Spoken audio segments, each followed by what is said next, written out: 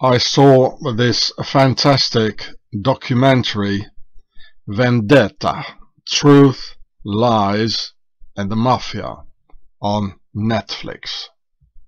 Playing in Sicily, the island in the south of Italy and not far from Egypt and its pharaohs.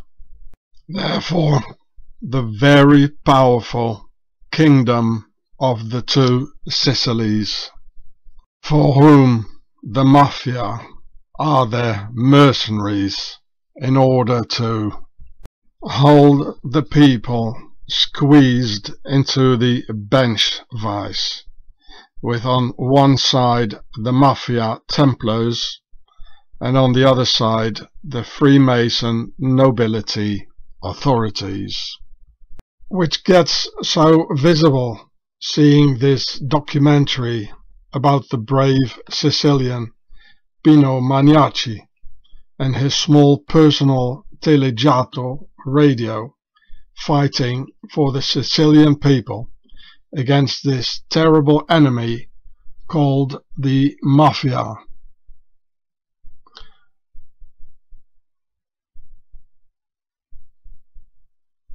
In fact, in Italian, the name Maniaci, it means the maniac. well, he sort of is, I suppose, in a good way.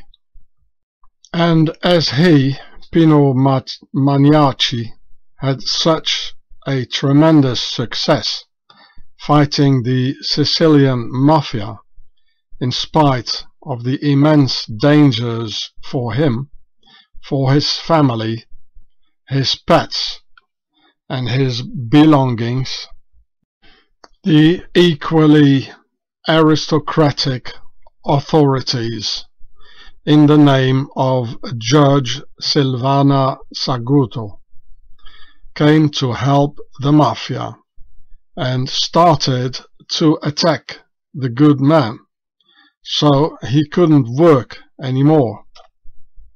As he had to defend himself from the aristocratic mafia of the Italian Justice Department in the name of Judge Silvana Saguto. Silvana Saguto has written high nobility all over her face and showing it by the way she closes herself and gives secret symbols through her necklaces and other. Look here, here's got the seal of Solomon, a king, a jaywalker king, a pharaoh. Here's a lot of circles for the compass and here are the squares, so it's saying square and compass all over with a lot of circles here there are three big ones for the concept of three and one small, so for the concept of four. This is like a swastika, which comes from the pharaohs, which I explain in my videos. Here in her living room probably, you see the symbol of the French Republic, the New World Order, the Arc de Triomphe. Arc, it comes from Arcos, meaning to rule. And it's got all these classic buildings Greek Roman buildings out of Pharaoh. I mean, I mean, look at that. This is this is the nobility. So here you can see the crest or coat of arms of the um, the kingdom of the two Sicilies, and here this is the upper degrees of the Scottish Rite. They have this symbol the 28th, 29th, 30th uh, until 33 they have this symbol for their degree. Here's the square, yeah, here's a circle, it says square and compass. A lot of Templar crosses here. And um, so the this is the house of Bourbon and uh, the two Sicilies yeah, the House of Bourbon to Sicilies. So she, the judge Silvana Saguto, is most likely from the extremely powerful royal house of Bourbon and the two Sicilies, and in order for Pharaoh's nobility to parasite on the people, she used the mafia as a pretext to issue the very controversial so-called preventive measures based upon the lie to confiscate mafia belongings and freeze their bank accounts. But instead, the nobility authorities started to pillage honest, hard-working Italians and confiscate their life's work straight into the hands of Italy's nobility through a complex nepotist Freemason network of all the initiated working in the Palermo Justice Department. So here you see the logo of the um, Antimafia Police Direzione Investigativa Antimafia. So it starts with a D, which you can find here. That this is supposed to be a D, which you say so. The I is here, well, maybe. And here the A is here. But why do it in this way? I mean, who can recognize there's a DIA except them? Well, here's the square. This is exactly 90 degrees interesting. The point it comes here like, well, okay. The whole thing is in a circle for the compass, and this is the square. So they see it immediately. It says square and compass. And then the A, it looks also like the compass, you know, it's 60 degrees probably. And here is a, a um, pentagram like the Pentagon, you know, it's, it's always, you know, getting to the same stuff. That's why the Pentagon is, you know, it's like in a pentagram. And behind it, you can hardly see it, is the Lions Club Rotary symbol of these Freemasons always giving, you know, so-called, you know, a philanthropist, uh, you know, helping some schools for children, you know, so they have a better access on them. And the whole thing here is in a uh, oval, like the Oval Office. And it says Vis Unita Fortior. It means together we are stronger or something like this, which is typical typical Templar stuff, you know, like uh, uno pro omnibus, omnis pro uno, one for all, uh, all for one, or the uh, the Trump said it as well. So he's saying exactly the same. Yeah, in the Oval Office here, he said the same thing, like vis unita fortior, like where we go one, we go all, same thing. And this is sort of light blue, and then here behind it is white. Now, why do they have to accentuate the V? All of a sudden by having the other another color on the other side. So they all see it. Oh, because this is the Templar V, like the V for victory. You know, like Churchill did it. You know, the child murderer who helped murdering 23,000 uh, children in uh, South Africa. Uh, this is probably um, Acacia, or this one here. Uh, here it says Repubblica Italiana. Even in the flag is the concept of three because that's them.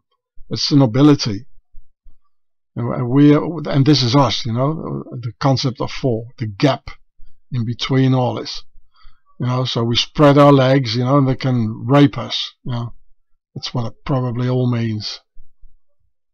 And even this state corruption got all figured out by the smart Pino Maniaci and his tiny, but in the meantime, very popular Telejato radio, literally raided by the Sicilians seeking for help, being taken hostage in between the Templars Mafia and the nobility authorities.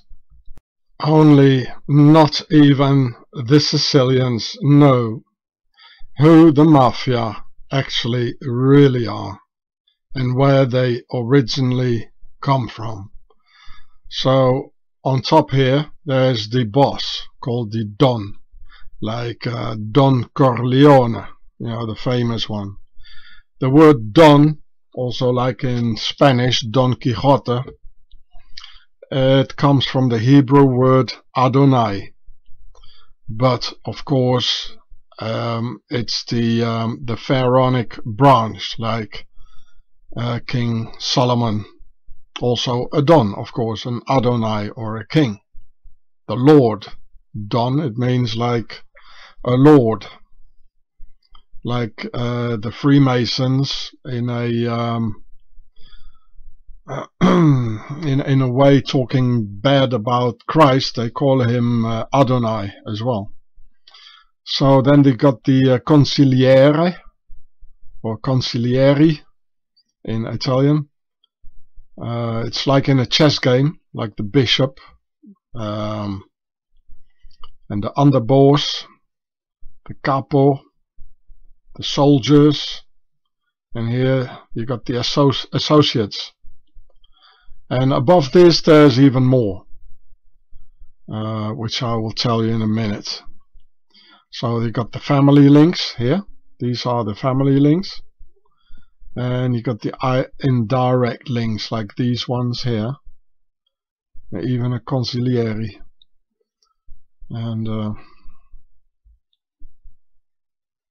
for the Crusaders and their Templar masters on the way to Jerusalem, Sicily became the most important bridgehead for the Knights Templars, with commanderies all over this huge island in the Mediterranean, in between Europe and Jerusalem, like the Sicilian Templar commanderies of Saint Nicholas or San Niccolò del Tempio in Italian in Bulgerano near Scordia in Catania province.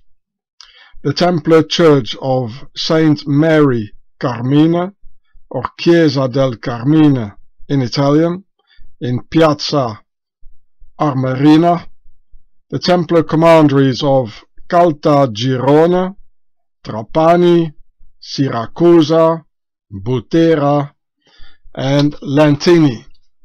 So here you can see it here.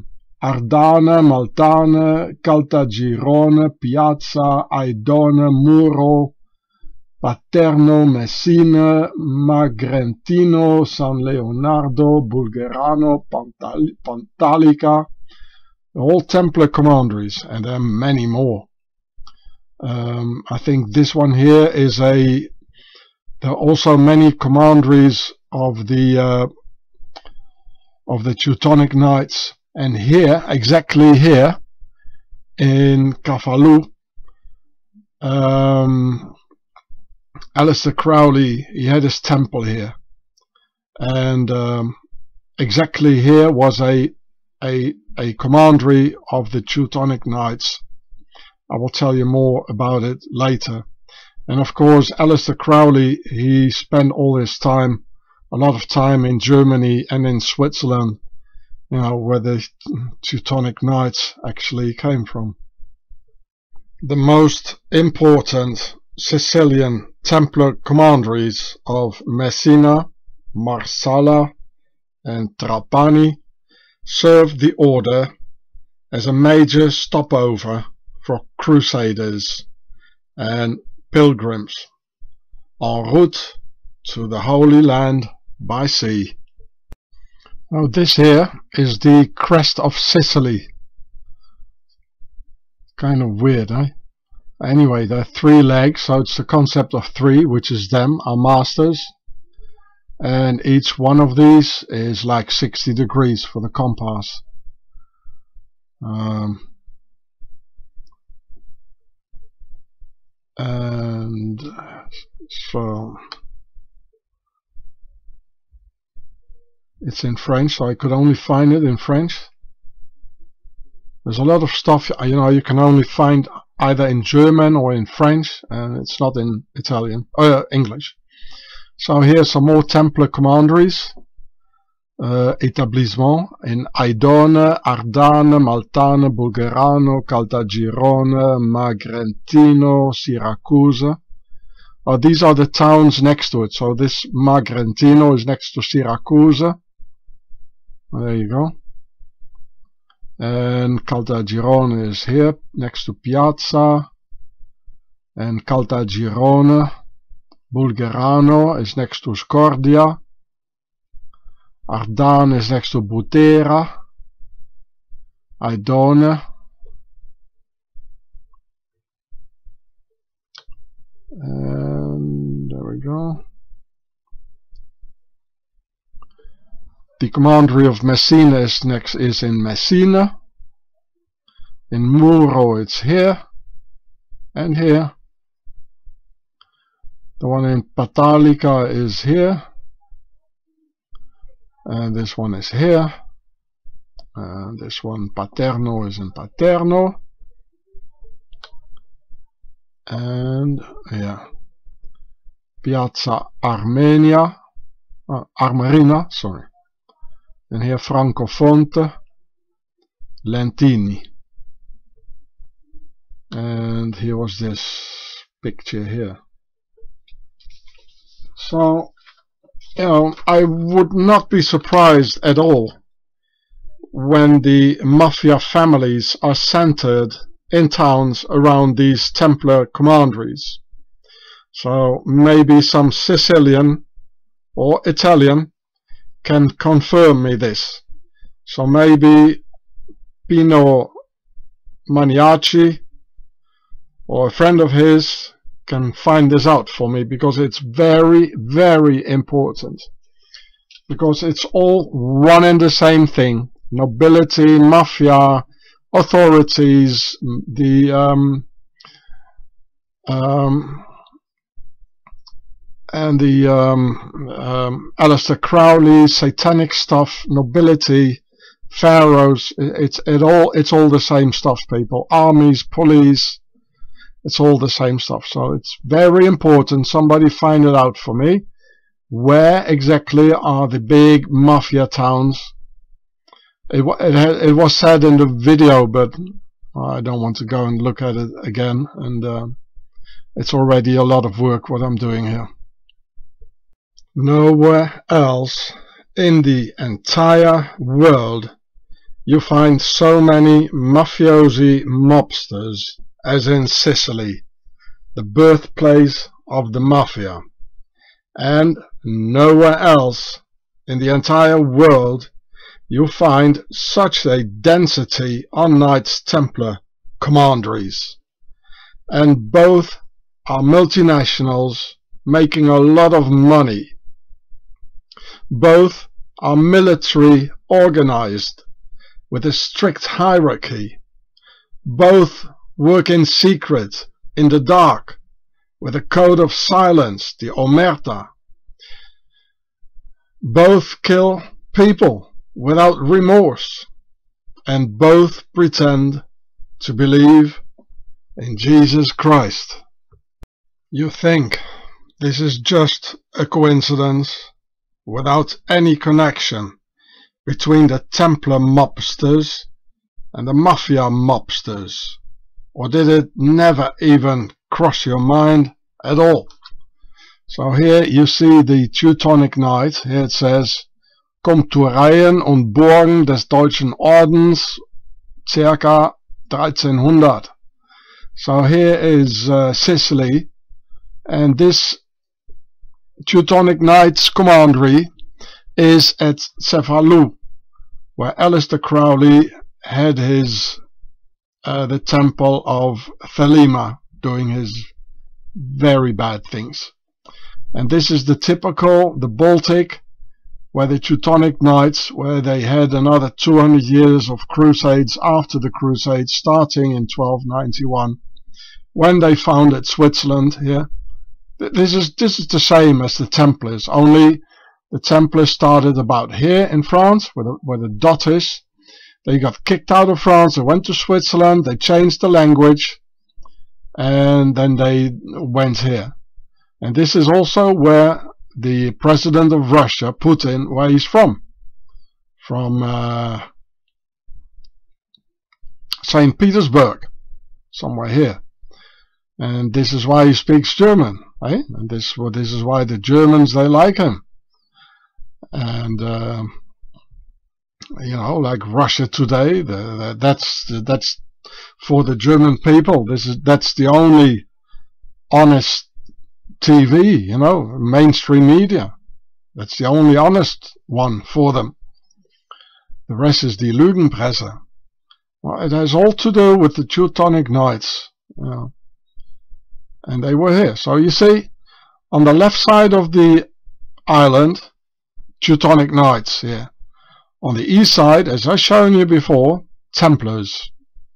You know, and then here's Jerusalem. But they went straight here over where there's another Templar commandery, which I'm going to show you right now. So they they went here. They came from Northern Europe, the Crusaders, and then here. They went straight here and on horseback, or they walked to Jerusalem, and uh, most of all Egypt, of course, to get the Templars treasure out of the pyramids.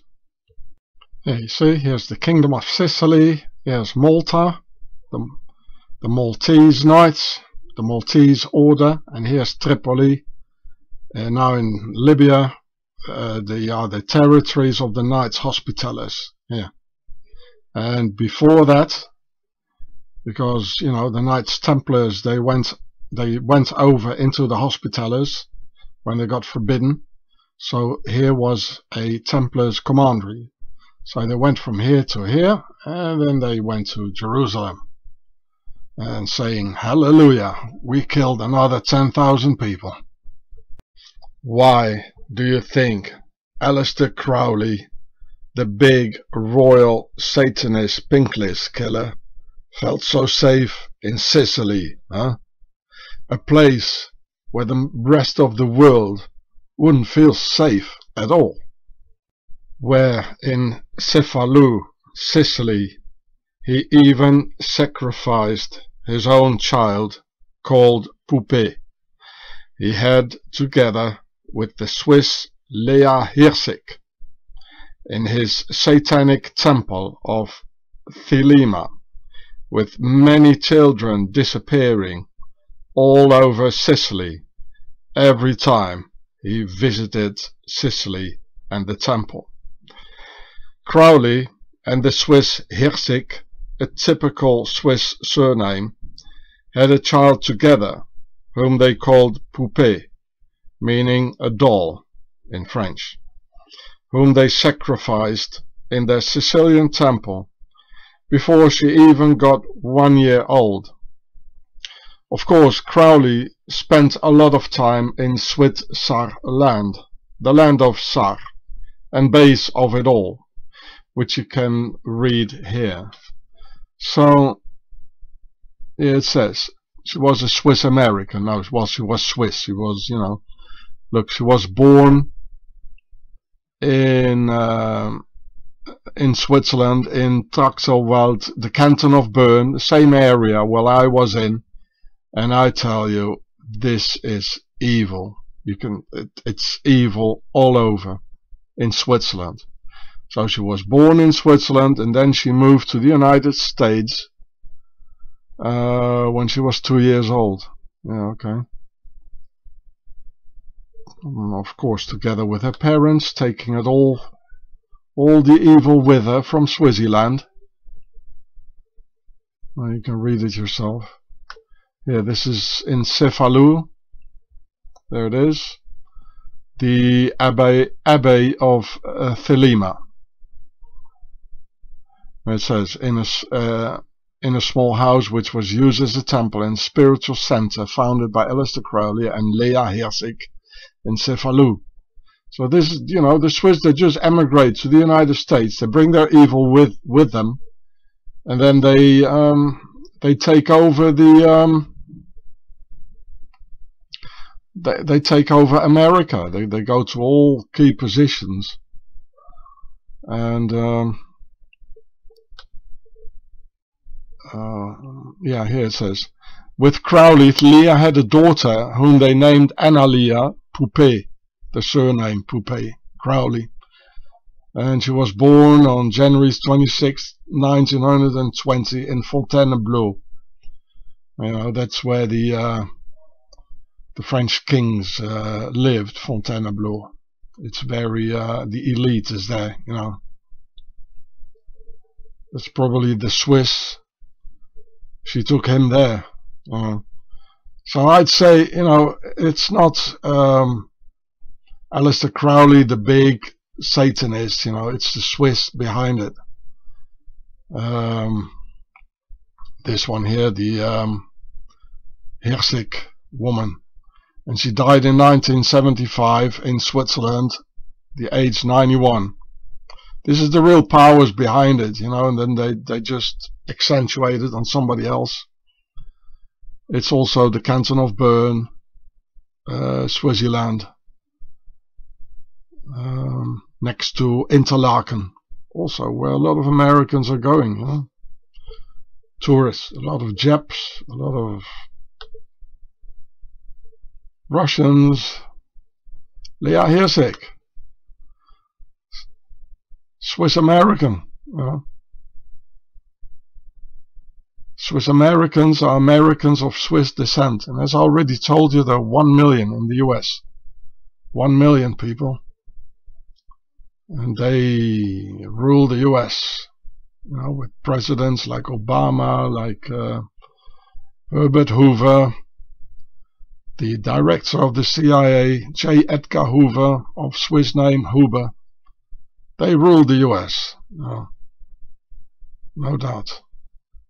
So this here is Cefalù in Italy, where Aleister Crowley and the Swiss, Hirsig, Leah Hirsig, where they um, where they had the temple where they sacrificed people. A lot of people died there.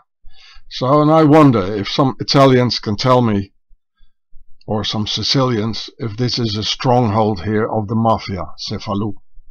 I know, which I've shown you just before, that uh, the, the uh, Teutonic Knights, they had a commandery there. And the Teutonic Knights are the German-speaking uh, Templars. They come out of the Templars when the Templars disappeared. You see, they got in their coat of arms, they got a crown in there, the concept of three with a circle, which is also the concept of three, which is them. The concept of three is them here, the crown. You know, it's the same. So, well, you, if you want to read it, you can, but there's nothing in it. So here's Cefalua, just showed that to you before. That's where you had the um, the Thelema temple killing a lot of people. So, I mean, nobody would safe, feel safe, especially in those days, in Sicily. But this guy felt very safe, you know.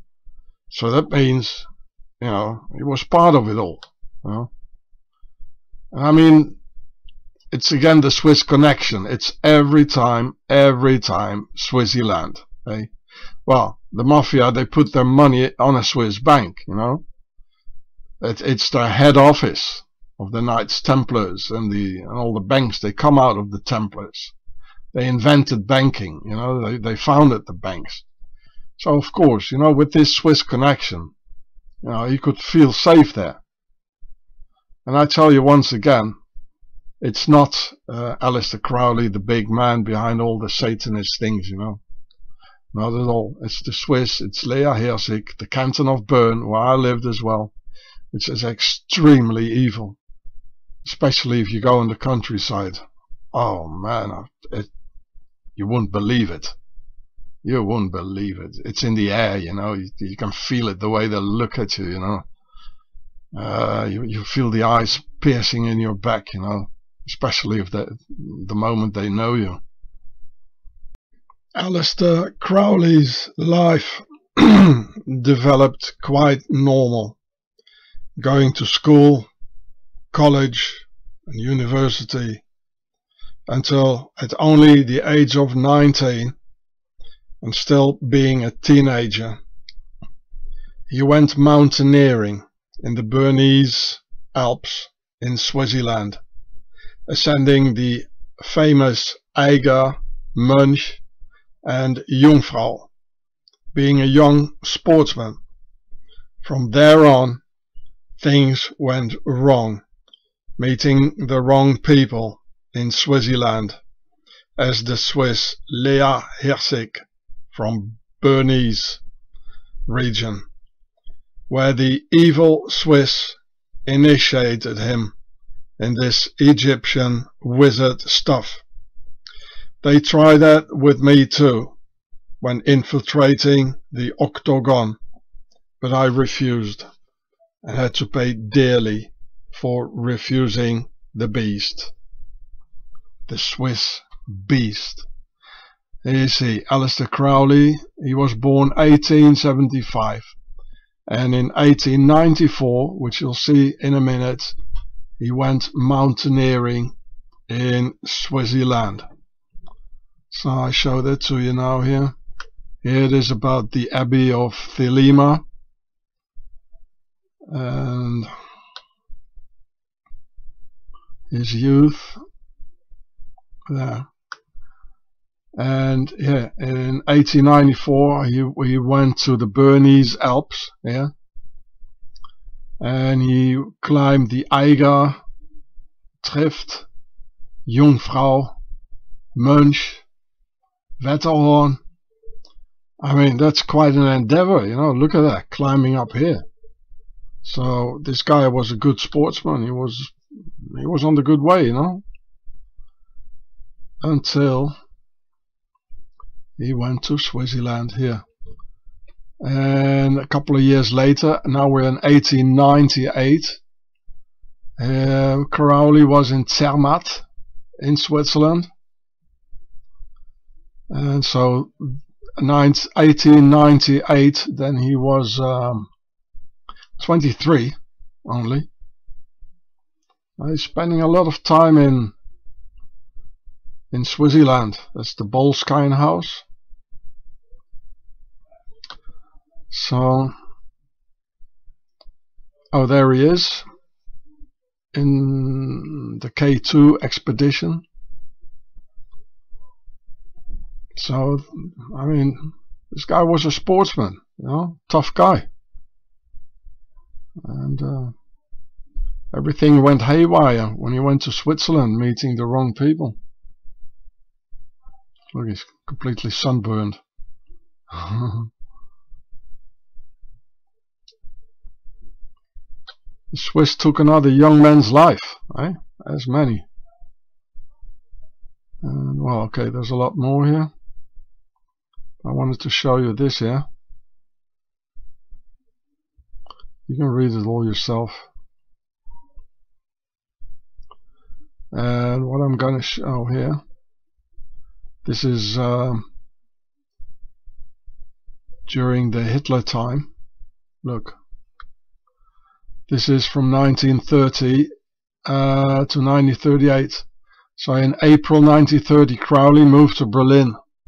Uh, in the in the Nazi time, Adolf Hitler, and um, he also knew. Oh, look here, Hamilton. We know the, those, right? The Duke of Hamilton, Order of the Garter, or the Scottish version of it. And uh,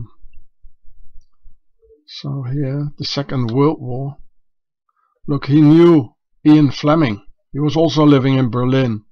And at a certain moment, all three of them, they were studying at least Ian Fleming and uh, the Prince Bernhard of the uh, the German SS prince of the House of Orange.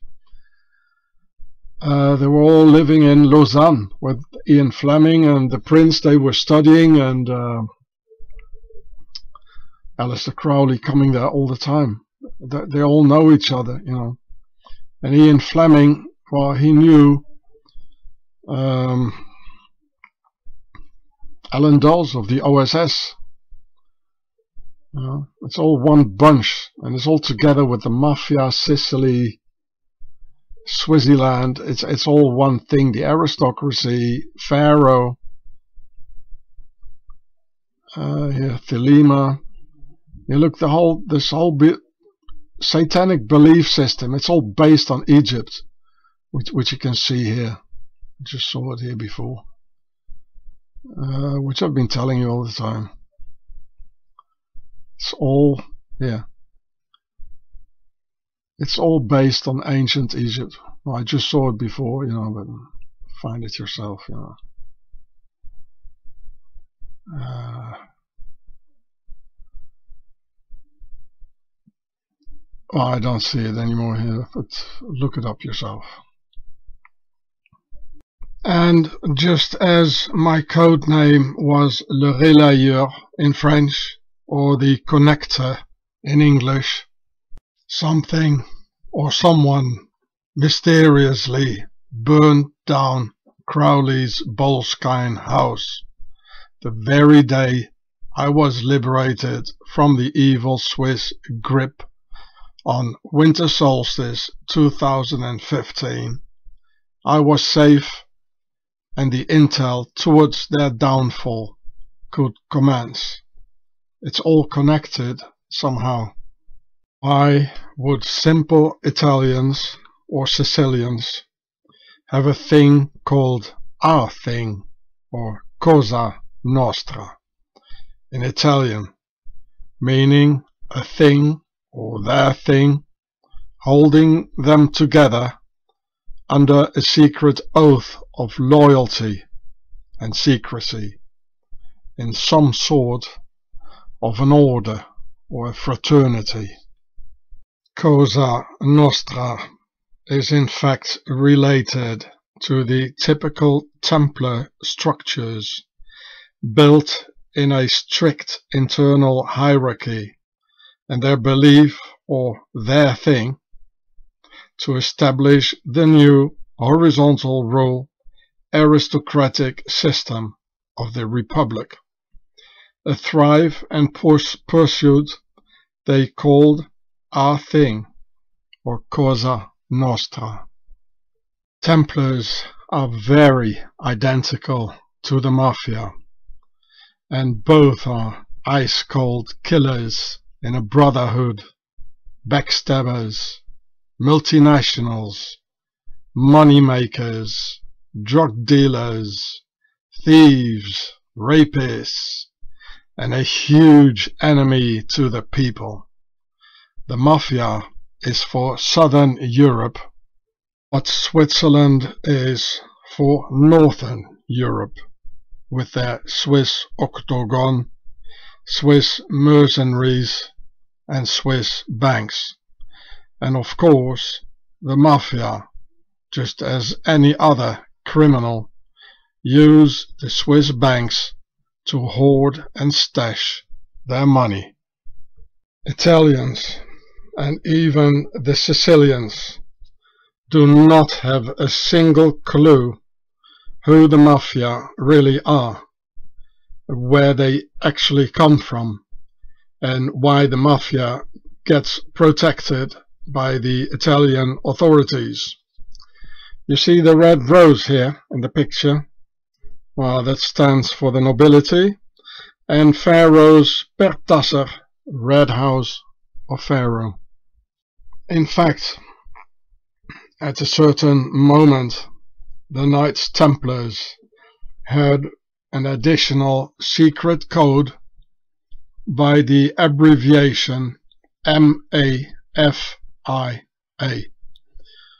in Latin for Mi Anima Fidelem Jus Arian, in Latin meaning my soul loyal to the Arian law, which was their thing, or cosa nostra, for our thing. Mi anima fidelem jus Arian, as the initials Mafia. And Arian means in fact aristocratic, the superior Aryan or aristocratic race who are together with the Swiss the instigators of World War II, which I explain in my video here, The Nobility World Wars. Aryan means noble or high-born, nobility. They migrated from Central Asia. They drove horse-drawn chariots that helped them gain power. Well, this sounds very much like the Hyksos, who came from Central Asia and they had horse-drawn chariots.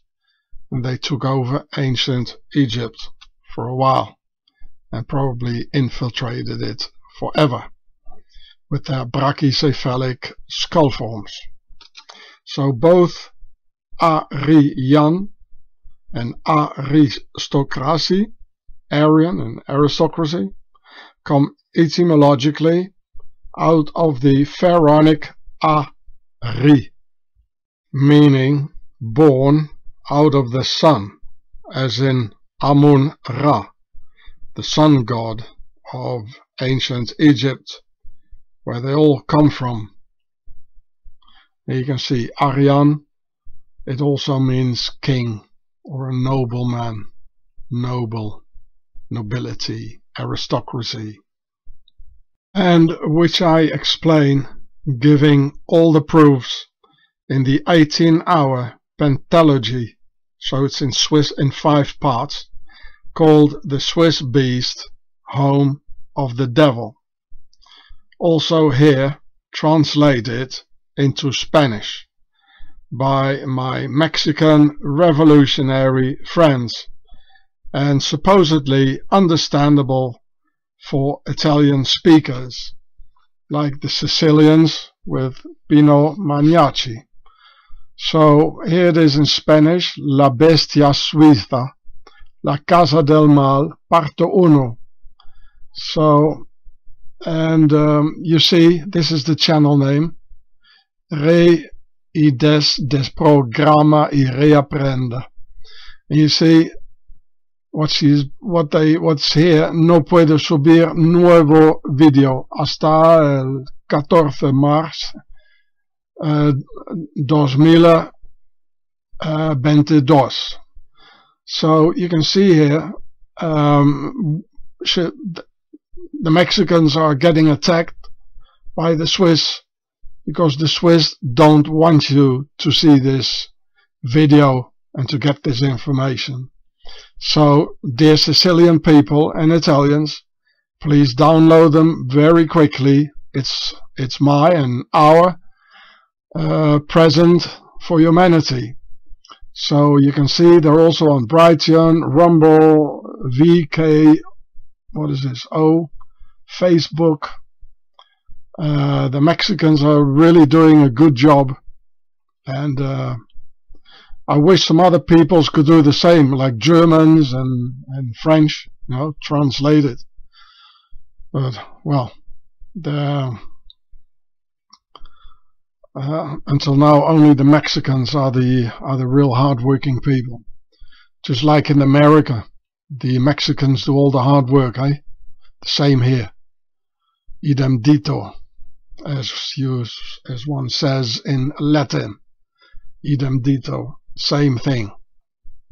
And here you can see the original title in this channel here.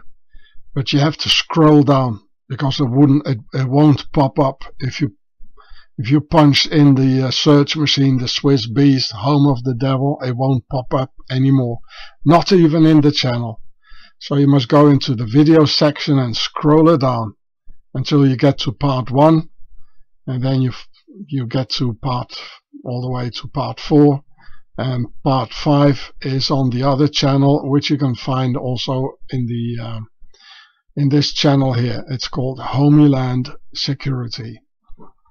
I was still a child when I got taught all this by my very traditional family of French descent in South Africa so I don't remember if it was fidelis or fidelem and ius or iura in the word mafia, M-A-F-I-A. But you just never forget anima fidelis arian, or soul, loyal, nobility, the main words of the secret oath related to the initials of the word mafia, which withholds in fact a secret oath. The word mafia is in fact the oath of this secret order, doing the dirty work for the Knights Templars and the nobility. An oath punished with death, torture, or your children and offspring killed when one breaks the oath of silence and loyalty, also called the omerta, where the word omerta, which you can see here, together with the typical Freemason handshake who use the omerta too, because the omerta comes from one of the nine founding fathers of the secret order of the Knights Templars by the name of Godefroy de Saint-Omer, Godfrey of Saint Omer, Omerta, the laws of silence. So he's also called Gaufred Godefroy, as I just told you before, Godfrey in English, and sometimes even Geoffrey, like the name Jeffrey, right?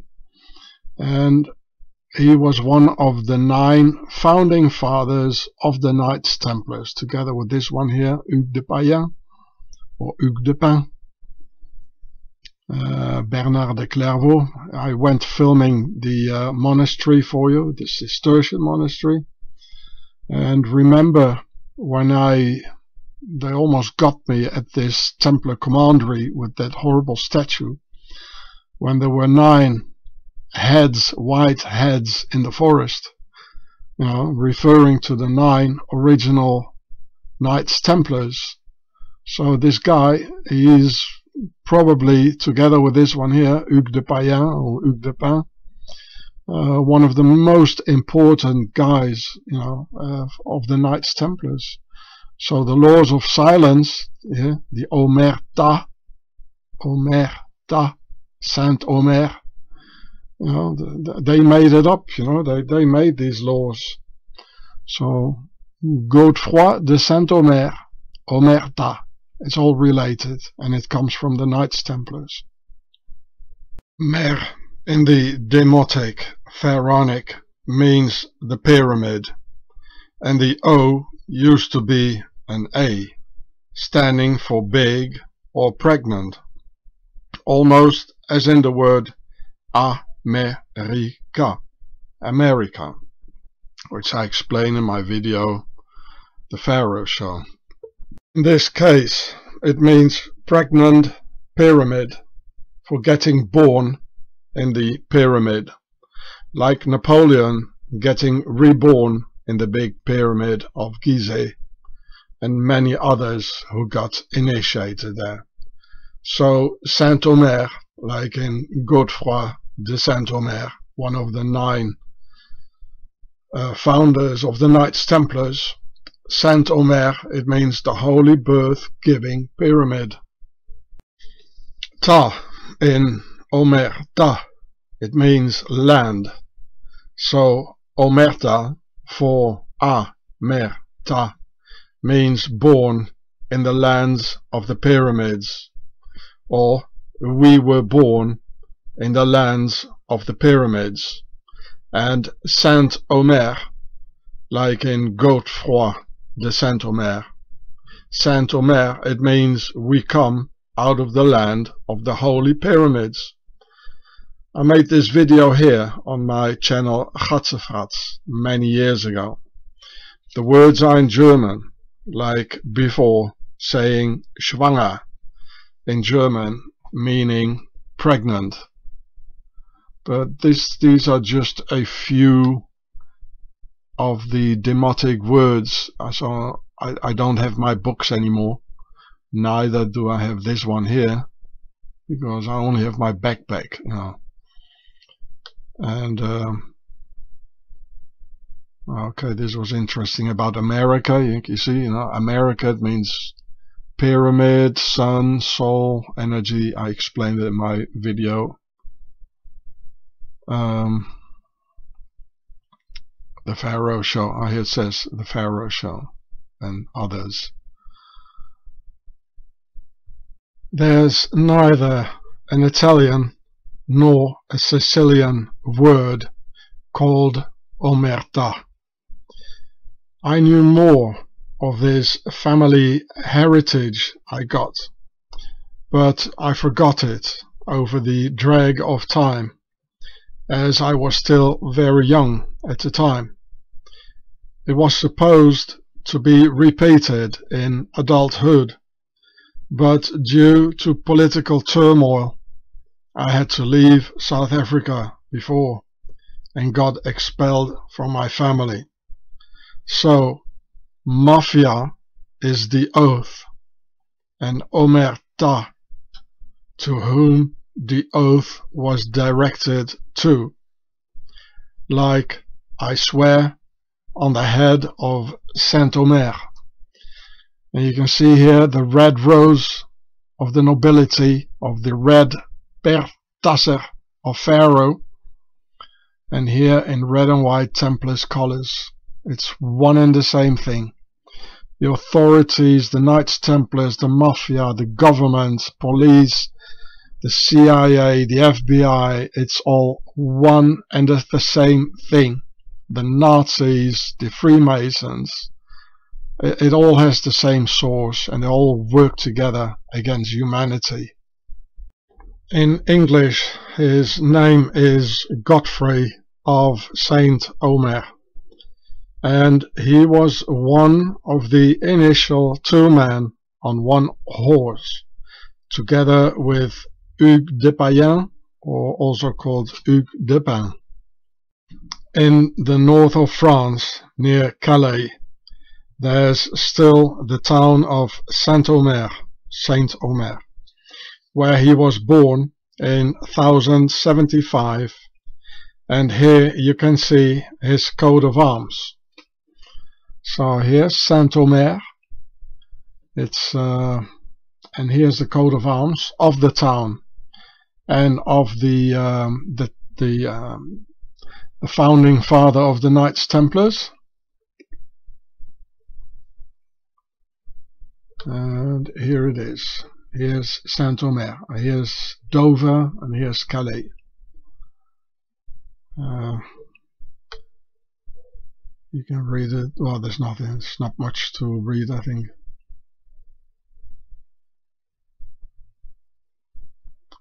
The most important things they're not in it. Yeah. So, okay.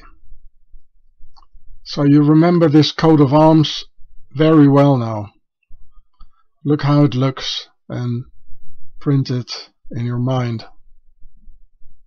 So here again the coat of arms the same as in the town of Saint Omer near England and uh, so he was from the nobility you know Geoffroy de Saint Omer de the prefix de it means he's of the nobility the founder of the order of the temple so this is in French, so the ones who, everyone who speaks French, you can try to read it.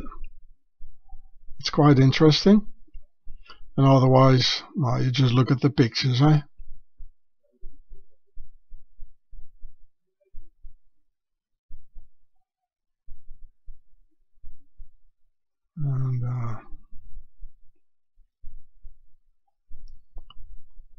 So I was looking for a, there's another picture. This is Saint-Omer. Oh, and here in the town, it's, it's where the, uh, the Templars were, where the arrow is. Oh look, Saint-Omer, it's a star fort. Can you see this?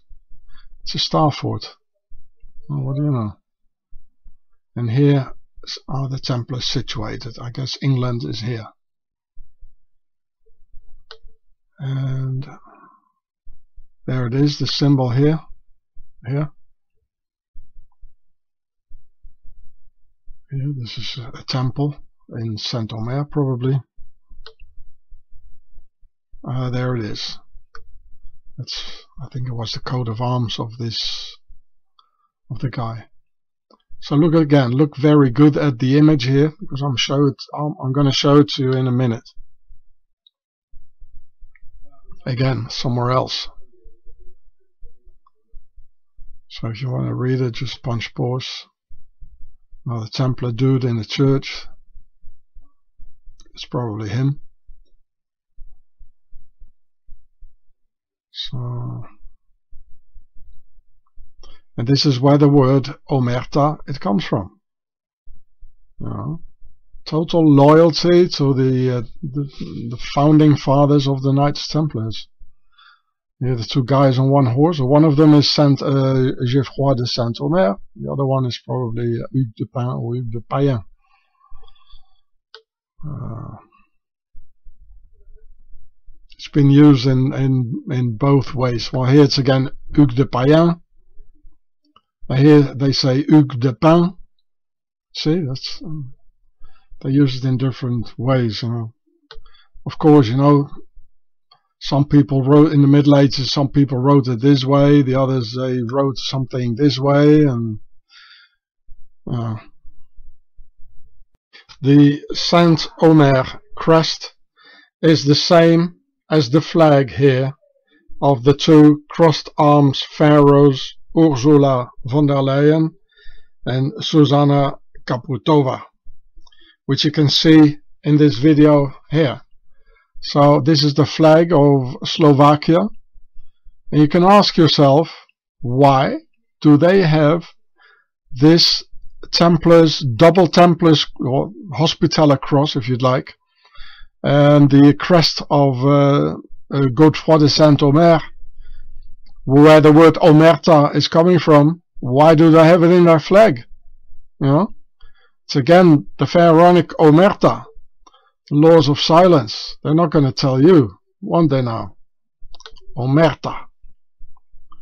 So it's in this channel here, and it's this video here.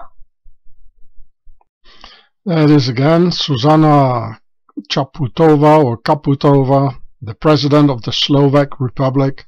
Now, why do they have the crest of uh, Saint Omer with the Omerta in the flag of Slovakia? Huh? And as it is so important, as for the ones who haven't seen this yet, I show you the, the crossed-armed ladies once again here. This is Chaputova with the uh, the crest of um, Saint Omer, the Templar, and here Ursula von der Leyen of the um, of the German high nobility, and uh, so her crest it means you know like Saint Saint Omerta, it means we come out of the land of the holy pyramids. And this is exactly what they're showing. Uh, and again for the ones who haven't seen it yet I show it in this video here on the same channel. Sarko Soul Soccer from Swit Sar land the land of Sar and it's all related. We've been ruled by the pharaohs for 2000 years people. The global mafia is a Templar branch and therefore in South America there are the drug lords of the cartels who call themselves Los Templarios which is Spanish that means the Templar the Templars so here you can see a Templar's cross and just as they were in America the Newport uh, castle or whatever it was. Of course they were also in Mexico. Uh, maybe someone can look it up. I guess this is the region here. Yeah, the state of Michoacan. Yeah. So I, there must be some Templar artifacts being found there, or maybe uh, castles like in um, in Newport in America.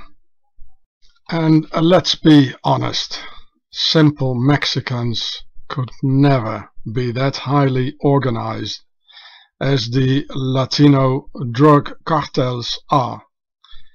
Only Pharaoh's nobility can do this, not the people.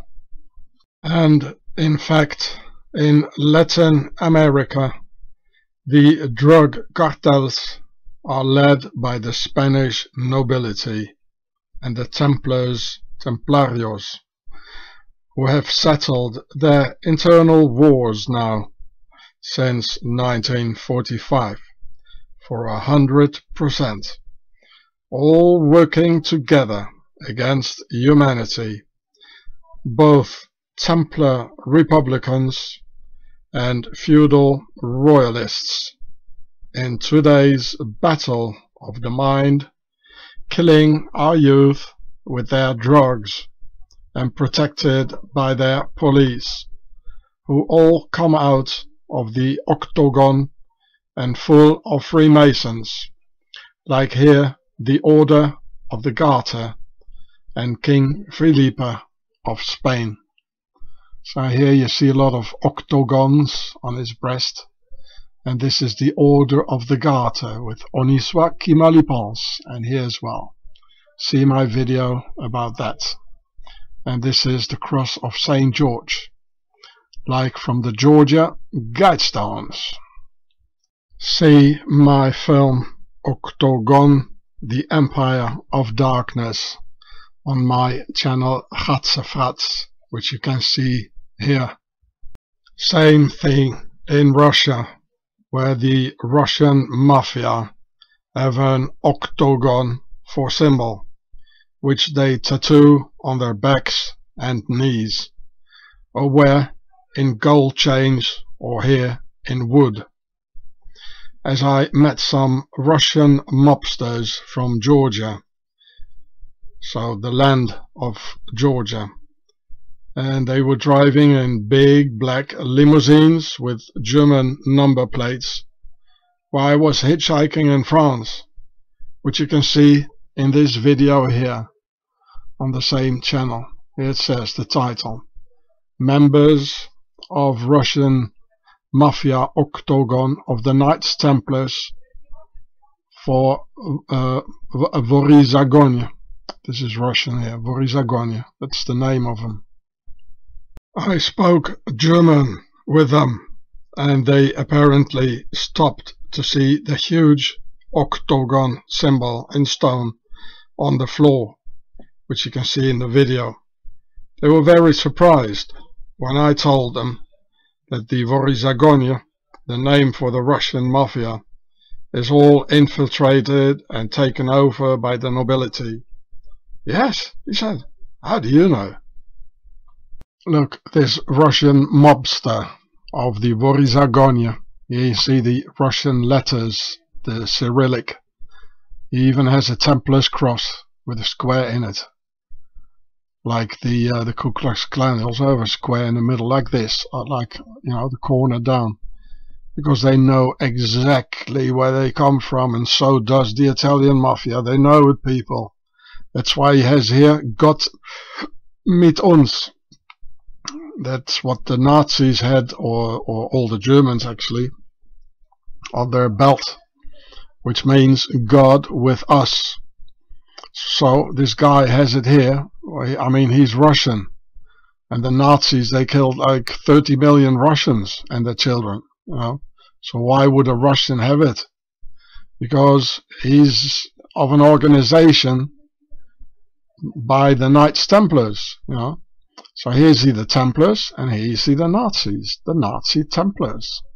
And even the spider's web here is uh, octagonal.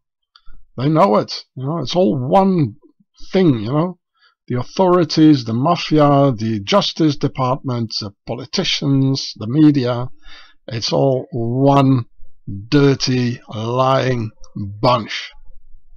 All these mobsters, they're just like the police. They all they come with money and they act masculine and they think they're strong against one. You know, just like the police. Because it's the same organization. It all comes out of the Knights Templars. The police have a lot of octagon badges and so does the Russian mafia. And they all carry Jesus, like the Templars, like the Italian mafia, the Cosa Nostra, the Russian mafia. You see here the Russian Cyrillic letters. It's the same people. The police are the legal mafia and this is the illegal mafia. And they're cowards. They're, they're a menace to humanity. We should get rid of them.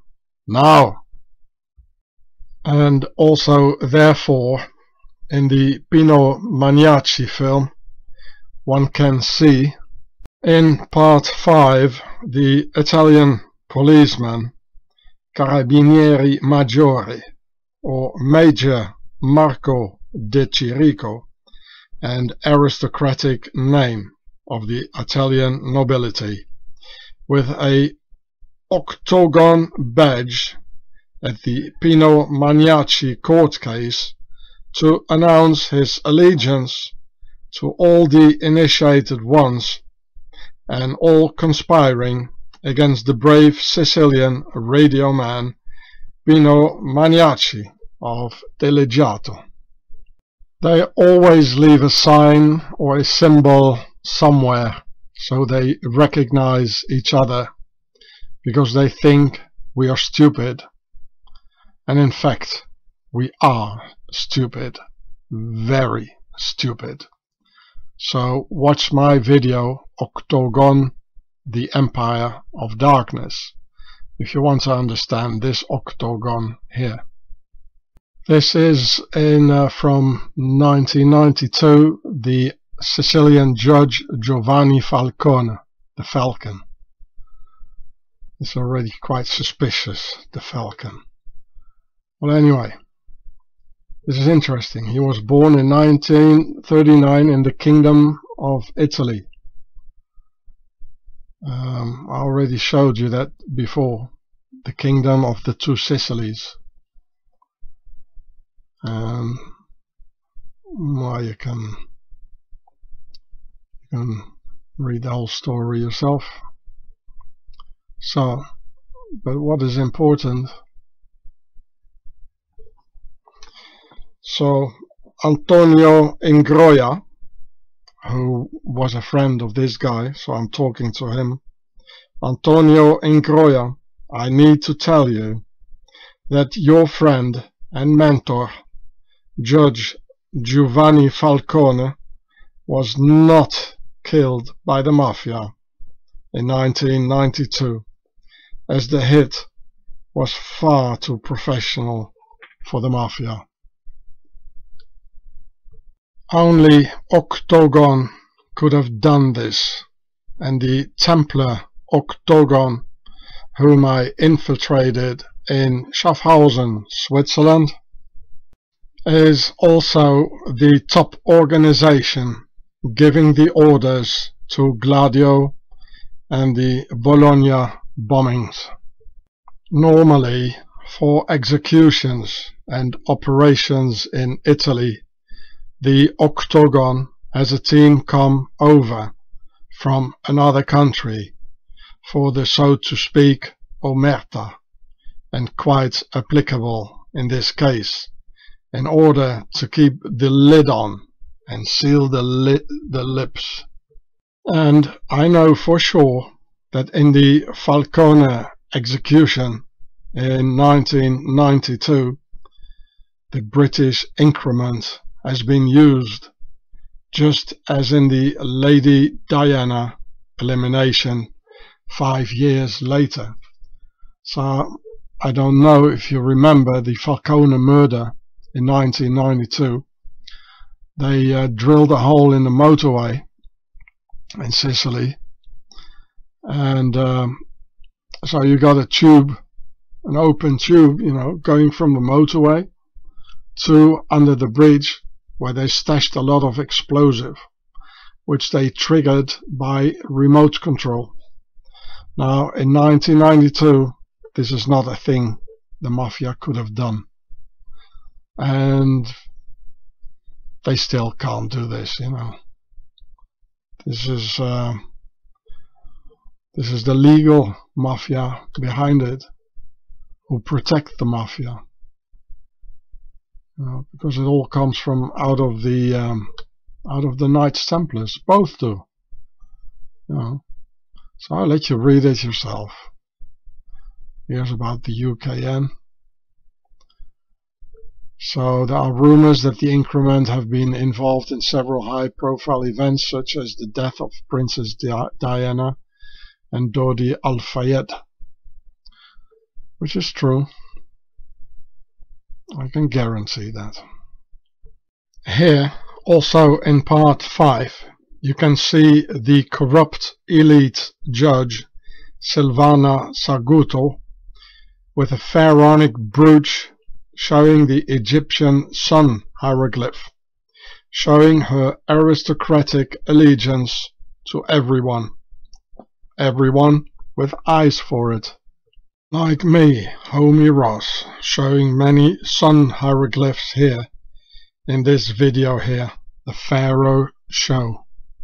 And here, one more time, her pharaonic brooch, the of the sun hieroglyph. Of course, it's not exactly the sun hieroglyph here, but it does represent it.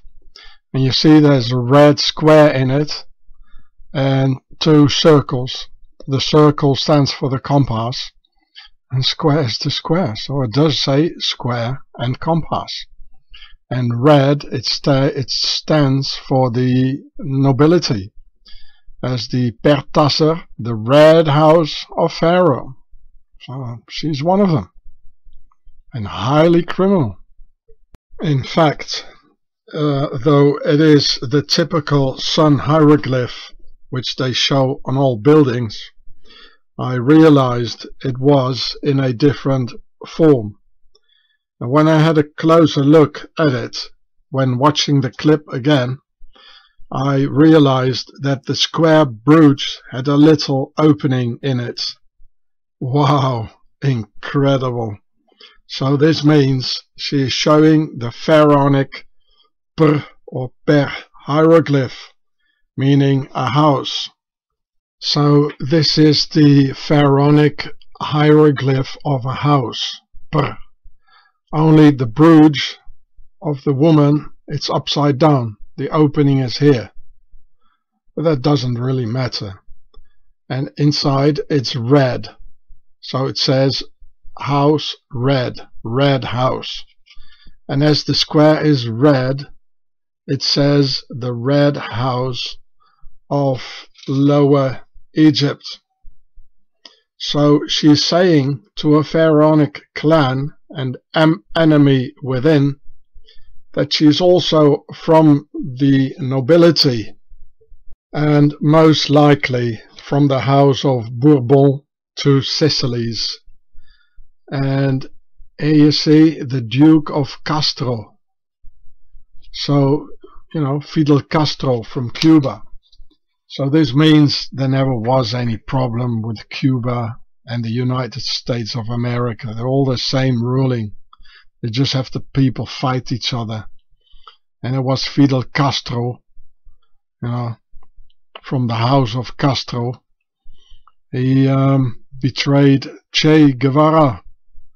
And, uh, you know, because he was too, uh, too famous amongst the people. He was too popular. And here's the coat of arms. There's a lot of things to recognize in it, you know, fleur de lis. Oh, this looks like Catalonia. Lions. Oh, look here. St. George, there he is again, the killer. Like the St. George Guidestones. That's where it comes from. And Templar crosses, well, it's, it's full of it, eh? And this symbol you got uh, above the 28th degree in Freemasonry Scottish Rite you got this symbol here which is a very interesting fact.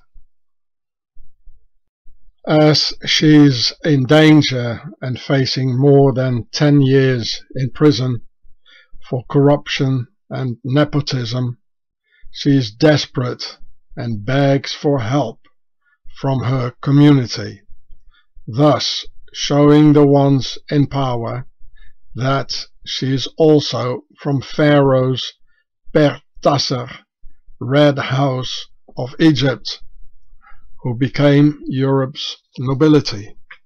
Of course, the original hieroglyph of the sun is a circle with a dot in it, and the one depicted on the buildings by a circle and two bars on each side is slightly different, but it does in fact represent the sun hieroglyph thousands of years later in Europe and thousands of miles away from the River Nile.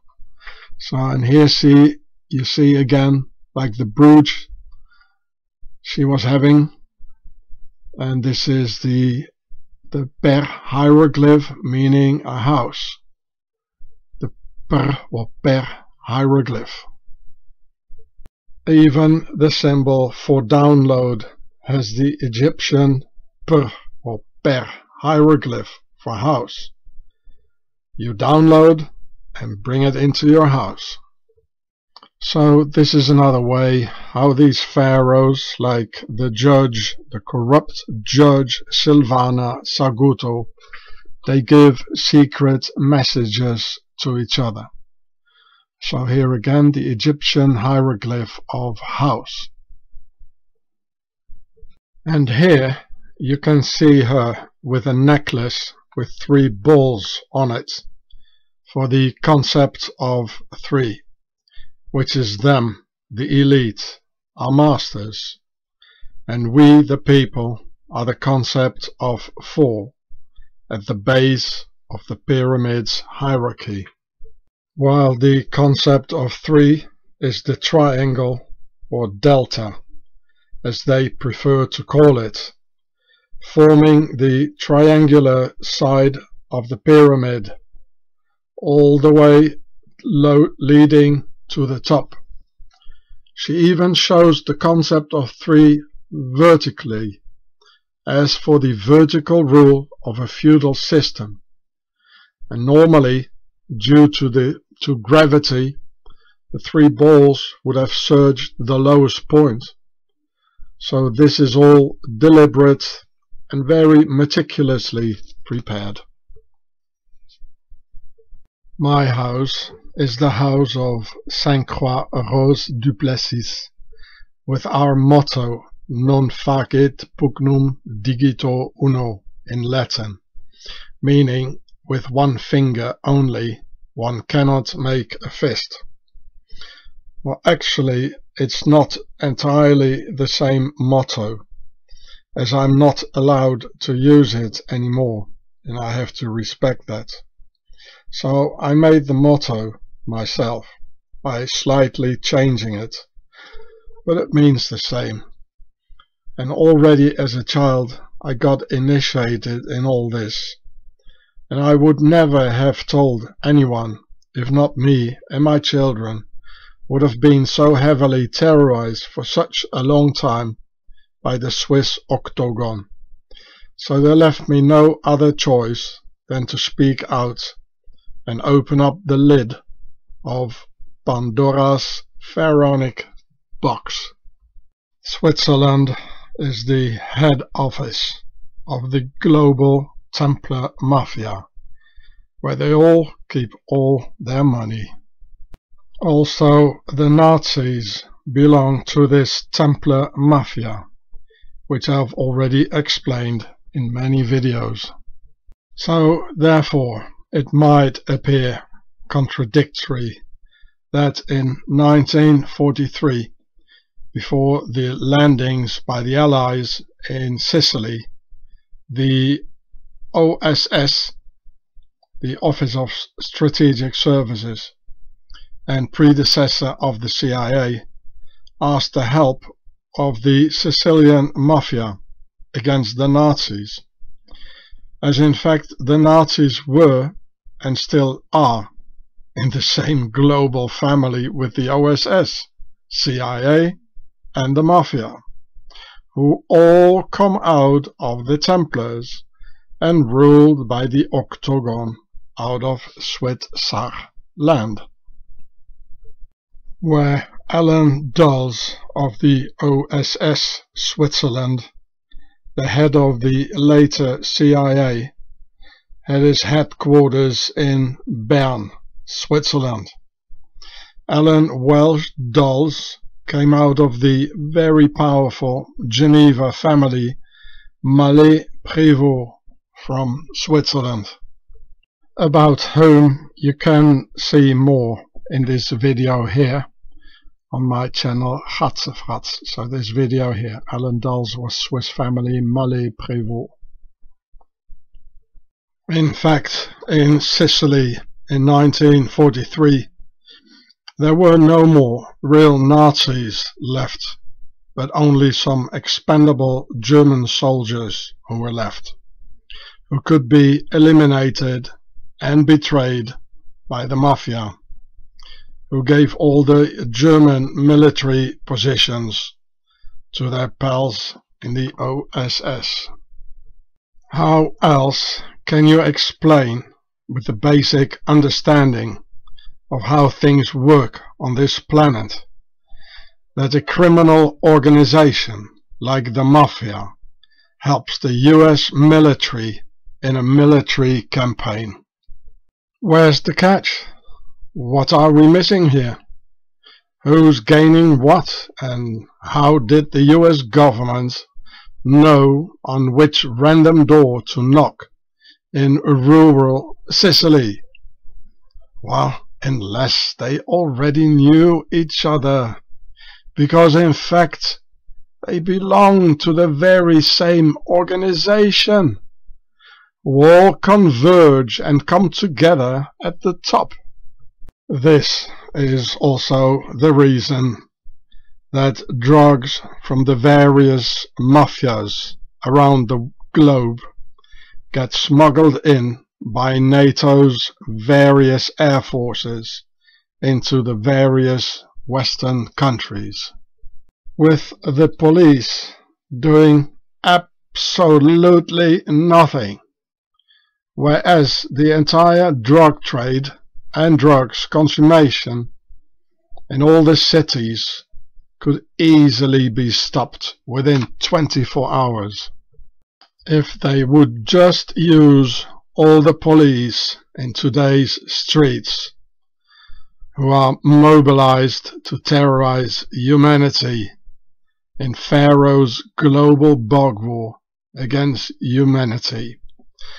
If they would use all these police for only one single day. We could stop the drugs and the consummation of drugs, everything, only for one or two days. All these police in the streets now.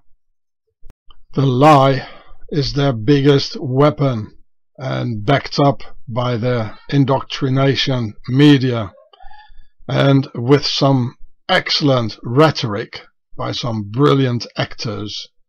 The majority of the dumb slaves believe everything.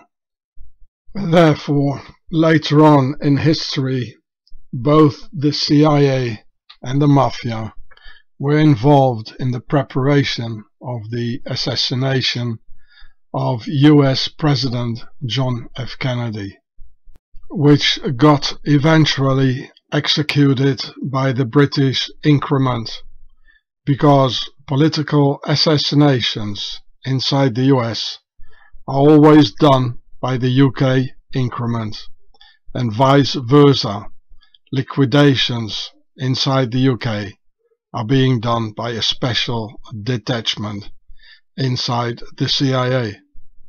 And the increment finally take their orders from the Swiss Octagon And what a coincidence again.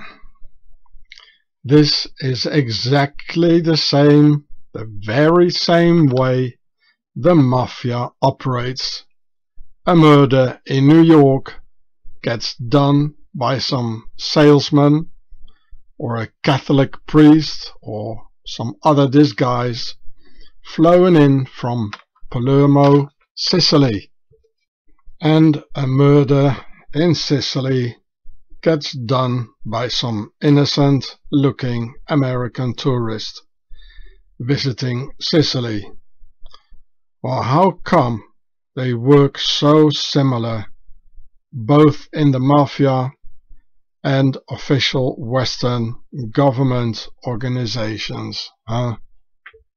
Well, because it's one and the same gang called Octagon of the Nazi Templars and they are based in the Alps.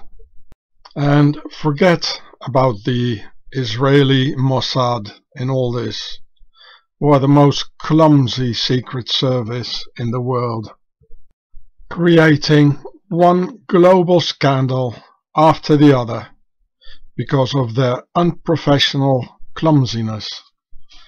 I hear about the assassination attempt on Khaled Mashal. I hope I pronounced that right. And yeah, about the assassination attempt. they tried to put some uh, in his left ear.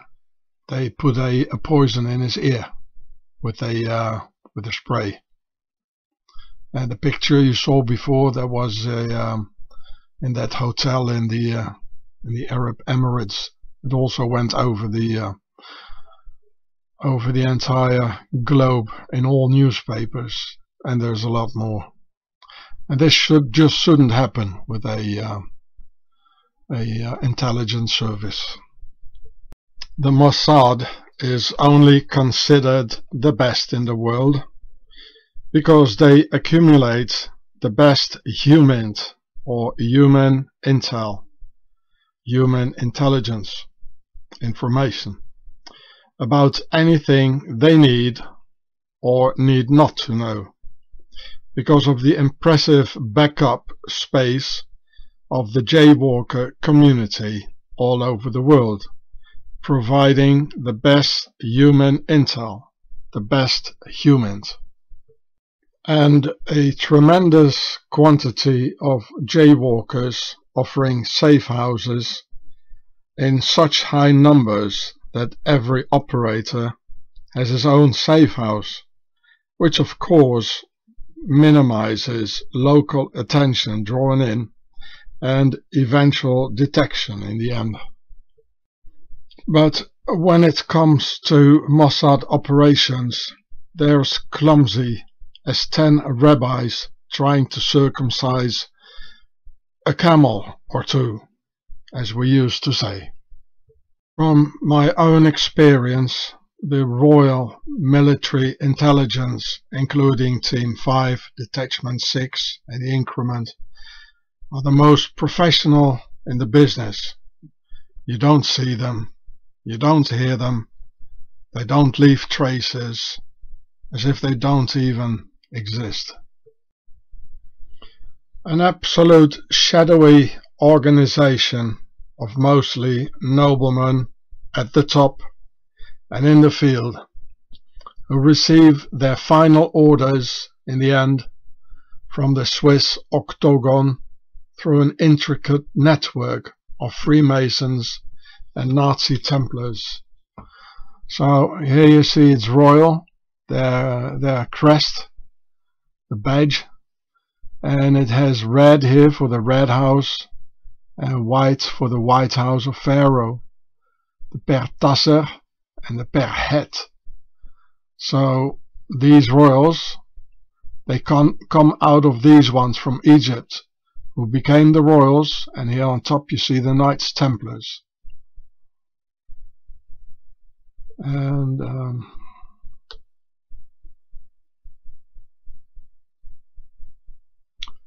so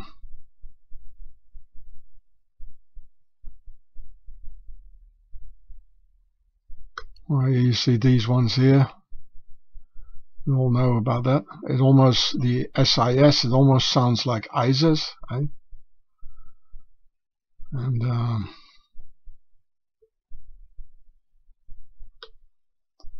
you know, General Sir is from Sar, meaning a king, a pharaoh. It's like a uh,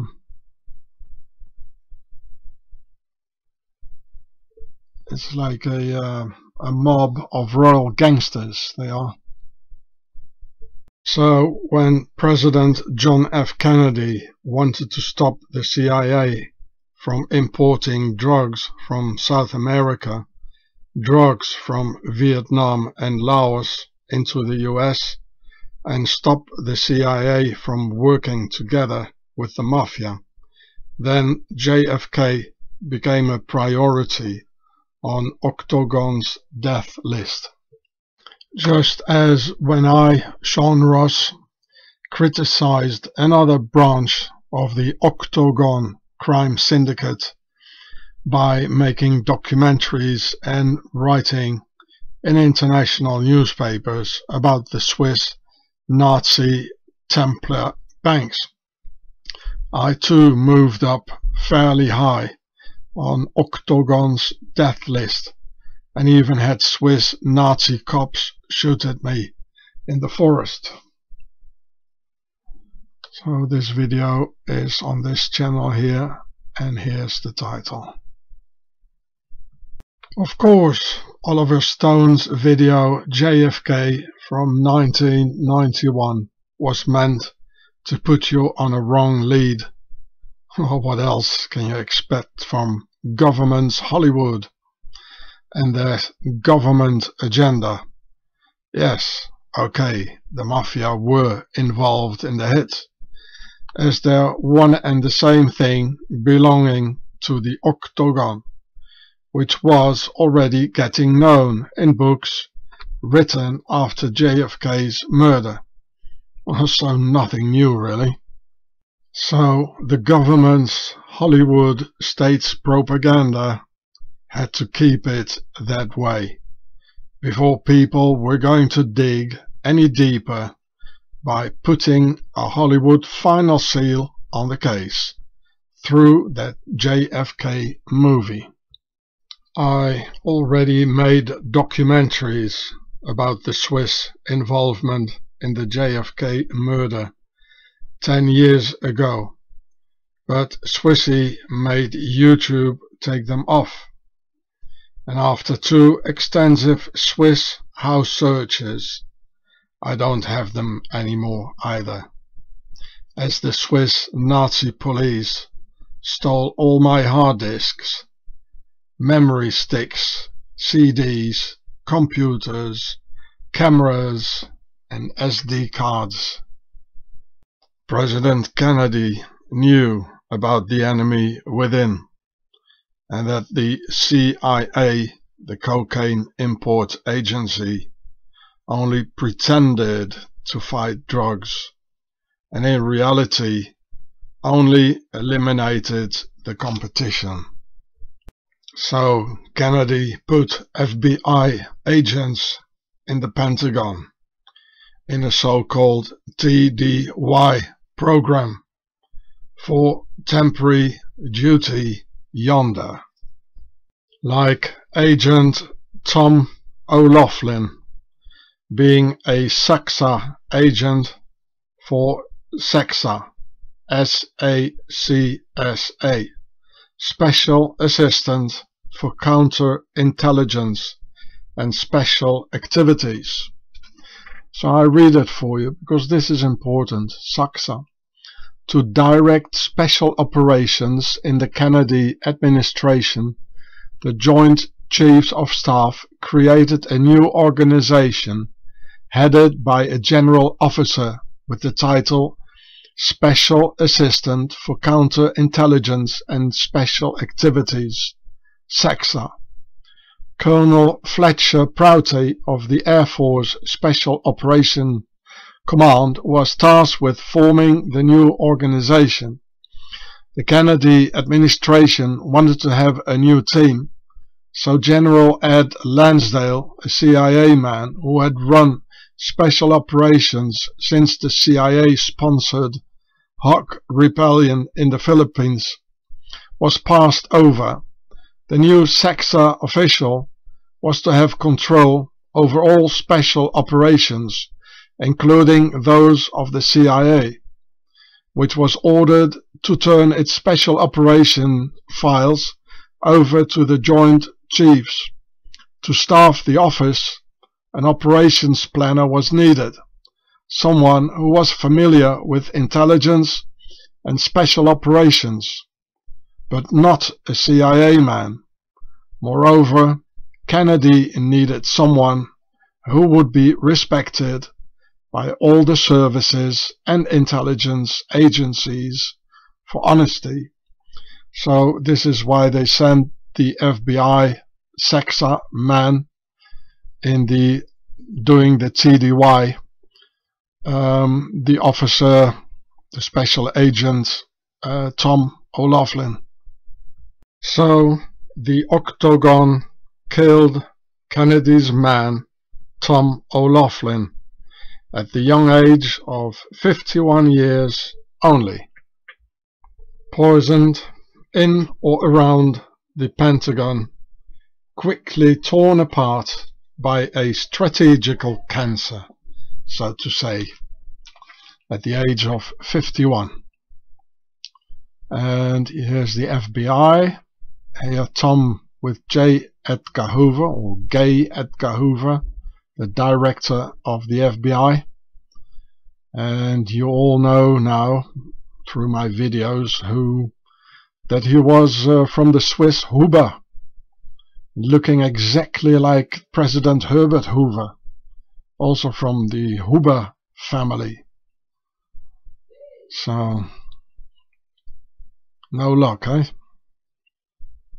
FBI Director J. Edgar Hoover, also called Gay Edgar Hoover, real name Huber from Switzerland, and US President Herbert Hoover, real name Huber from Switzerland are from the very same Swiss Nazi Templar bloodline which you can see in the picture comparison of this video here on my channel Hatzefratz and they were both members of the Swiss Octagon from the Alps bringing havoc to the US, going for all key positions and stabbing the American people in the back.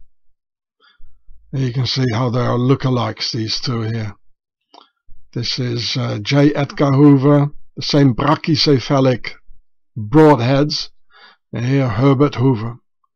And these uh, cephalic uh, skull forms are not European. European have long Europeans have long heads, uh, which you can see in my video about Perset. And here's the title. But you probably have to scroll it down in the video section here because YouTube is uh, desperately trying you know to hide all my videos with of course the Swiss pushing behind it. Or you can take the title here and then put it a little bit more to the right here in the search bar in my channel.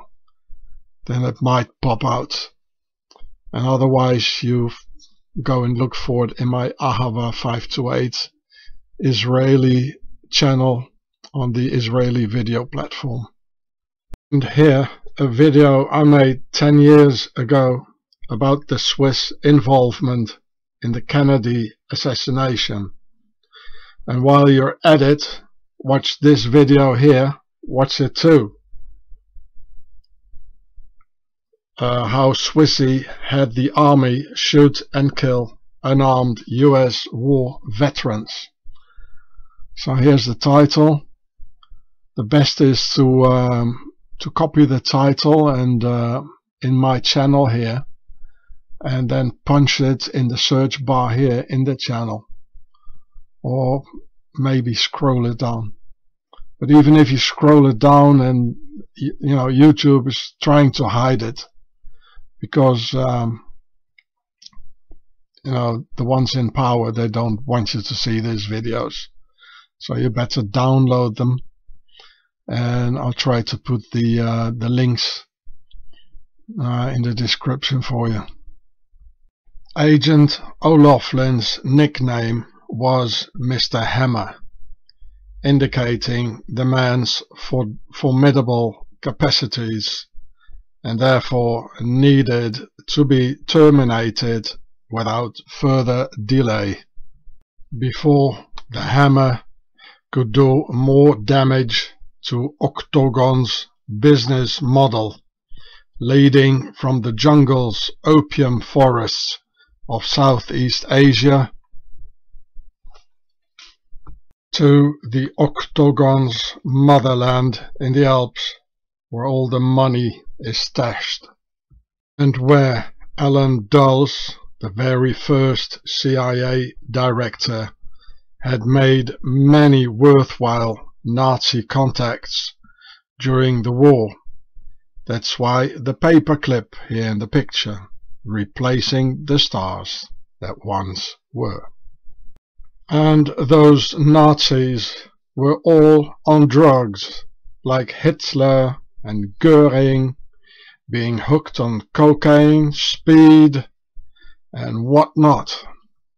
From the top all the way down to the ordinary German soldiers, all carrying a tube of speed tablets called Pervitin for the hard moments like shooting a bunch of children and their mothers in a mass grave and then shovel a few tons of sand over it.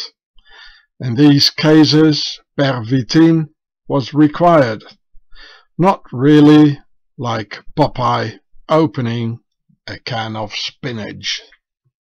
Hi Hitler!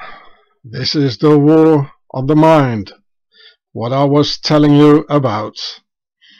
And because the Nazis won the war right after the Nazi victory of World War II and taking over the US through the paperclip. The drug wars started to mess up our children's brains in the war of the mind, just as the actual drug war being forced upon humanity in Pharaoh's bog war to take control over our minds. Hi Hitler guys, have fun now. Per in the word pervitin means a house in Pharaonic Demotic, like a royal house or bloodline, indicating the ones behind it, as usual. In 1971, when Special Agent O'Loughlin died, murdered by people who smiled in his face, he hadn't watched any YouTube yet, and how his FBI director, J. Edgar Hoover, real name was Huber, a Swiss American who also was a member of the notorious Octagon, wanting Special Agent O'Loughlin dead. O'Loughlin's code name in the SACSA detachment was Macduff, just as you can see here on this channel name Macduff lives. So years and in fact decennia later, O'Loughlin's son, John O'Loughlin, opened up a YouTube channel by the name of Macduff Lives. And we did an interview there last month on December 7th, 2021. It says interview, there we are, interview with me and the title is a little bit longer uh, one month ago. But as I just had contracted the Wu flu, I was still recovering and in the interview searching for the words in my empty mind due to the brain fog provoked by Pharaoh's bug war.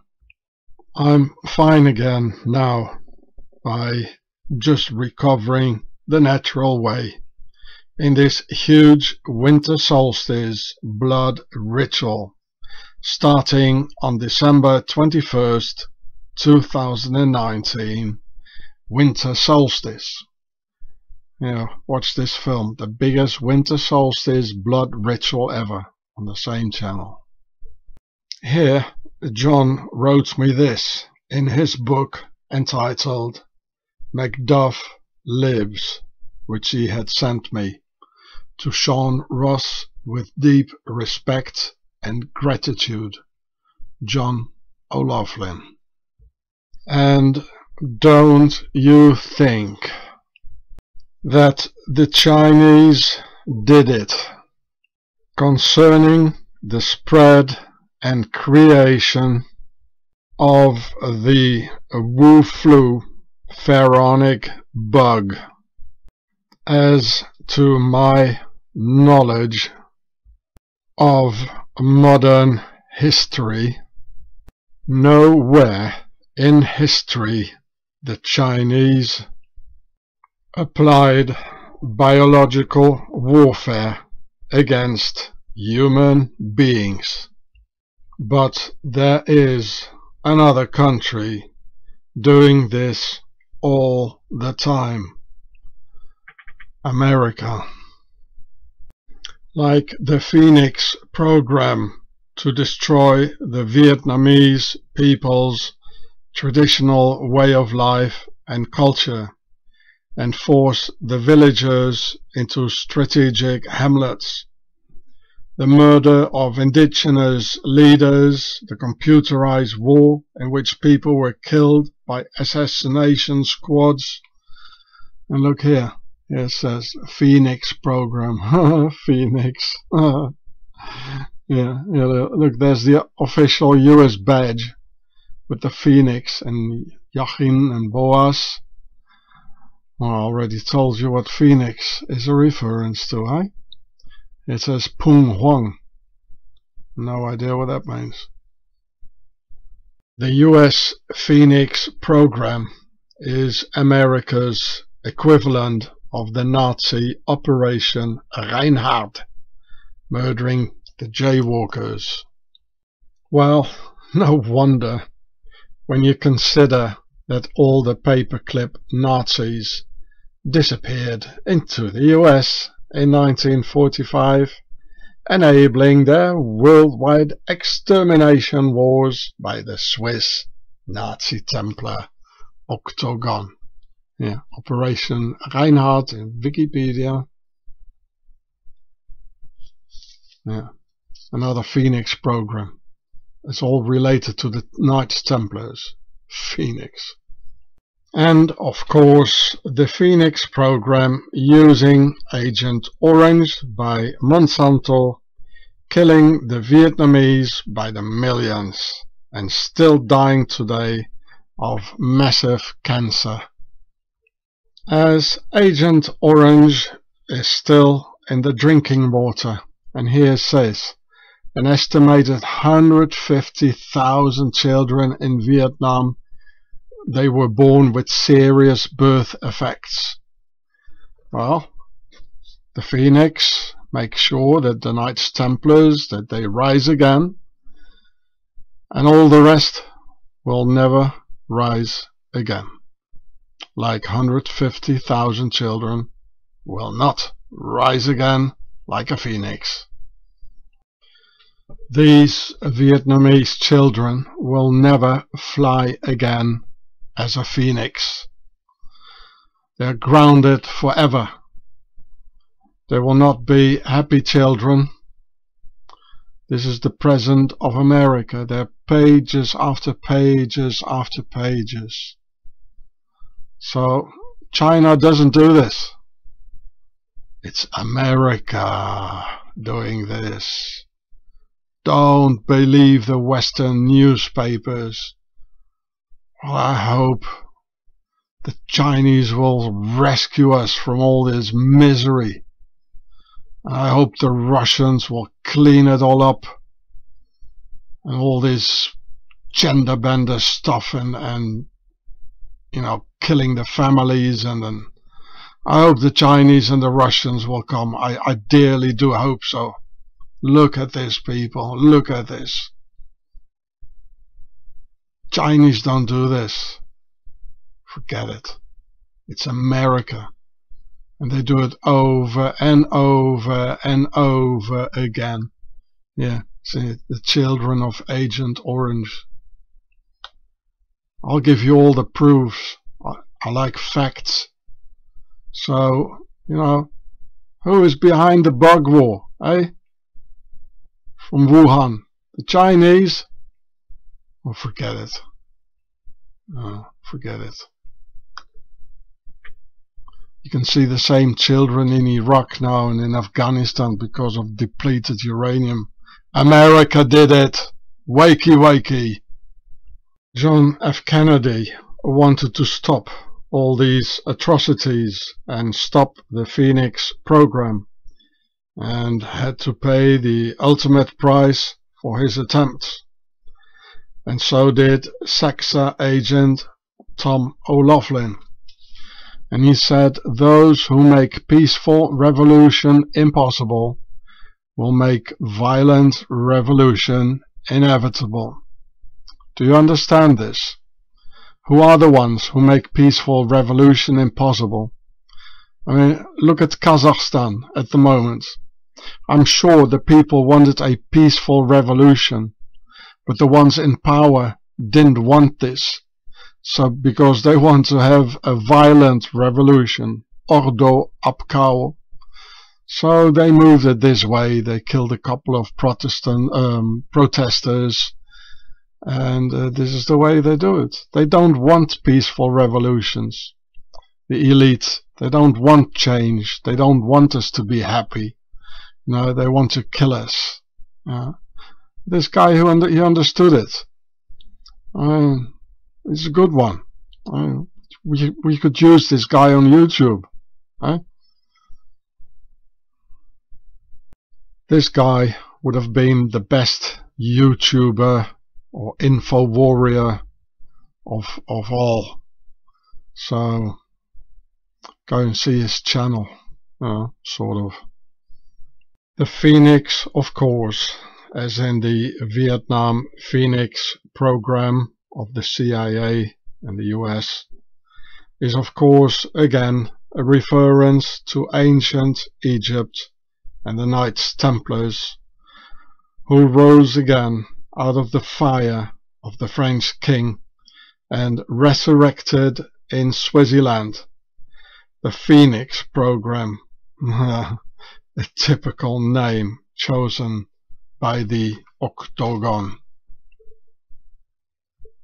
and in the middle of all this was Mr. Hammer, special agent of the FBI, and Kennedy's man to smash the CIA, who got poisoned through the CIA's special virus cancer program to eliminate people with silent weapons for silent wars, easily eating up a man like Mr. Hammer, Tom O'Loughlin, from the inside until his body resigned at the age of 51, a tree of a man who would never resign any assignment.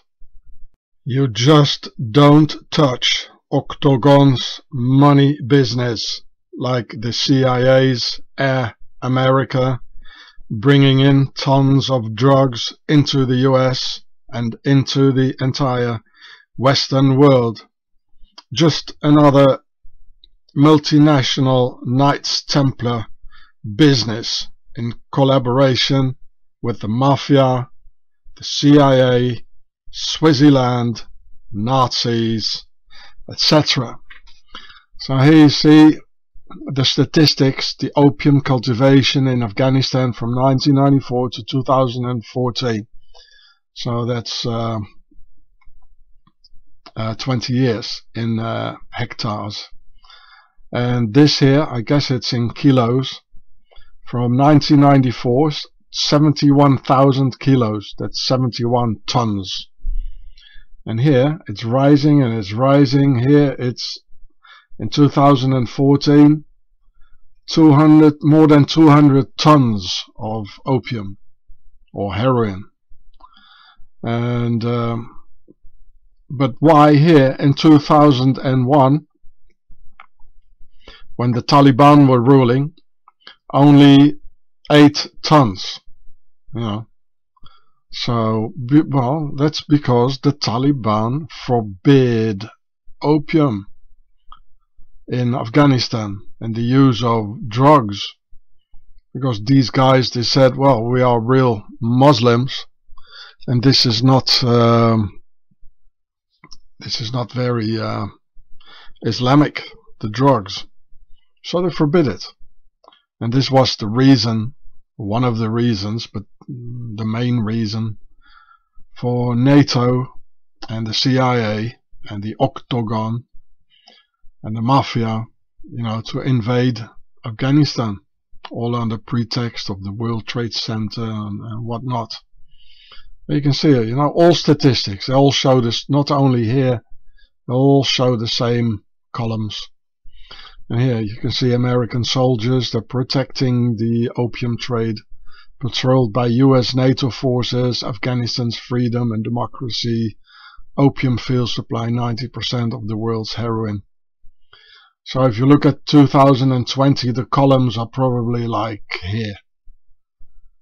And uh, so this is what happening. You know, it's it's all it's all about business, geostrategical wars.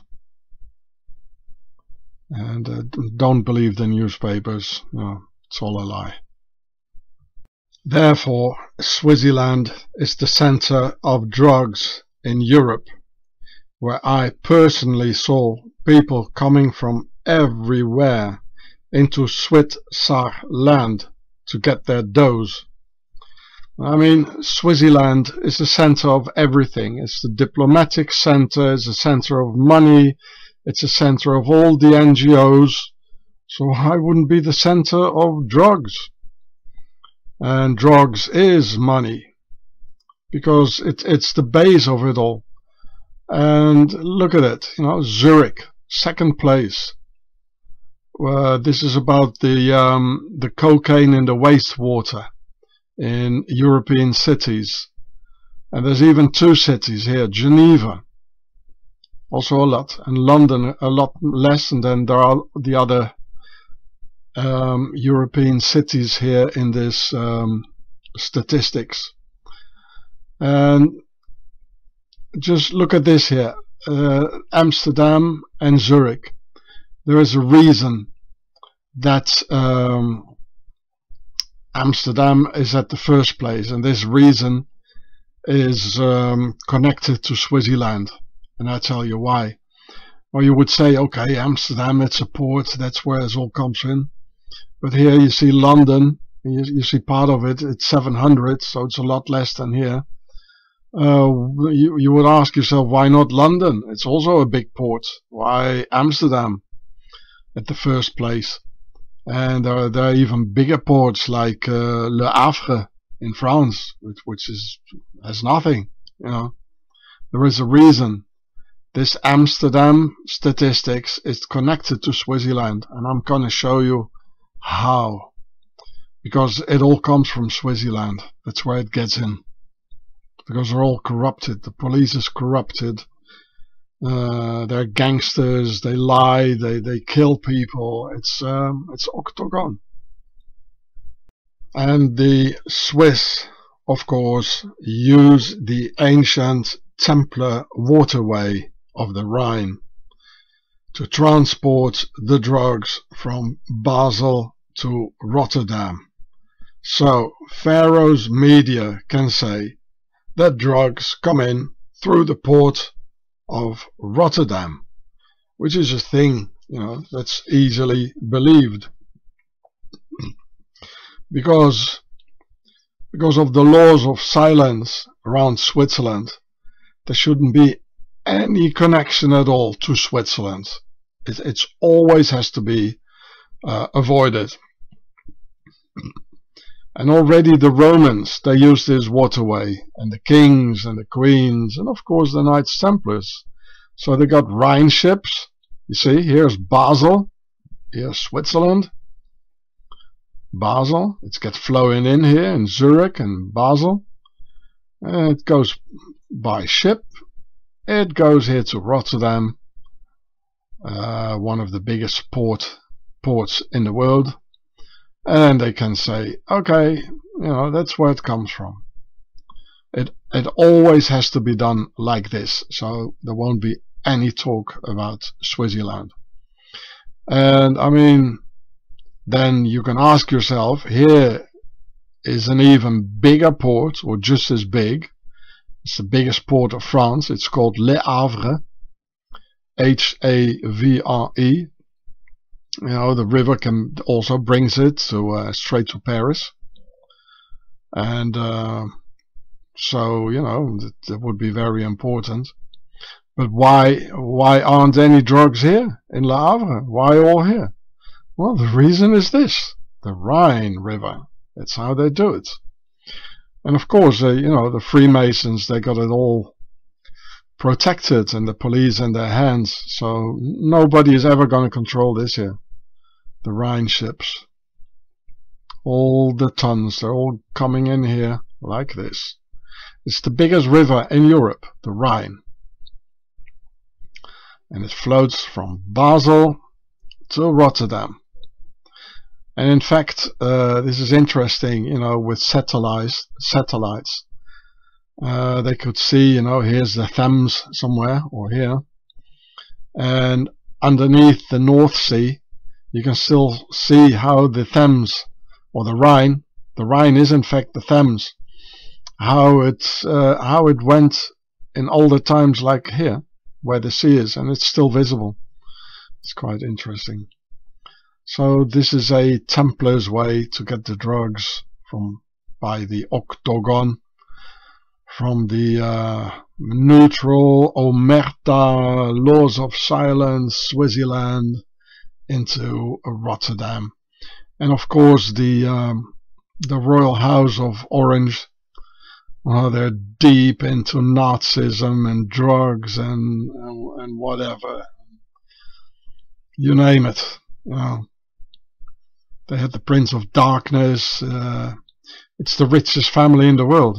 You know, the House of Orange and uh, they had they had the Prince of Darkness who founded the Bilderbergers, and the, which is the highest Freemason group, and uh, the Rhine River. This is the secret. I made these short videos about it, you know, showing here in Switzerland. Uh, it's about 10 years ago. So this one here and this one. I'll put the links in the uh, description for you. No, not the state of China spreads viruses, nor does it trade drugs. But America does, with its corrupted government, dealing drugs, spreads viruses, or uses depleted uranium in the Muslim world, killing Afghans, Iraqis, Libyans, Syrians, Bosnians, and even Serbs, by the millions dying of cancer because of the depleted uranium. Just like Agent Orange in Vietnam. It says Agent Orange in Wikipedia A lot of nice pictures um,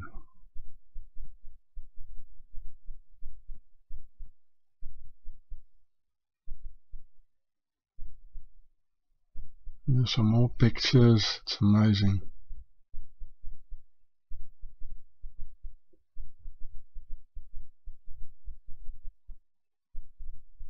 Terrible. Even using helicopters, look at that.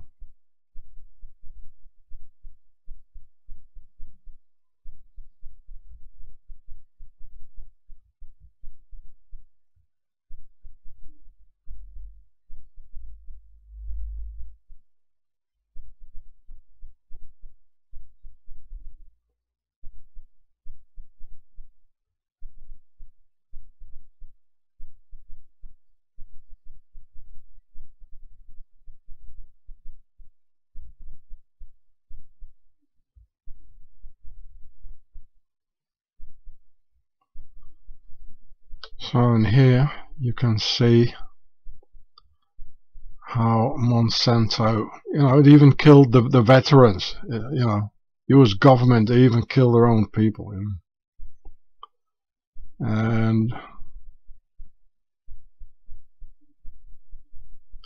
it says class action lawsuit that um, Several lawsuits have been filed against the companies which produced Agent Orange, among them Dow Chemical, Chemical Diamond Shamrock, and here, look at this, Monsanto is also in it. So Monsanto's best known product is Roundup, a glyphosate-based herbicide developed in the 1970s. And uh, well the glyphosate well it creates cancer at least.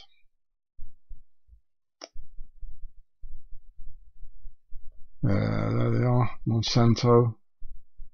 How lovely they got a plant in their logo.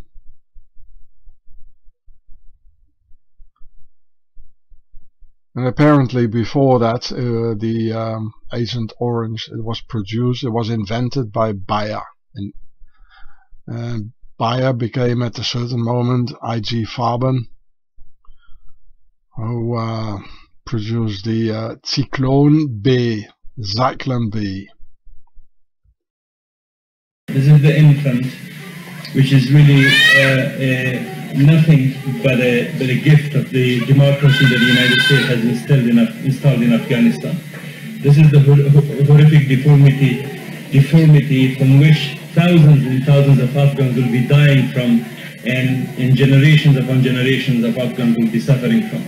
This is the crime that deserves nothing but a total uh, uh, justice. And total justice is nothing but the, but the destruction and defamation of those who have committed this. This is the tragedy and travesty of Afghanistan, and this is the product of so-called democracy. Nothing but a horrific deformity.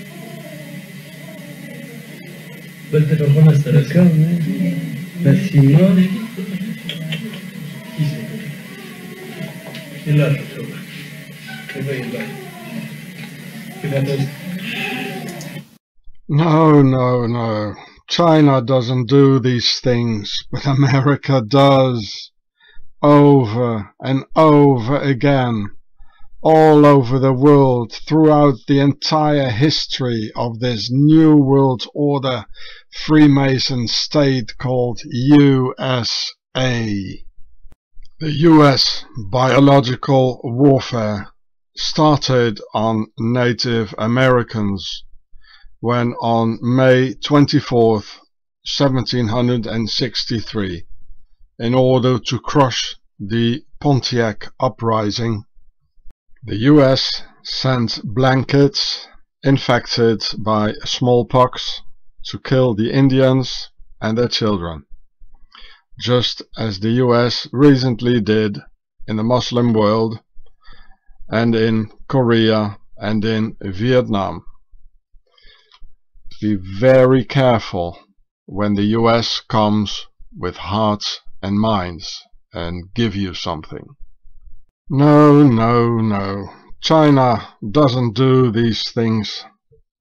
But the US does, using weapons of mass destruction like viruses, Agent Orange, depleted uranium, poisoning their own FBI agents, you name it.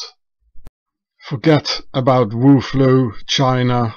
The Chinese don't do this. And neither their bets on the Chinese market.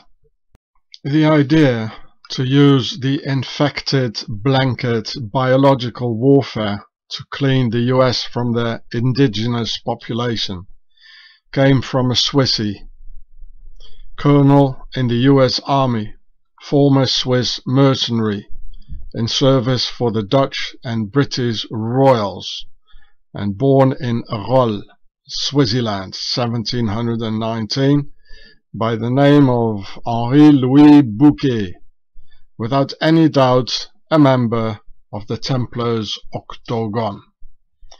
So here he is. Charming chap, isn't he? A Swizzy. And uh, a lot of red for the uh, for the old world order. A little bit of white. Uh, this is where it started, the uh, the Red House of Pharaoh, and this is the New World's Order, the horizontal rule. There's, there's nothing without a coincidence with these guys, huh? So, I'll read it for you. So he was born here in the Swiss Confederacy, and um, allegiance, Dutch Republic, Kingdom of Sardinia, Sar. You remember the shards the Chardin and Great Britain. It says he was a colonel. Um, yeah, he was a colonel. Fort Pitt. Hmm. So Henri Bouquet, Henri Louis Bouquet, generally known as Henry Bouquet, and uh, he was born in uh, 1719, died 1765. Was a Swiss mercenary who rose to the prominence in British service during the French and Indian War and Pontiac's War. Bouquet is best known for his victory over a Native American force at the Battle of Bushy Run, lifting the siege of Fort Pitt during Pontiac's War. During the conflict, Bouquet gained lasting infamy, you know, lasting infamy, and there he is again with his lasting infamy, you know, with his biological warfare and genocide.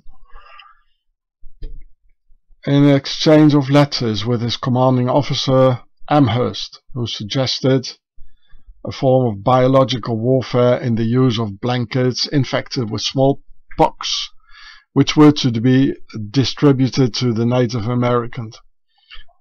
Despite this indictment, historians have praised Bouquet for, well, etc. And it was actually Bouquet who uh, came with the idea, which I'll tell you, which I'll show you later, because the letters are still there. Bouquet was born into a moderately wealthy family in Rolle in Switzerland. There's Rolle. Now look at the castle, eh? And here's the Swiss Confederacy. And the oldest of seven brothers, the son of a Swiss roadhouse owner and his well-to-do wife, he entered military service at the age of 17. Like many military officers of his day, Bouquet traveled between countries serving as a professional soldier know, this is all because of the Knights Templars. All the mercenaries in Europe killing Europeans, they're all Swiss. And this is all, and all commanded by the Knights Templars. He began his military career in the army of the Dutch Republic. There you go.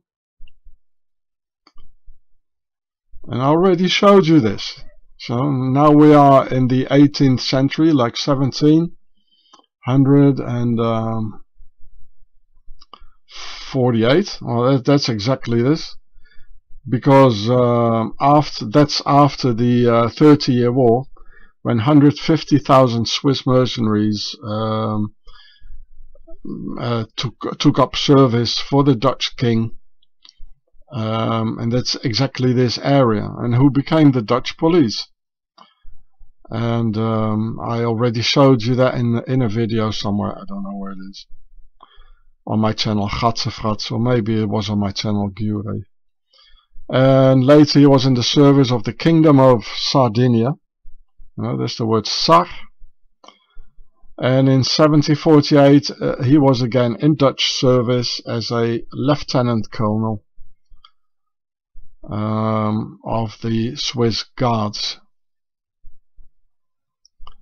And here's about the Pontiac's War and uh, real charming chap. He lives on in infamy. And here's what they, um, a month later, in a series of letters between Bouquet and his commander, General Geoffrey Amherst, a baron, you know, it says baron, with a big octagon on his chest, again red and white. The idea of using smallpox blankets, so biological warfare. Don't you think the Chinese did it? And all these people, the Swissy and the, and the general in America, all became American citizens, you know?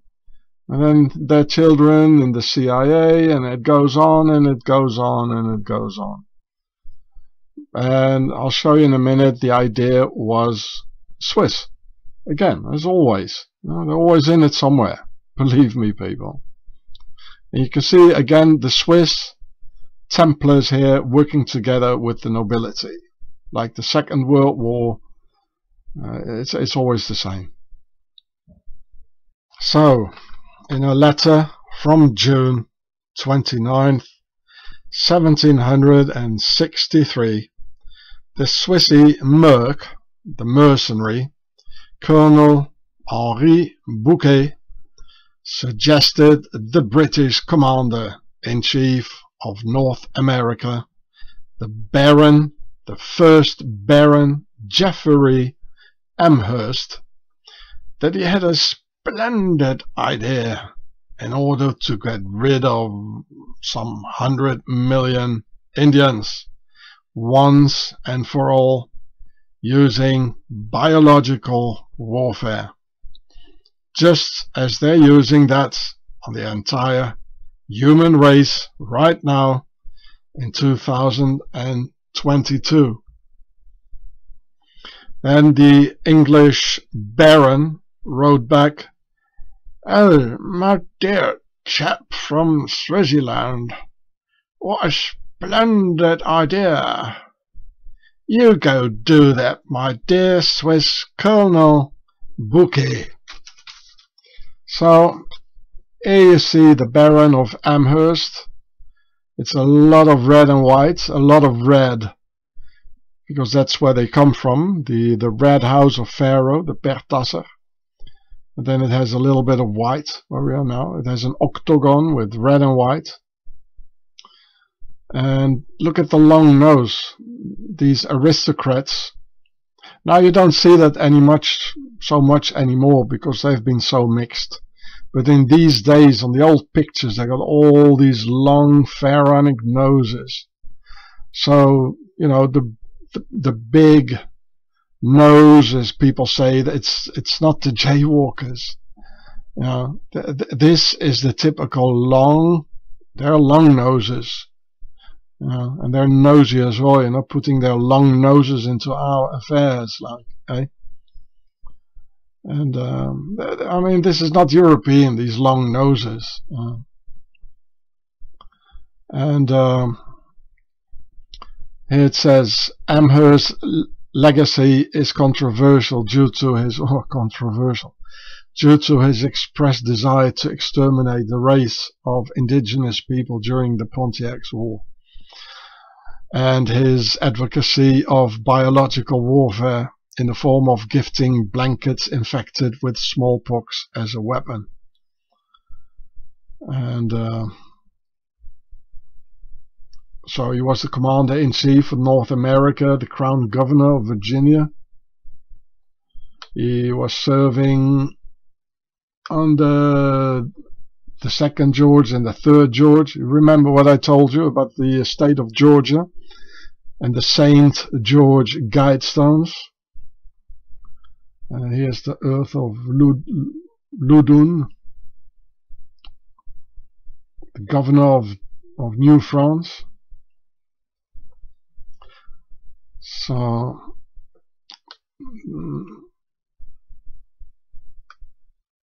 so he was a page to the Duke of Dorset. Know, Set, Set Dorset. Set is the uh, the Lord of the Underworld. It's not a um, it's not a coincidence, you know, all these pharaonic syllables in it. Yeah, North, the Indian War in North America. Yeah.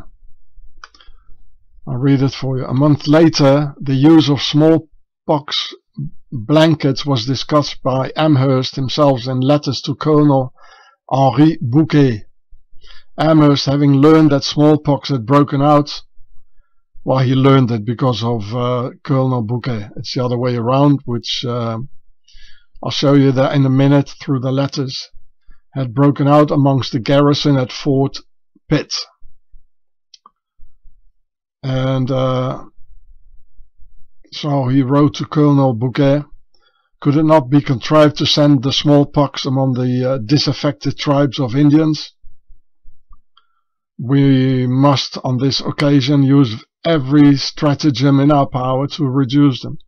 Bouquet, who was already marching to relieve Fort Pitt, agreed with this suggestion in a postscript where he responded to Amherst just days later on July 13, 1763.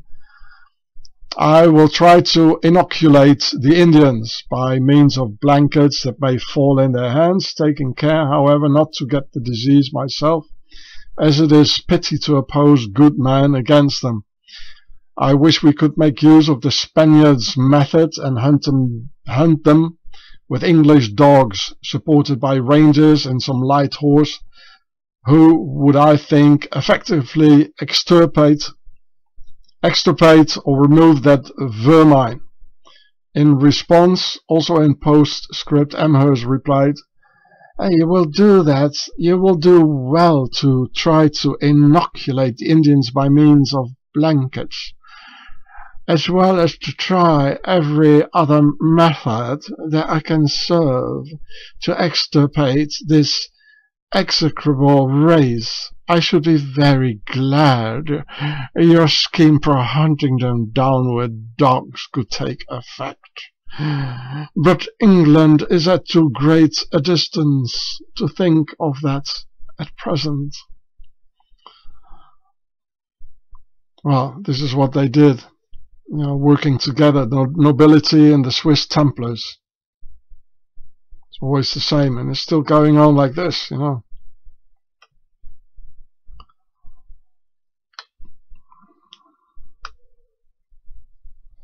There you are, Octagon. Biological warfare. And these people and their descendants, they became American citizens, citizens, you know, Swiss and the nobility ruling America. So they uh, still have the the the, uh, the letter. Yeah, says later Derrico found a letter indicating Amherst was keen on the idea. So they have the letters. Uh, uh, they still have the letters are still there by um, uh, the Baron Amherst and by the the Swiss mercenary colonel. And Errico, he is uh, Peter Errico, is a uh, professor at the uh, Massachusetts University. I'll read it for you. Inoculate the Indians. Derrico did find evidence of a plot to infect indigenous people. Um, in fact, the name Derrico it's also uh, the nobility, in fact. De Errico might be of French origin or Italian. Everything with de, it's uh, nobility. It's like von in German. So the first letter was from a Swiss mercenary. So you see, the, very first letter was Swiss from a by a Swiss mercenary called Henri Bouquet, Henry Bouquet, who suggested giving out smallpox-infected blankets to inoculate the Indians. So the very first letter, it gave the um, the idea, the Swiss idea, uh, to genocide the um, the American Indians with smallpox. So it was a Swiss idea indeed. Uh, later, Derrico found a letter indicating Amherst was keen on the idea. Later on, the, the Baron thought, oh, this is a nice idea. There was from Amherst himself to Bouquet saying this is a good idea uh, to spread smallpox. Just be careful you don't get it yourself, said uh, Derrico. So he actually says it, that it was a good idea, the Baron. This is this is what he said.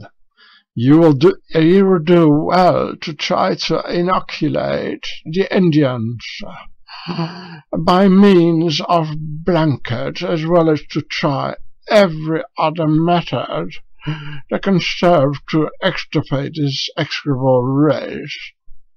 By Field Marshal Jeffrey Amherst, the first Baron Amherst. So how many are there? This is the first one then.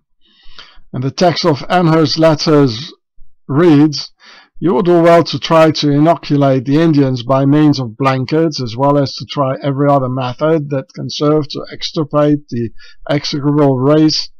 I should be very glad your scheme for hunting them down by dogs, eh, the Swiss idea to go and hunt them dogs, your scheme, take effect. But England is at too great a distance to think of that at present. Well, I know what it is, you know, in Switzerland to be hunted down by them dogs there, eh? That's what they did with me, eh? Derrico wrote in his study of Amherst that none of these other letters show a deranged mind or an obsession with cruelty. Amherst's venom was only directed or only at indigenous peoples, he added. Oh, so where's the problem, you know? only some indigenous people. I mean, who cares, yeah? So, um, he was, uh, it, none, in none of the letters showed a deranged mind. So th this is the dangerous part actually, because these people look so normal and so neutral and so clean, you know, the Swiss, the nobility. They've never done anything wrong, haven't they? Have they now, eh? like um, Dr. Mengele, you know. He looks so normal, a doctor, an intelligent man. He even did his PhD, um, a physician. You think, oh, he helps people. He looks nice. He doesn't look like uh, like aggressive, and he acts normal. You know, like all serial killers do. Right? You know? These are serial killers. These are psychopaths. You know, you don't see it. You know, they're, they're neutral, they hide amongst us, and then and then they kill us all when the moment is right for it. Huh? That's the dangerous thing about it, you know. So, and here in the Wikipedia about Geoffrey Amherst, the first Baron of uh, Amherst, if I scroll down here into the, um, there's another picture of him. He even found himself a wife. Hmm. Here, legacy. Uh, here, look, there's so many places um, called after him. Amherstburg in Ontario,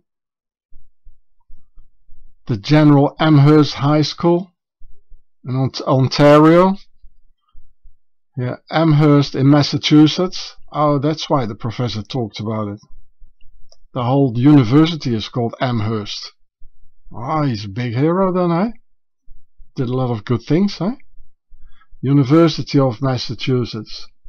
There's even an Indian in it. They're so proud of it. Hey, don't matter. Hampshire College in Amherst, Massachusetts. So there's a town called Amherst. They were so glad with this guy, eh? Amherst College, also in Massachusetts. Amherst in um, New Hampshire. Here another M in Nova Scotia, Amherst.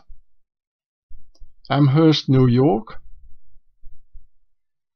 uh, a town in state of New York, Amherst County in Virginia. So this is why the um, here the in 2008 a Micmac spiritual leader John Joe Sark, so an Indian, called the name of Fort Amherst Park of Prince Edward Island a terrible blotch on Canada and said to have a place named after General Amherst would be like having a city having that in the city of Jerusalem probably like having a square in Jerusalem named after Adolf Hitler. It's disgusting. And um, Sark raised his concerns again in 2016 to a letter to the Canadian government and the Micmac historian Daniel Paul who referred to Amherst as motivated by white supremacist beliefs. And this is the, the, the sad thing about it, you know, it's the nobility, it's Swiss, and the whole white race, as usual, get um, gets blamed of it, you know, everything, because people don't understand. It's it's Pharaoh, it's the Knights Templars, you know, and they did the same with the white people, with us. In, in the Middle Ages, we were the white race. We were slaves in a in a feudal system, and we still are. So it's it's so easy to say, you know, like the the white people did it, or or the jaywalkers did it, you know, or uh, it's so easy like this, but it goes so far much deeper. So, so I mean, what's the use of the Indian medicine man and all the all these wizards if they can't even tell you what's really going on, eh? I mean, don't listen to the medicine man, I would say, eh? Uh, just listen to Homie Ross. okay. The Swiss idea worked out really well and 100 million Indians got exterminated. Just like the Swiss Judenfrei of the Nazis or free of humans on the entire globe coming up very soon in the near future. So this metal plate was screwed on every wall on every in every town or village that was uh, liberated from the jaywalkers when the last single one of them uh, was gone. And here you see the Rotary Club wheel and the whole thing is in a circle for the compass. And here is a square and here is a square. So it says square and compass together with the rotary wheel because with a compass you can make a circle. And as the Earls of Amherst were so proud of this endeavor of the first Baron Geoffrey Amherst liberating the Americas from those uncivilized savages like just like the Nazi Lebensraum eliminating all the subhumans Untermensch that the Amherst nobility proud, proudly put two Indians on their coat of arms celebrating Pharaoh's splendid victory over the indigenous adversary. Therefore, you can see the smallpox blankets covering the entire crest with four balls of the concept of four, meaning us, the people, being dominated by them, who are depicted through the concept of three, and three spears, and a red underground for the Per Tasser Red House of Pharaoh, where the entire nobility originates from. So here you see the blankets hanging over the whole thing. Uh, here's the concept of four. You know, the people are dominated, you know, through like exterminating them and whatever. And here, of course, this is vertically, like reminding us or them a reference to the vertical rule with a red underground for the Pertasser and um, the concept of three which is them the side of a pyramid which is a triangle which is them the hierarchy of the of the pyramid. And the concept of four is the base of a pyramid all the way down that's us. And of those 100 million Indians there were only two left like sort of you know like in a manner of speaking.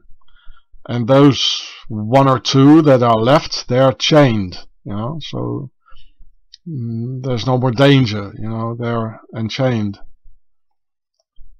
uh, here it says something with virtue. I can't read this one here. Well, it doesn't matter you know it's always the same thing. Charming chaps aren't they and here Lord Amherst had succeeded his uncle Geoffrey Amherst, the first Baron. I hope they're not like 100 or 200. Well, probably now there are like 10,000 of them, you know, descendants. That was the first one. So we already know that one. The Geoffrey Amherst, there he is. The first Baron. What a hero, eh? in 1797. The latter, so this one here, the latter uh, was a distinguished military commander. Wow. Best known as one of the victors of the French and Indian War. Wow, what a hero.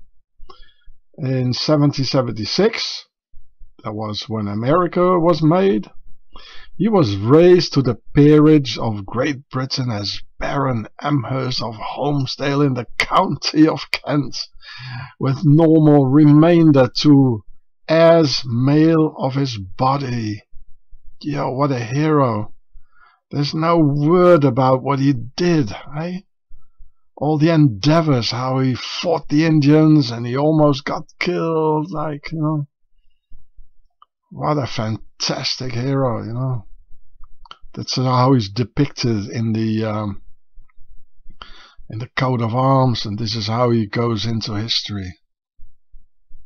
Aristocratic coat of arms are like reading comics, telling the whole story of and by our masters.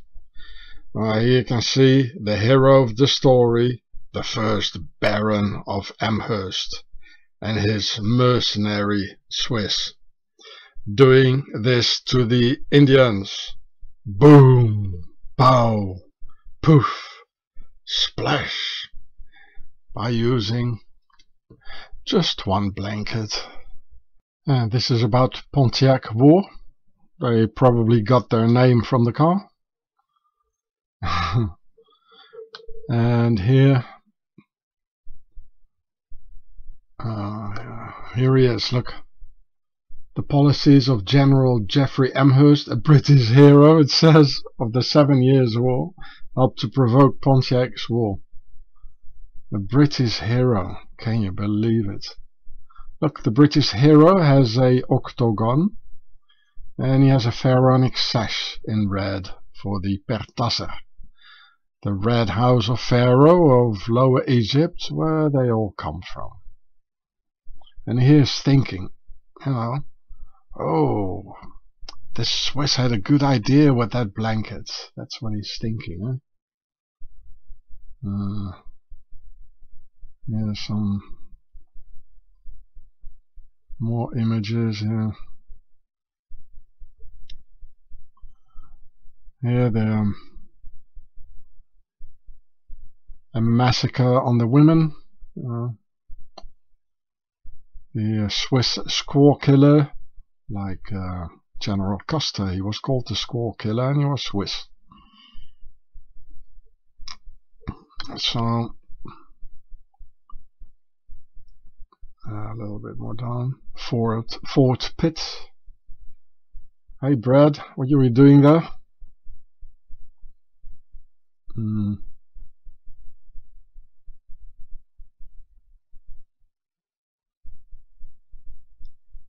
Okay.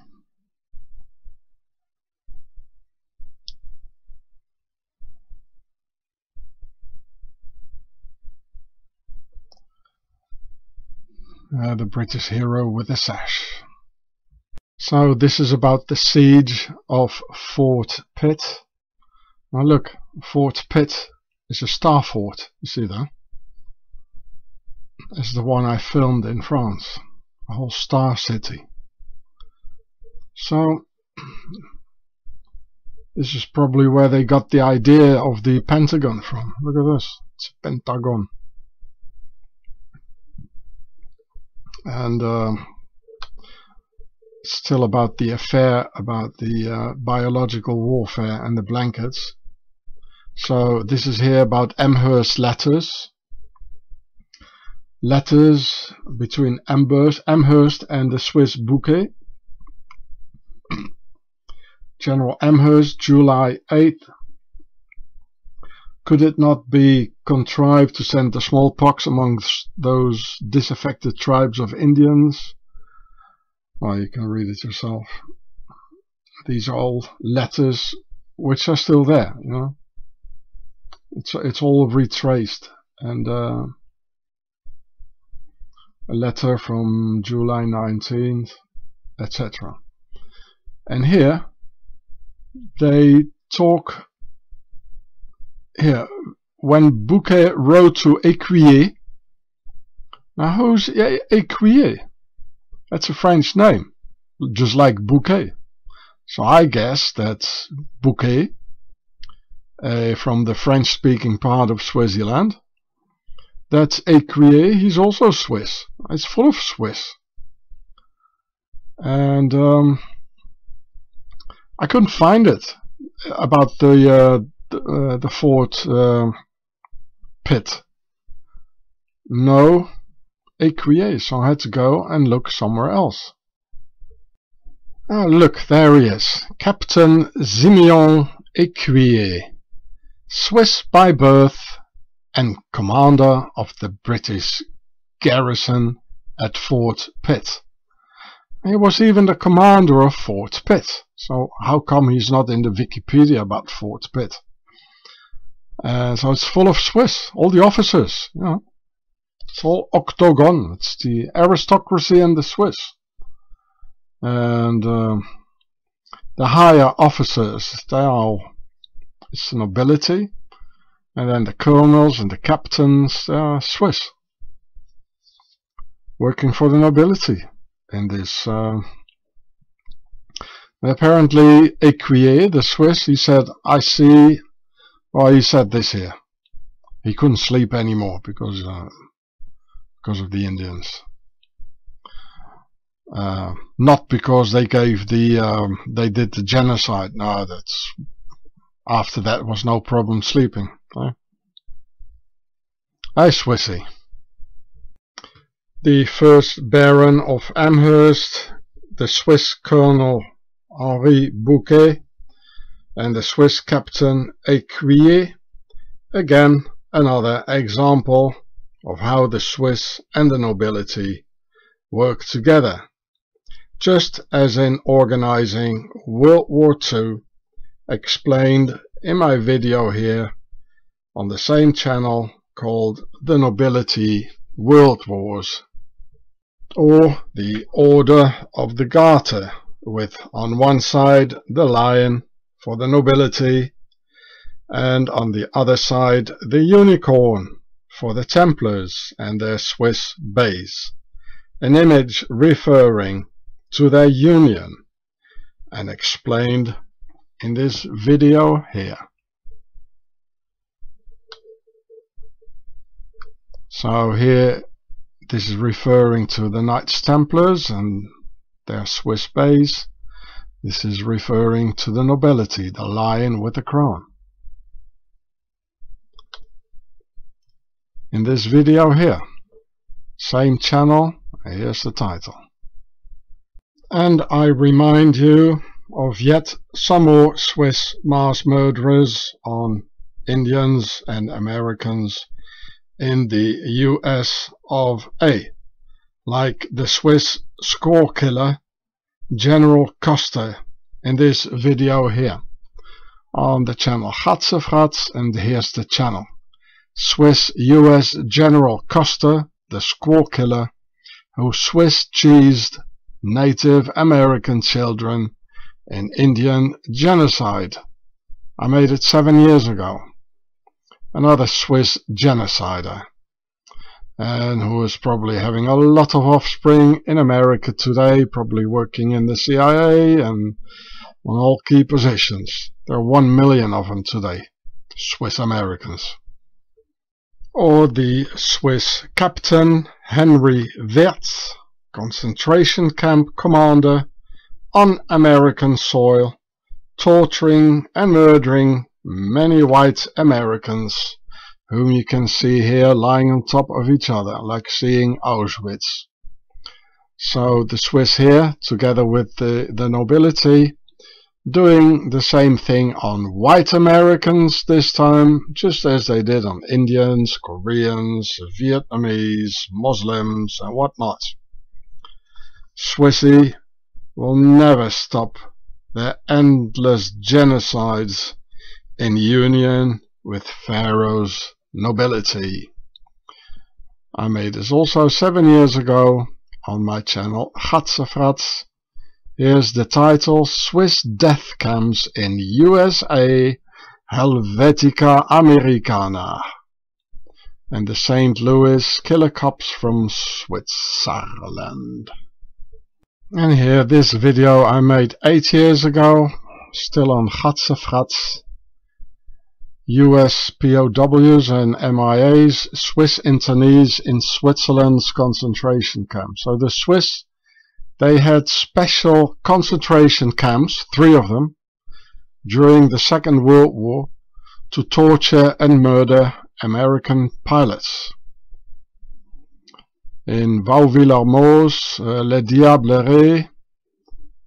and uh, there was another one, but you can see it in the video, are like facts, and the facts show us that America has always practiced biological warfare on many peoples wherever they go.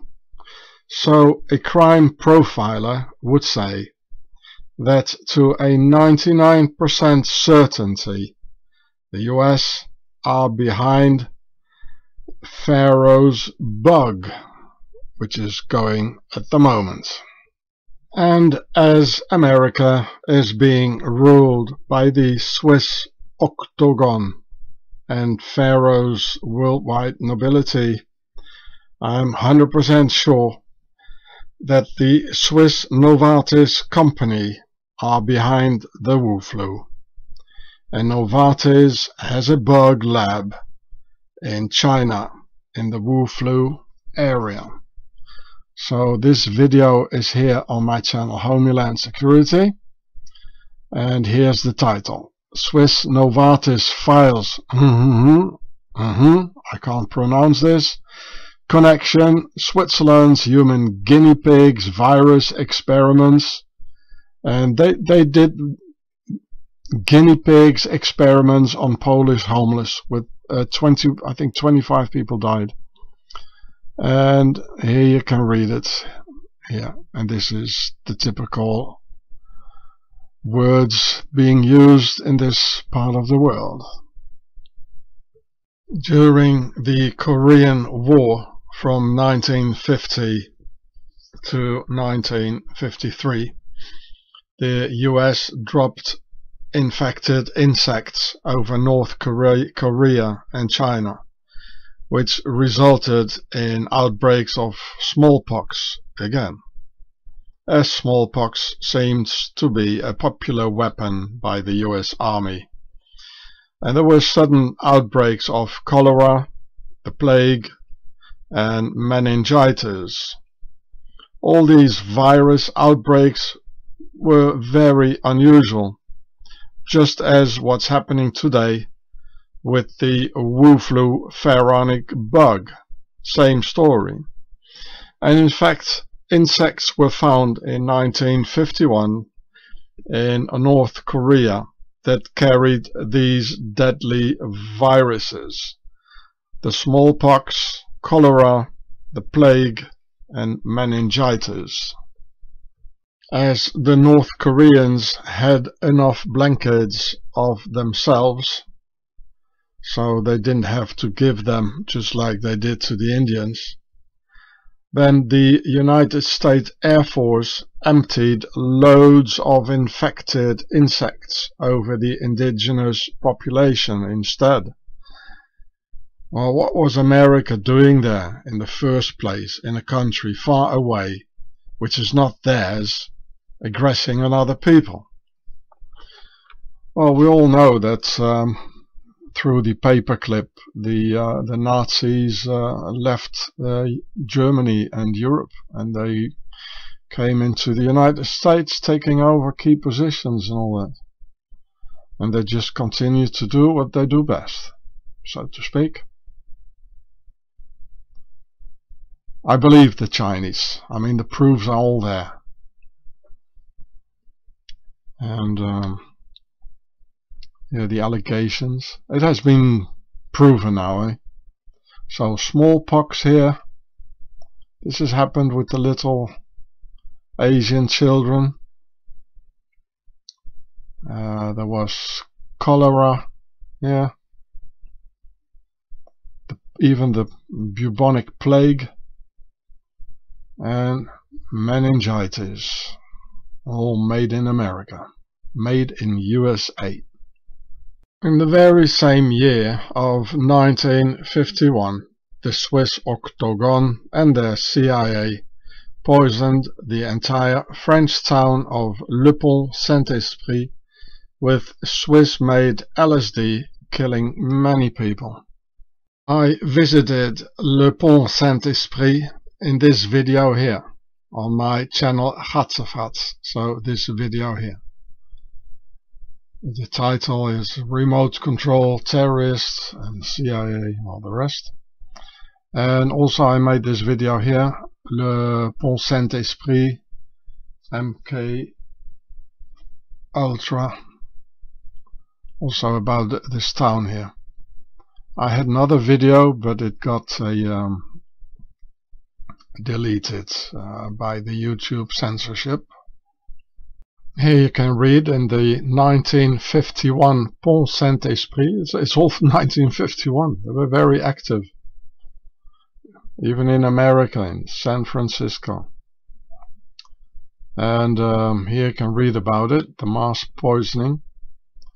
Got poisoned with LSD in exactly the same time when the CIA was experimenting on LSD with LSD concerning the um, the MK Ultra brainwashing experiment.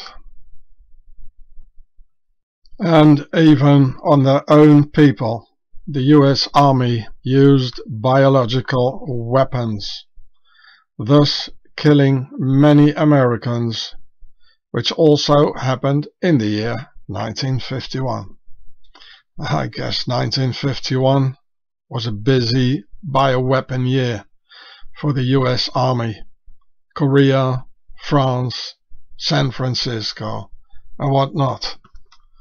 I'll read it for you. In 1950, so also 1951, the US released a bioweapon in San Francisco. This was one of hundreds of bioweapon simulations carried out in the 1950s and 1960s. This case of using bioweapons inside the US on American citizens has been officially confirmed by the US military. they finally had to. So, it's clear who exactly is behind the other cases in Korea, France and China. December 2019, the Wu flu.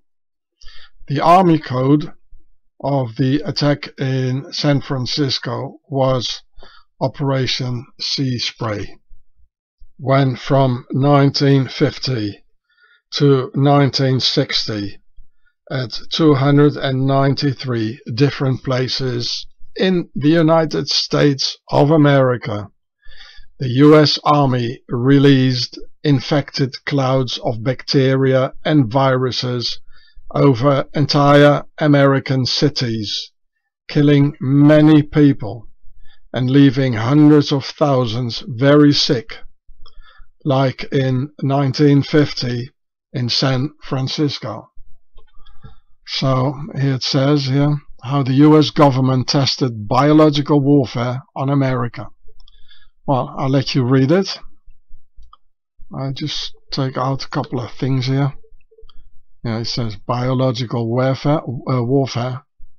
But you better read everything, eh? The, uh, the film will get too long if I would. So I just punch pause in the film. So I'll just read you this part here. San Francisco's bacteria uh, fiasco. A confidential government report written in 1951. There we go again, 1951. Special report number 142, Biological Warfare Trials at San Francisco, California. The 20th until 27th December, September 1950 maps out the details of the um, city's top secret bacteria bombing. Through the tests, officials sought to accomplish three objectives to study the offensive possibilities of attacking a seaport city with a biological warfare aerosol, to highlight the vulnerability of the country's defense against such attacks, and to gain data on how bacteria affected a population. So I mean, you know, if they try this out, 1950, on the uh, even on their own citizens, of course they're going to use it, you know, and which they did in Korea in 1951 and in France 1951. Nowhere in the report was the welfare of San Franciscans mentioned. The tests proceeded without knowledge or consent from the public. On the 20th, just three days after the 49ers made their NFL debut, the U.S. Army was deployed to San Francisco and began secretly showering the city with bacteria. Over a course of eight days, a ship puttered along the shoreline of the bay, releasing massive clouds of uh, of two different pathogens, both of which were supposedly non-pathogenic, yet realistic simulants that might be used in an attack. In total, six experimental warfare attacks were carried out, four with Bacillus globigii and two with Serratia marcescens. You know, Serratia, there's the word Tsar in it, king. Just like the, uh, the other Sarkov uh, um, bug, what we have now. And Marcescens, it's mer for you know, a pyramid. Bacillus is ba, it's the soul when you, the the soul when you're dead. It's it's full of pharaonic words. So Serratia marcescens, known for its blood red coloration, is one of two bacteria sprayed over San Francisco in 1950. The army blasted these chemicals in a 30-minute spurt, producing huge clouds up to two miles in length, then proceeded to collect and assess dozens of samples of various collection spots across the city. As noted in the report, various aspects of each of the six tests were scrupulously monitored the time, the temperature, the wind speed, the humidity, but the most important factor seemed to be brushed over, the well-being of the people being sprayed. The samples collected yielded counts that gave some indication of how much bacteria was being inhaled. According to Leonard Cole, author of the Biological Warfare book Clouds of Secrecy, it was quite a bit. Nearly all of San Francisco received 500 particle minutes per liter. In other words, nearly Every one of 800,000 people in San Francisco exposed to the cloud. Uh, one million people got sick, people. 800,000 people in San Francisco exposed to the cloud at normal breathing rate, which is 10 liters per minute. Inhaled 5,000 or more particles per minute during the several hours that they remained airborne. Since the Army's bacteria presented similar dosage patterns, he continues, San Francisco residents were inhaling millions of bacteria and particles every day during the week of the testing. San Francisco residents' safety was wholly brushed over in the report, which promptly concluded it's entirely feasible to attack a seaport city with biological warfare aerosol. Well, which they, of course, they did in uh, in Korea. There's a lot of coastline in Korea, and you can read here a lot of people started coughing and and they got sick. Even people died. Many people died. I mean, the uh,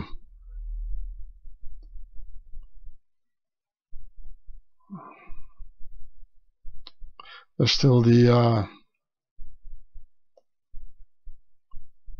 okay so I'm looking for the okay here the aftermath.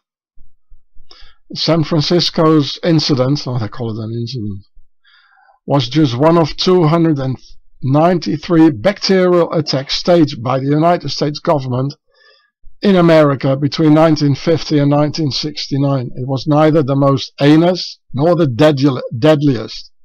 So one people one person died in San Francisco, and this was not the most heinous and not the most deadliest, uh, deadliest in America. Can you imagine? So in 1955, as an experiment, between brackets. The CIA sprayed whooping cough bacteria over Tampa Bay, Florida.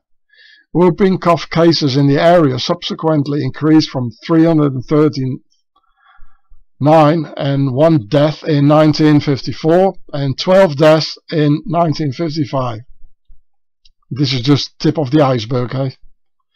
Probably hundreds of thousands of people died and they don't even talk about the homeless. But no hard evidence has ever surfaced linking the two incidents. No, of course not. It's the government. The government can't uh, condemn the government. Eh? In an infamous 1966 test, federal agents crushed light bulbs containing trillions of bacteria on the New York subway, exposing thousands of rush hour commuters. The government never followed up to see how many people fell ill. Hmm. Before a crowd at Fort Detrick in 1969, that's why they make all this stuff. Well, and so on and so forth. Hey. So who's behind the Wu flu people? Are you gonna believe what the media, media wants to make you believe eh, all the time? That the Chinese are building up their army, they're so dangerous and they do this crazy marching and don't believe the media people. If the media show a thing like this and the media lie, then just take the opposite of it and then you get the truth. So the truth is China doesn't do these things. The history is telling you, and it, these are facts, facts, facts, yeah? That the US government so I don't say the Americans anymore because most of the American people are okay. They're more than okay. But they should stand up against this and don't believe all the fairy tales of the media and President Bush and President Biden and, and, and the rest of these puppeteers. The US government has no problems in testing and using bioweapons on Americans, eventually killing them under excruciating pains, making it further clear who is behind the lethal poisoning of special FBI agent Tom O'Loughlin as the US government has confirmed to poison their own people with various bioweapons and cancer creating poisons. So here you see in the picture Tom O'Loughlin, Kennedy's man of the uh, SACSA detachment. And here again Kennedy's FBI man Tom O'Loughlin being TDY in the Pentagon, trying to find the military connections responsible for the opium imports from Southeast Asia into the USA by the military and the CIA. So they poisoned the good man and they killed his boss in the White House too. In order for the Octagon to sell all the drugs from Southeast Asia, from South America and from Afghanistan, it needed a whole bunch of young and stupid consumers and a marketing strategy. Oh, the nobility's ever and ever increasing offspring could also get rich and parasite on it. So it needed propaganda with fun and laughter to open the mental door, with good music to open the mental door even broader, and with easy sex to open the physical and moral door in order to get the youth prepared both mentally and physically for extensive drugs consume and pay for the product, which got known under the name of sex, drugs and rock and roll of the hippie era. A word Pharaoh's media and social engineering had already prepared, repeating it all the time. Back then, the daily narrative was Vietnam War, drugs and music. Today, 2022, the narrative is chaos, end times, the antidote, and the bug war. This technique is called repetitive political indoctrination through PSYOP and social engineering. So the octagon of the Nazi Templars ordered their military industrial complex to have the drugs program executed and trap the people's youth using this wicked strategy because the drugs industry is an important branch of the military industrial complex. Therefore, the military industrial complex had their elite children taught various new musical instruments like electric guitars and electric pianos and set up all the recording studios in and around Laurel Canyon in Los Angeles, where all the military sons and daughters came and live as well in and around Laurel Canyon, and became the angels of death like the unseen Pied Piper.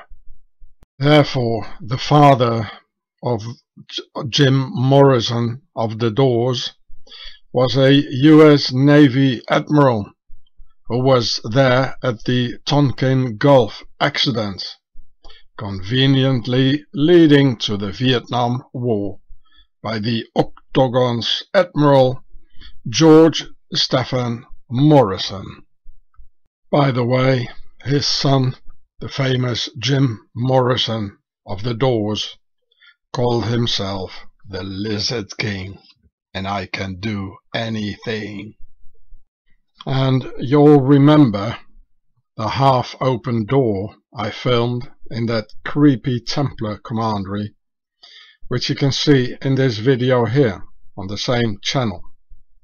The doors, with music and laughter, they open up your inner door and even your inner doors into drugs, abusive sex, addiction, and satanic rituals. The doors. This is what they mean with it, the doors. Here's the title, here on my channel, same channel. So, here you can read it in Wikipedia. George Stephen Morrison, United States Navy, a Rear Admiral. I wonder what the front looks like, eh? Gulf of Tonkin incident. He was the father of Jim Morrison. Oh, there he is. Well, the eyes are the same, look at that. And I'll put it in the links for you in the description. Yeah, the personal life. Morrison met and married Clara Virginia Clark in Hawaii in 1942. Their son Jim Morrison, later lead singer of rock band The Doors, was born in late 1943 in Melbourne, Florida, where they lived at the time while stationed at Naval Air Station uh, Melbourne. They also had a daughter uh, and so forth. It's all the hippie movement, the music, it was all by the military industrial complex. Frank Zappa he once said, politics is the entertainment division of the military industrial complex. Well, how come a musician is saying these sort of things? You know, music and military industrial complex it doesn't really fit together, does it now? Well, that's because Frank Zappa's father was a chemical warfare specialist in the CIA's MK Ultra brainwashing program. So, you know, they feel so sure of themselves and, also because humanity is really so stupid. You know, they, they can just rub it into our eyes, rub it into our faces. You know? They can say whatever they want and people will not wake up. Here, this is Wikipedia on Frank Zappa, which is an Italian, a Sicilian name.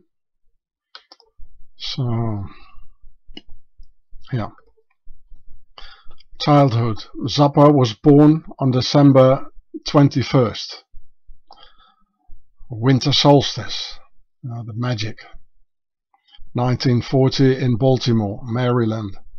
His mother, Rose Marie, uh, born Colimore was of Italian, uh, Neapolitan and uh, Sicilian and French ancestry. His father, whose name was anglicized to Francis Vincent Zappa, was an immigrant from Partinico, Sicily, with Greek and Arab ancestry. Oh, you can see that, eh? Frank, the eldest of four children, was raised in an Italian-American household where Italian was often spoken by his grandparents. The family moved often because his father, a chemist and mathematician, worked in the defense industry. After a time in Florida in 1940s, the family returned to Maryland, where Zappa's father worked at the Edgewood Arsenal chemical warfare.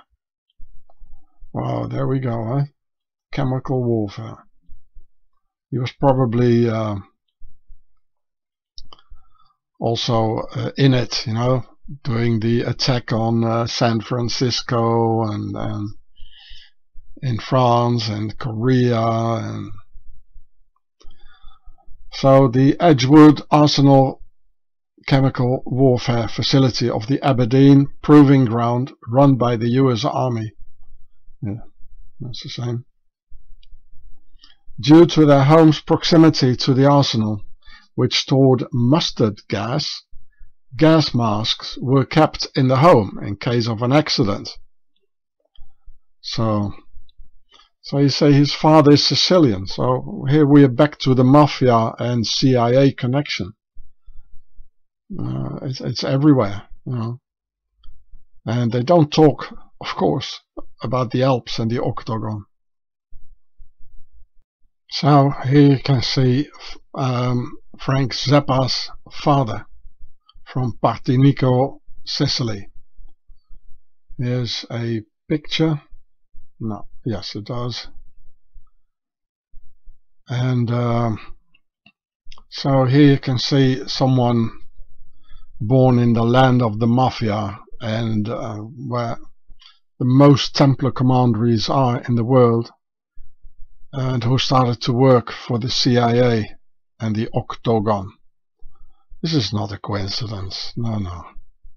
Frank Zappa's manager, Herb Cohen, was an ex-US Marine and he was in Africa's Congo working for the CIA somehow involved in the killing of the Congo's leftist Prime Minister Patrice Lumumba. Here you can see Cohen was born in New York after a period in the army and he was the uh, the manager of Frank Zappa and, and the rest of them here. So he was not only a negotiator for the famous rock stars of the military industrial complex, but here, Herb Cohen, he was also a um, negotiator for the Department of State, the FBI, the CIA and the US Department of Justice. Patrice Lumumba and uh, he was killed in 1961. There's a good face, you know. They, they, the Octagon, they make sure they they murder all the good people.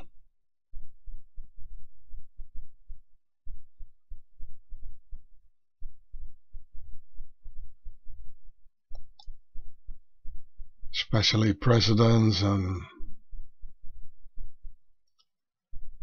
John F. Kennedy and everything. Yeah. So the 2001 report by the Belgian Commission describes this is about the United States involvement. It describes previous US and Belgian plots to kill Lumumba among them was a Central Intelligence Agency sponsored attempt to poison him. Right? You remember Tom O'Loughlin? They poisoned people. So this is a fact that they poison people, even their own people. And the US President Dwight Eisenhower, a Swiss Eisenhower, author authorized the assassination of Lumumba in 1960. However, the plot to poison him was abandoned.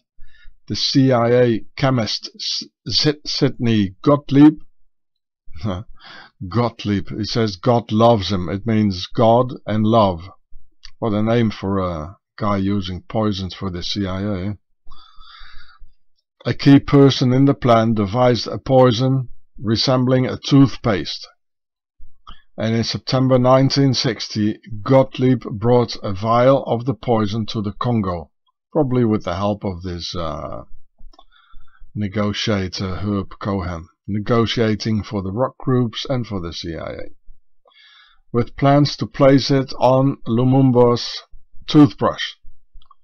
The plot was abandoned, allegedly because Larry Devlin, CIA Station Chief for the Congo, refused permission. Um, well, and so on. I mean, the, the CIA is there; they are deep in it. In 1975, the Church Committee, oh, who's that? They're also in it. Uh -huh. went on record with the finding that CIA Chief Allen Dulles had ordered Lumumba's assassination as an urgent and prime objective.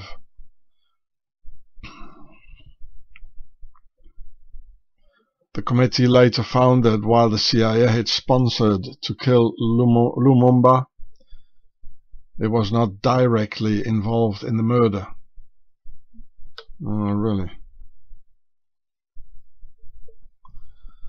Um, in 2013, you see, it's still going on. You know, it happened in 1961, and uh, they're still not the end of it. The, because they hide it. All these government criminals, CIA and the Octagon, Switzerland, they hide things, you know. The US State Department admitted that President Eisenhower authorized the murder of Lumumba. However, documents released in 2017, I mean, this, this is five years ago, eh, revealed that an American role in Lumumba's murder was only under consideration by the CIA. CIA Chief Allen Dulles had allocated $100,000, which was a lot more in those days, to accomplish the act. Well, deeply involved in it. The octagon, they use everything, the mafia, the hippie movement, it's all one, one thing. Frank Zappa's wife, Gail Zappa, maiden name Adelaide Slootman, was together with Jim Morrison in kindergarten, and her father, from a long line of U.S. naval officers, was a nuclear weapons researcher in the U.S. Navy. It says in Wikipedia. So this is Gail Zappa. You know, they're all one big family. Uh, all pharaohs. All their parents are uh, high officers, admirals and generals. Adelaide Gail Slootman, here, early life, was born in Philadelphia to John Klein Slootman. Klein, it means small a German or a Swiss German name, who was a second generation German American and nuclear physicist with the United States Navy. And Laura Freitas was born in Honolulu of Portuguese ancestry. That's probably the mother. So he was a nuclear physicist in the United States Navy. I mean, th that's not nothing. Eh? That's these are high officers and and in, in MK Ultra nuclear physicists, etc. Uh, so he was second generation. Okay. Yeah, this is in Laurel Canyon. Gail Zappa. So she died and born Adelaide Gail Slootman in 1945.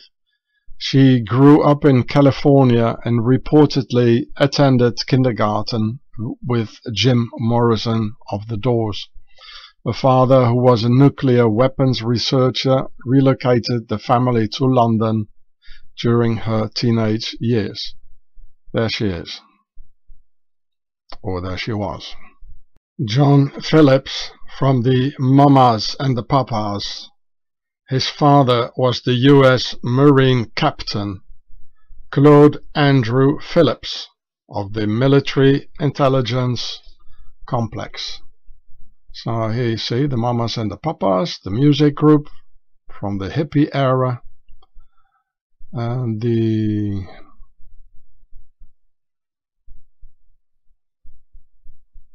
and here we'll see his father early life Philip uh, was Phillips was born August 30, 1935 in Parris Island, South Carolina. His father, Claude Andrew Phillips, was a retired United States Marine Corps officer and who later went into the military intelligence complex. And Phillips even went to the United States Naval Academy. Oh, look at this. It has uh, two times the um, the faces, you know, the whole bundle together. It means uh, where we go one, we go all. Let's keep it in America then, eh? And um, so how come all these musicians, I mean music is about love, they were singing about love, how come they were all in military academies, their fathers were generals and admirals, how come, eh?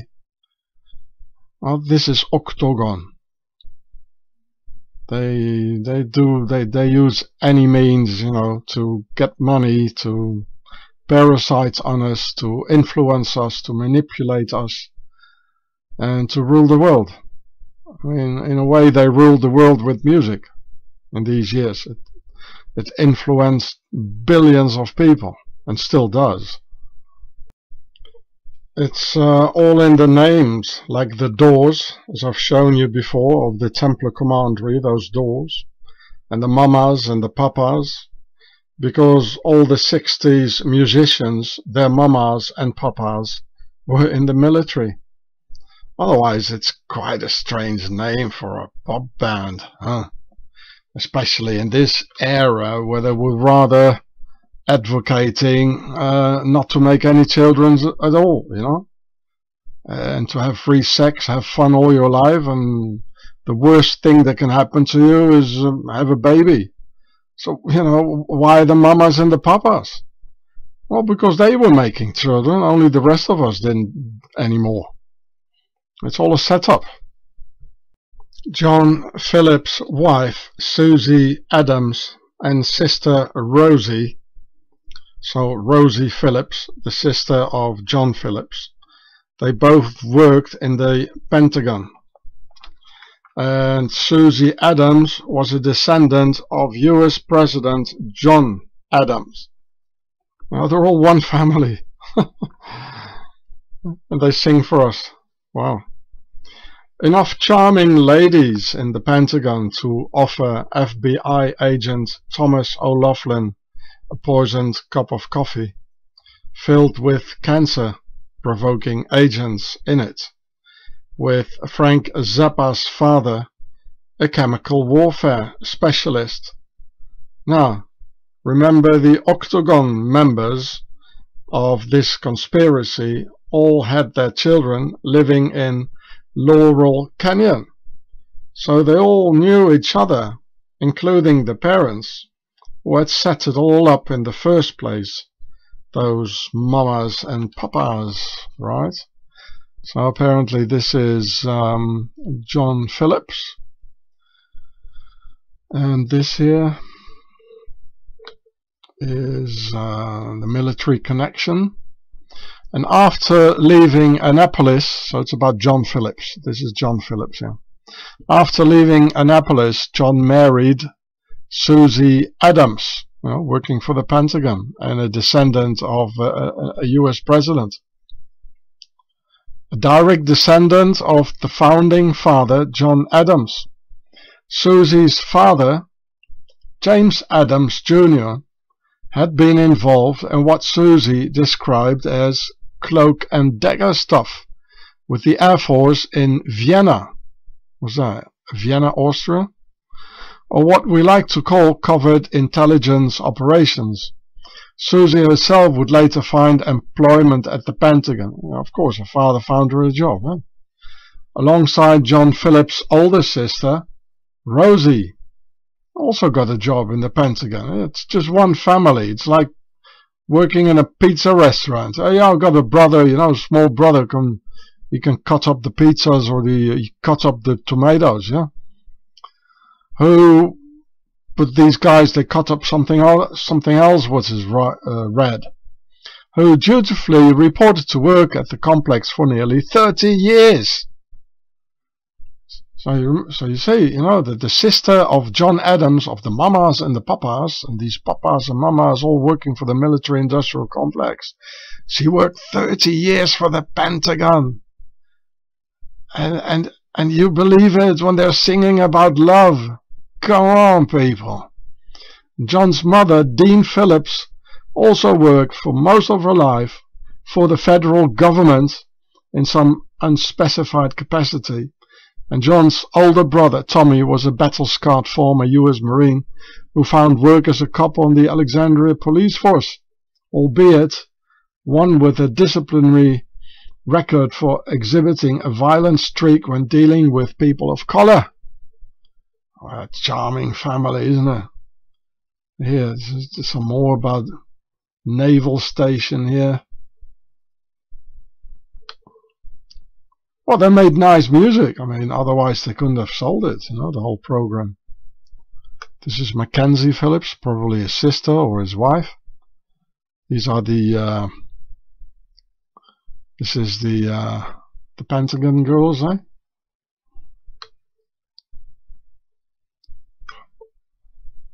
Wow. Did Special Agent O'Loughlin find out something too much, like the Pentagon setting up the hippie movement, since he was TDY working at the Pentagon with a special assignment to investigate the connection between the drugs trade and the military industrial complex. Now, you be a good boy, Mr. O'Loughlin, and drink up your coffee while it's still warm. You're in the Pentagon, Mr. O'Loughlin, so you don't have to worry. All the doors are closed and guarded. SACSA meaning Special Assistant for Counterintelligence and Special Activities. When does a soldier become expendable, eh? Well, if so, you just invite him for a cup of coffee, the so-called Judas cup. So this is uh, Mama Cass Elliot, another singer of the Mamas and the Papas. And um, she was born Ellen Naomi Cohen, just like the other Herb Cohen, the CIA guy and manager of Frank Zappa. Across Mama Cass Elliot's home were murdered Abigail Folger and Wojtek Frykowski by the Manson family, is what they say.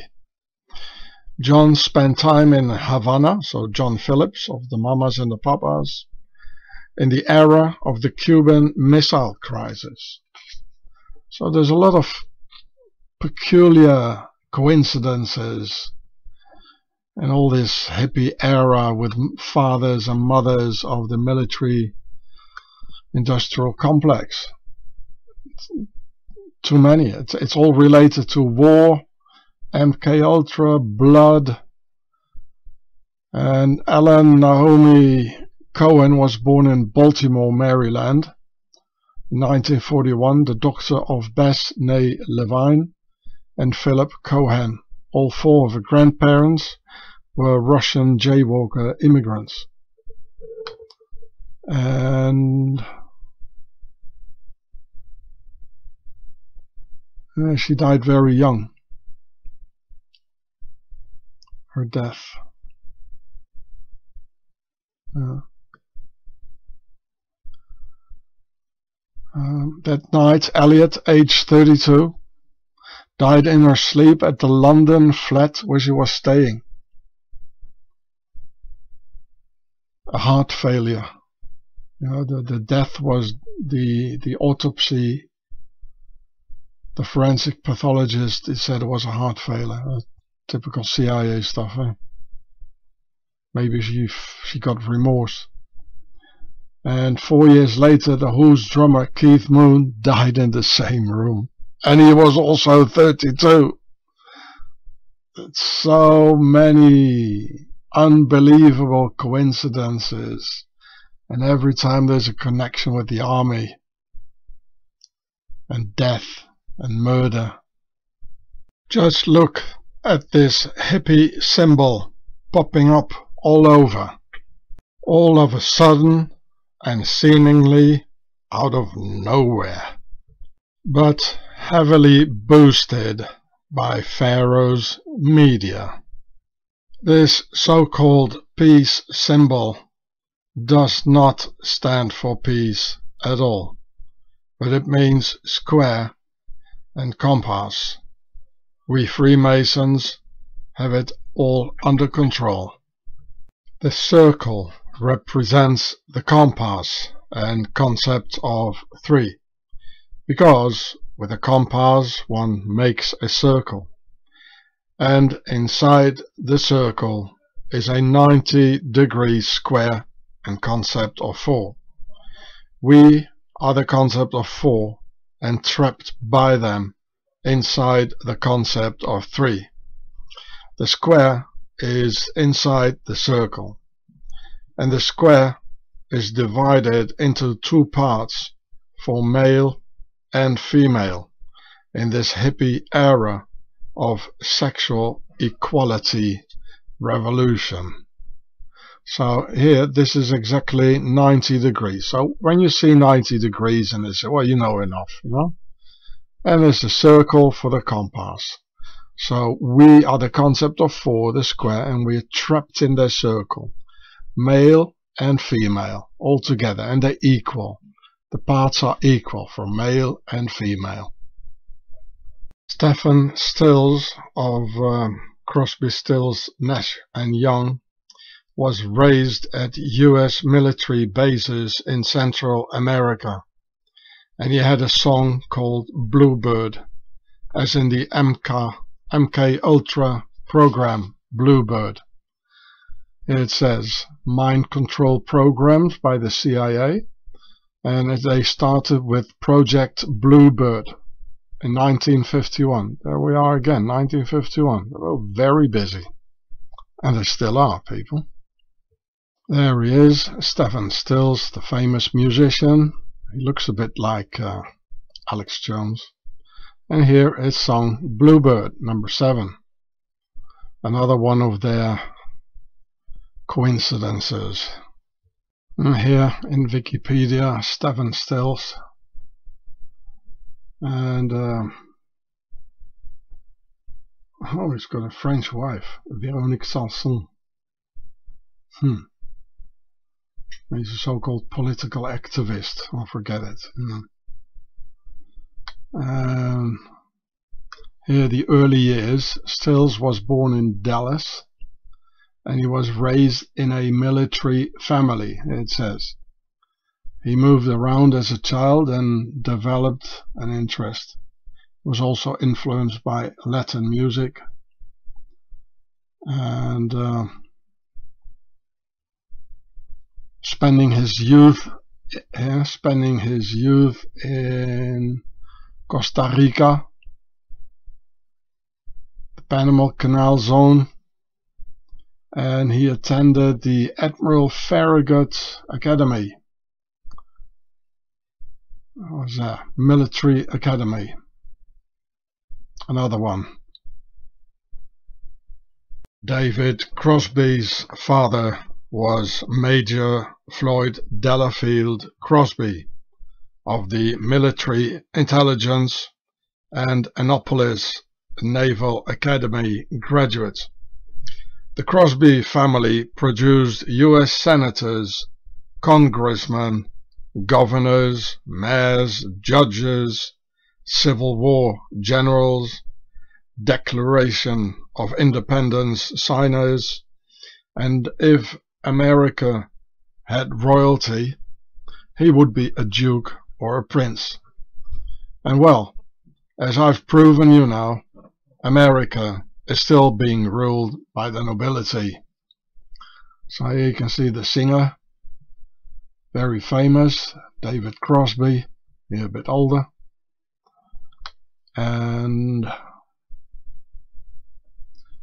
his father was a relative of the Van Rensselaer family and uh, descended, and his mother, granddaughter of Bishop of Pittsburgh, Cortlandt Whitehead, descended from the prominent Van Cortlandt family.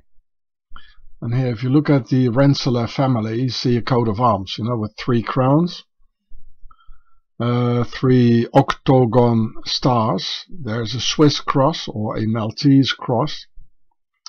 And there are three uh, Templar V's. Three and three is, of course, the um, the concept of three, which is them. And in the sort of castle thing, like here, there's the concept of four on top and the concept of three below. Well, if you look at it in white, it's the concept of three on top, which is them, and the concept of four below. But if you look at, at it in red, it's the other way around. Altogether making seven. And it says here, his father was the uh, was a filmmaker, Floyd Crosby, here. So he was also in the propaganda business and uh, to change our heads. So here's his father, Floyd Delafield Crosby, a major, ASC filmmakers. And he was the father of the musician David Crosby. There you go. And um, the Rensselaer family, the nobility. This is about his career. He did a lot of movies, Hollywood movies. So he's definitely part of the uh, social engineering. I mean, it, it changed humanity, all these Hollywood films. Right? And uh, um, he was in the U.S. Army Air Corps, being making videos and flight training films in World War II. And this is of course quite near to the uh, th this is social engineering. This is uh, um, also used for intelligence you know video making and filming uh, enemy positions and all that. Major. Again the military industrial complex and the hippie movement and the hippie music of the 60s it, it was it was a very big industry and so it's part of the military industrial complex. The mu musician Jackson Browne was born in a military hospital in Heidelberg, Germany and his father was in the OSS and precursor of the CIA. So here's the famous musician All pictures showing them a little bit older. And here you can see. So Browne was born uh, in 1948 in Heidelberg, Germany. So if there's an American, you know, like getting born in Germany, you know, you know, there's this military family, eh? Where his father, Clyde Jack Browne, an American serviceman, was stationed for his job assignment with the Stars and Stripes newspaper. So that's of course it's uh, propaganda and it's and it's very near. It would be a good uh, camouflage for an agent, you know, to work at the Stars and Stripes. And of course, it's difficult to find the proof of that he was in the OSS. And his sister, Berbie Browne, was born in Nuremberg. And guess who also came from Nuremberg, another famous American, also in of the entertainment industry where they do the social engineering on the minds of our children. Um, uh, from another military family. Oh look, there she is, Sandra Bullock.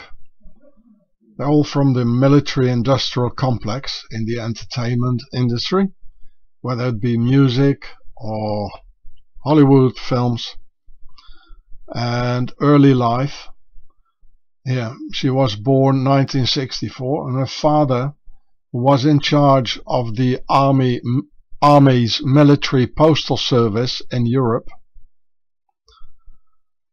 uh, was stationed in Nuremberg. Yeah. Just as where the sister of um, Jackson Browne where she was born. Probably in the same, at the same time, right?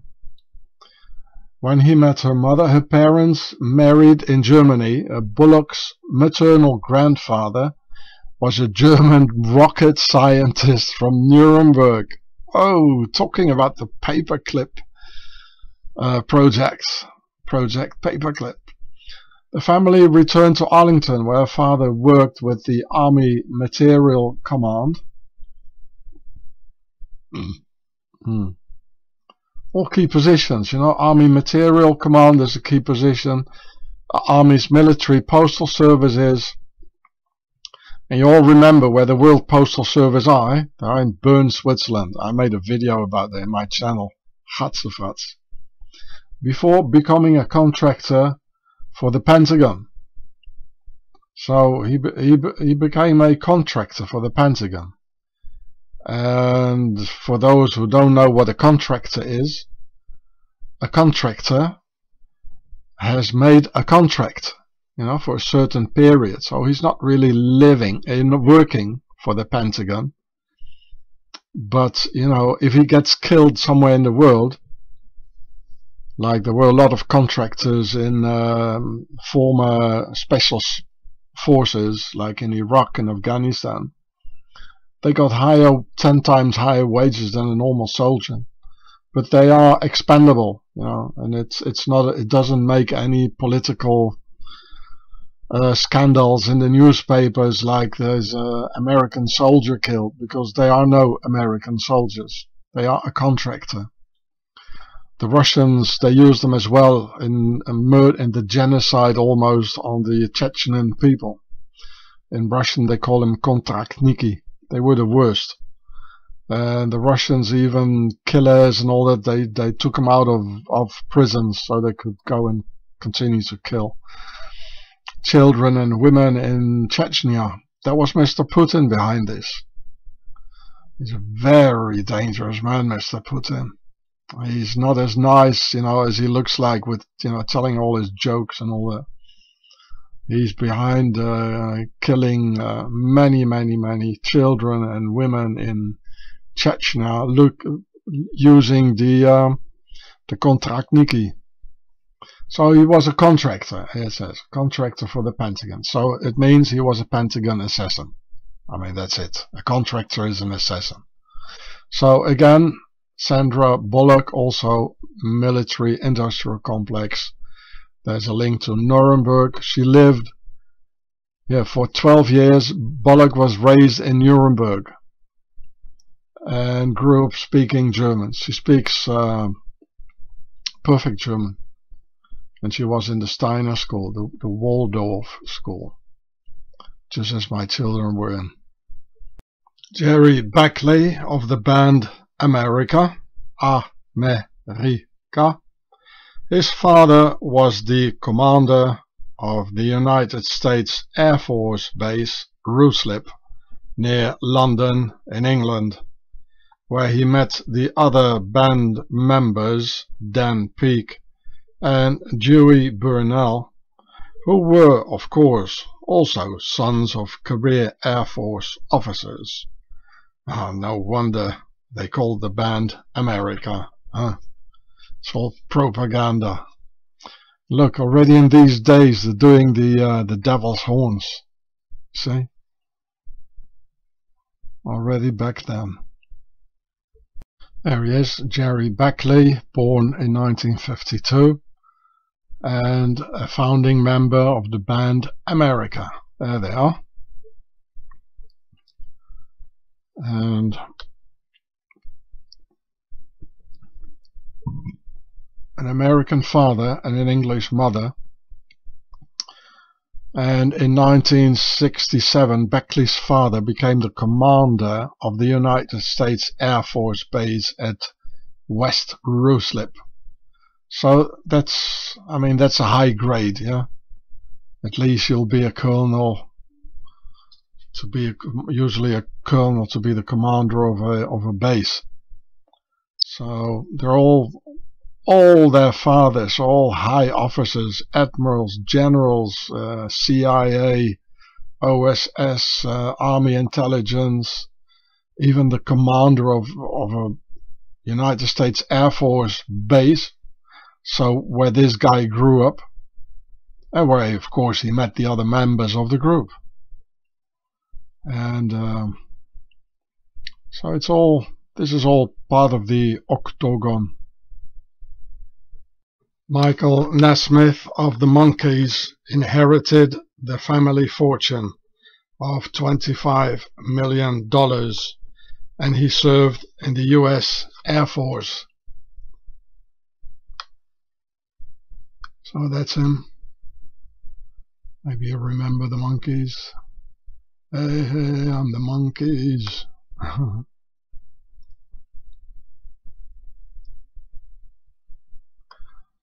so here it says he enlisted in the U.S. Air Force and uh, complete basic training at Lackland Air Force Base in San Antonio. Was trained as an aircraft mechanic at Sheppard Air Force Base in Wichita Falls and was permanently stationed at the Sherman Air Force Base near Burns Flat in Oklahoma. The band name The Monkees. Remember what I told you about Planet of the Apes in my brachycephalic cran craniometry film. Here's the title and this is the channel. Why the name The Monkees? It's a bit strange, isn't it? Well, as a group or a person, you don't want to be referred to as being a monkey, do you know? So, well, you see, there are four of them for the concept of four, and he's holding up three fingers, him as well. So it does say the concept of three and the concept of four, and it says square and compass. Gram Parsons of the Flying Burrito Brothers. His father was Air Force Major Cecil Ingram, nicknamed Coon Dog. Uh, here he is, Gram Parsons, uh, the musicians, the musician. They were all the heroes of the 60s and the 70s and yeah, the Flying Burrito Brothers. And yeah, Gram's father, Ingram Connor II, was a famous World War II flying ace decorated with the Air Medal who was present at the 1941 attack on Pearl Harbor. Yeah, his name was Coon Dog. The name of the band is a reference to the Templar fraternity here, flying for the Air Force, like the Flying Brothers or the Flying Fraternity. So, in fact, Americans sing about love and peace and simultaneously murder millions all over the world. They even call it Vietnam War music, the sound of a murderous nation. Jimi Hendrix was a paratrooper of the 101st U.S. Airborne. He died at 27, so he belongs to the club of seven, 27. And he would have probably lived longer if he would have stayed in the regular army as a regular soldier instead of becoming a music soldier for them. There he is. And so this is Wikipedia and here it says military service. Uh, he was in the 101st Airborne Division at Fort Campbell. Jimi Hendrix and Jim Morrison were both great fans of Aleister Crowley, the English Satanist who had a temple in Sicily. Alan Wilson of Canned Heat died at 27 together with the others of the Club of 27 and all of them related to Laurel Canyon, the Pentagon setup. So here you can see him, Alan Wilson of the band uh, Canned Heat. There they are, playing. And here it says he died at 27. Why did they all die at 27? And there is a reason for that, which I will explain to you. Well, because the 27th degree in Scottish Rite Freemasonry is being symbolized by a pentagram, the thing Satanists use. The 27th degree's name is the Knight of the Sun. Therefore, 60s songs like The House of the Rising Sun. And it's here where all the higher degrees start, which all have Templar symbols, starting with the 28th nine Knight Commander of the Temple. It is therefore here one can see that Freemasonry comes out of the Knights Templars, who still rule over Freemasonry, which is, in fact, still a military order. Therefore, all the death at 27, because the 27th degree, where the military degrees start, stands for the Pentagon, or a pentagram who are behind the 60s hippie era of sex, drugs, and rock and roll. Circle closed. We can all see this thing is pentagonal. Five. Penta, it means five in Greek, so there are five corners. One, two, three, four, five sides.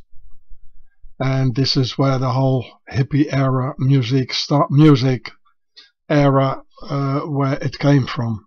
And that's why you almost see the hippie symbol here, except these two here don't belong to it, but this here is exactly the hippie symbol here. You know, this is a square here, and instead of with these ones here, there's a circle. You know, that this is where they took it from, right? The hippie symbol, because it says square, and here's a compass you know, where they walk around just like in Mecca or whatever you know you see, you see them almost oh, you see the persons walking around here and this looks like a black cube almost you know so there are too many references you know you know where it all comes from. And I can guarantee you that this is it you know. Pentagonal just like it's 27th degree in uh, Freemasonry. And here you can see if you take these that and that away you see the hippie symbol here. Not a coincidence people. They always leave a sign or a symbol or a reference somewhere they, they just you know it's too strong for them you know they just have to do it it's it's com it's you know it's compulsory it's compulsive you know so this is what we saw inside the Pentagon. I mean, this symbol is integrated inside the, the court of the Pentagon. Only there's one more lane here, one more here, and this is pentagonal. But there is a circle inside, but this is definitely in there. And why does it always have to be a Volkswagen you know, it's a Nazi car developed by the Nazis. It means das Volk, ein Wagen für das Volk. It's a it's a car for the people. Why always Volkswagen? Well, paperclip people. The Nazis won the war, and they took over the Pentagon. The Swiss octagon rules over Pentagon. I made a film about it with this title, a long film. But YouTube took it off. It was on my channel Giureh. Too bad. So here once more. This is the Pentagon in the United States. So it's the arrows going to number 27, the night of the sun, the house of the rising sun. So from here on, it's rising here. And they're all Templar symbols. This is the house of the rising sun, number 27. And this is interesting. Here it says Noachide of Prussian Knight. You remember the brachycephalic skull form of the Prussians. And this is because of the Teutonic Knights, because the Teutonic Knights uh, area, it became Prussia with the same sort of Swiss uh, military mentality. And just have a good look at these ones here. You know, he has a double-headed eagle here, a double birdie, and here's sort of a, a crown on it. But have a good look at this, and these, and this, and this, and this, because I'm going to show that to you now. So there are like four T's. One, two, three, four, and here as well. Just remind you of this. So this is why they all died at 27, and I'm not sure if they died, or and if they died, if they did die, it was a um, a satanic ritual related to the Knights Templars and the Freemasons. So above the Pentagon, that's why they chose the name Pentagon for the US military. They're all military grades here. And below it's more esoteric stuff here you know, with the key and the key to wisdom and you know the square, the the compass here, triangles. But from from the Pentagon upwards, it becomes all military because the Maltese Order and some Knights Templars and Teutonic Knights Orders they have this symbol as well. Just remind you, I'm going to show it to you now. So as we're closing the circle we are back in Sicily with the kingdom of two Sicilies. And this is their coat of arms. And here you see this symbol in it, which I asked you to remember. So we're back, you know, Jim Morrison and uh, Aleister Crowley and Jimi Hendrix all believing in this. And um, so we're back in Sicily and like closing the circle. And they've got some more this is all the the kingdom of two Sicilies, but then in a different place. You know, this is Naples here, and this is uh, Regno di Sicilia. Um, but it's this I wanted to show you.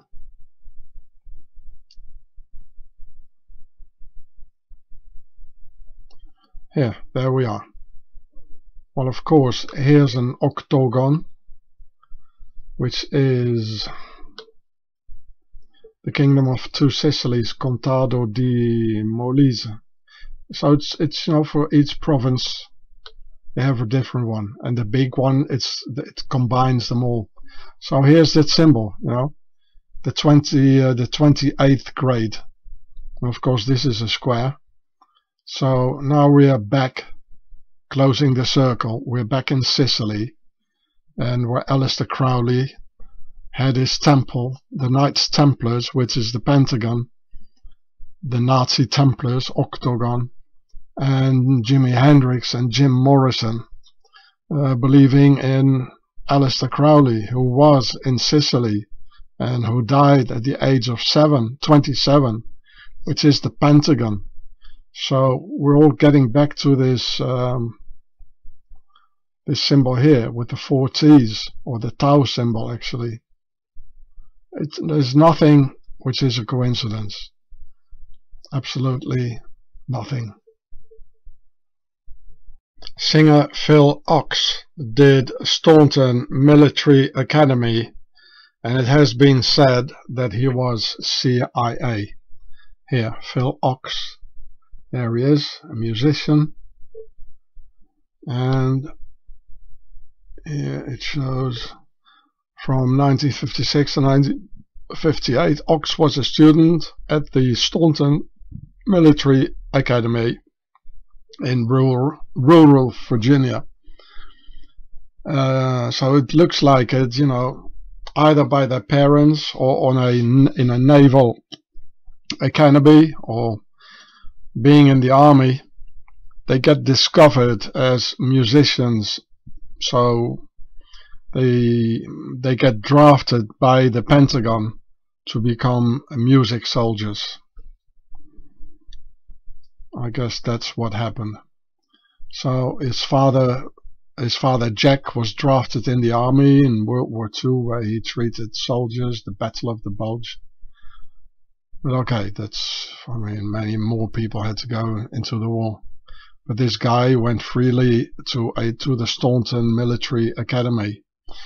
Well, of course, they have a good look at the um, at their students, how they can use them um, and if they have music in this this era when they had musical abilities or talents uh, it opened all the way by the Pentagon.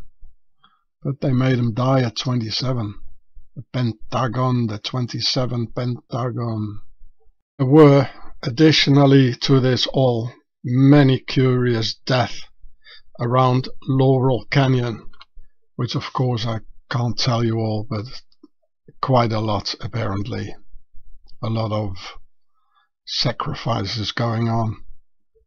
The father of actor Peter Fonda was a decorated US Naval Intelligence officer during World War II.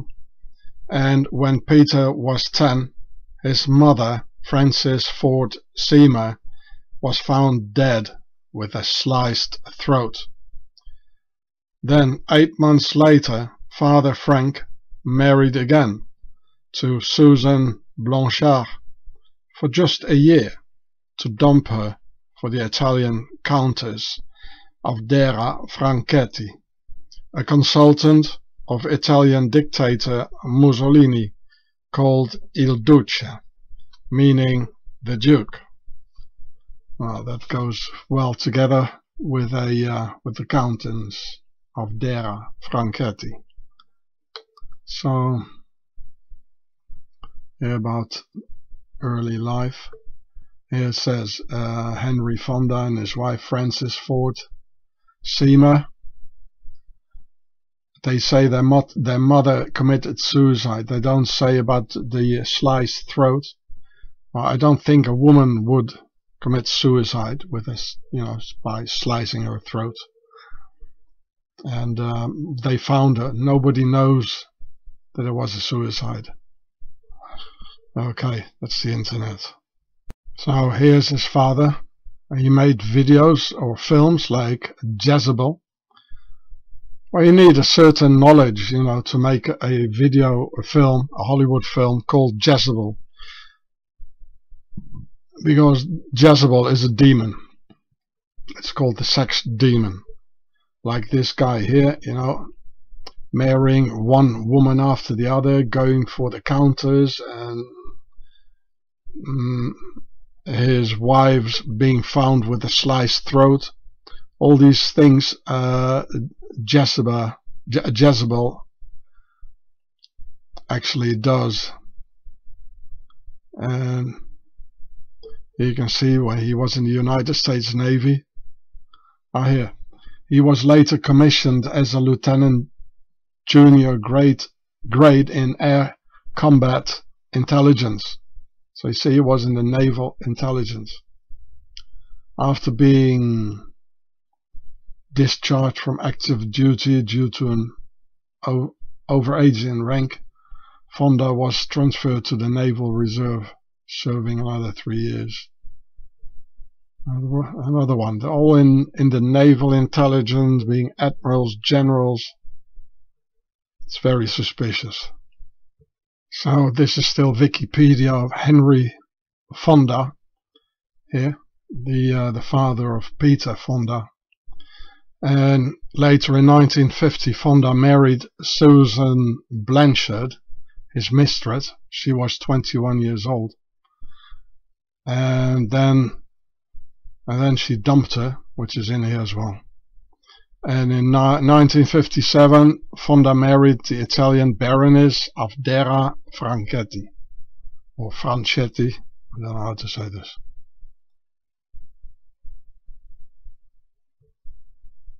There.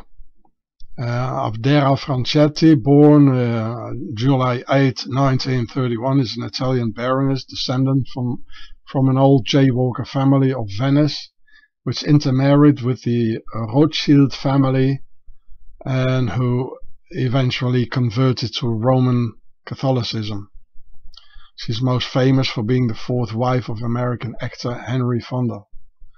So you see, there's jaywalker nobility. You know, I mean, all peoples have nobility, and they're all pharaohs. And she was apparently the um, a um, a consultant of the Italian dictator uh, Mussolini.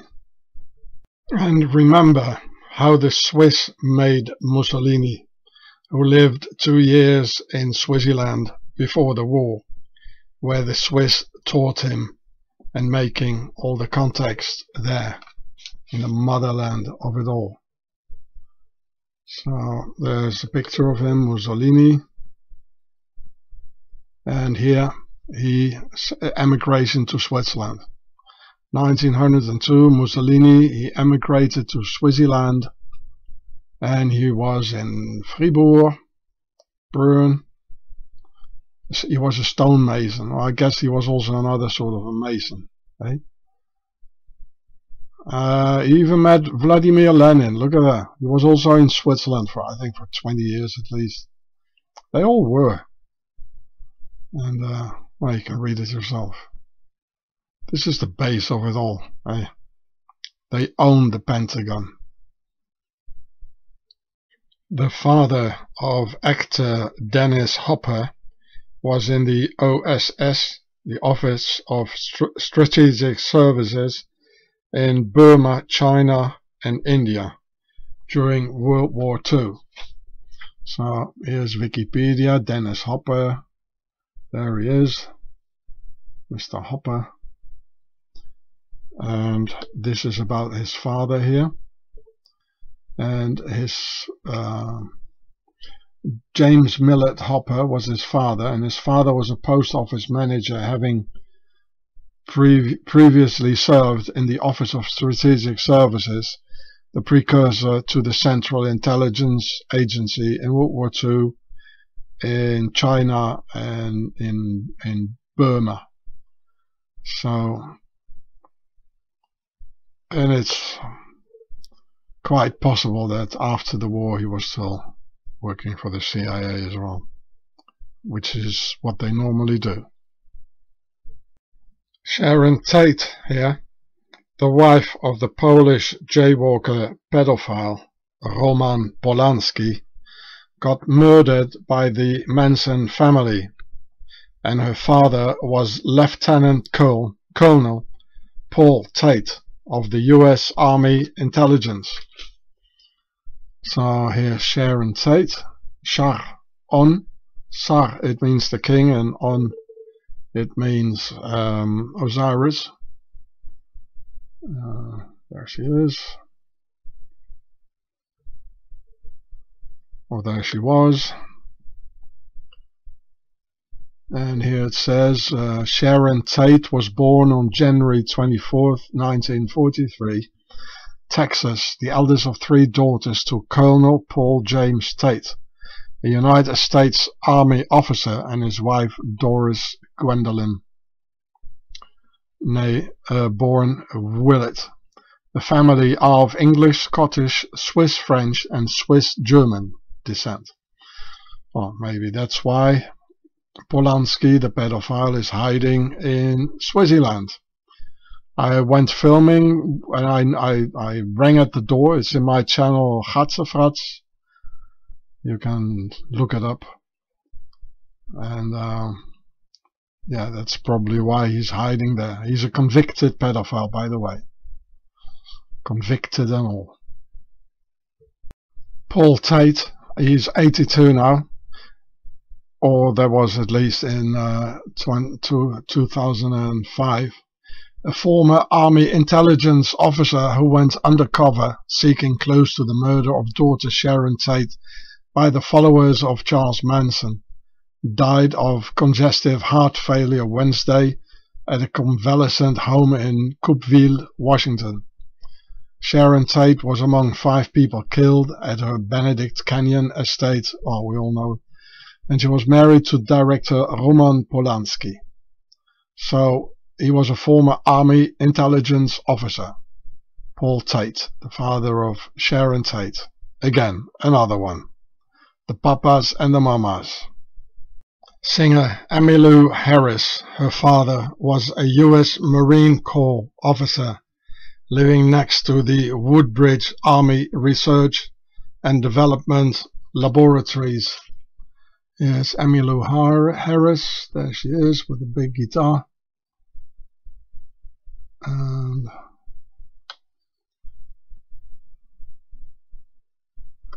it says Harris is from a career military family.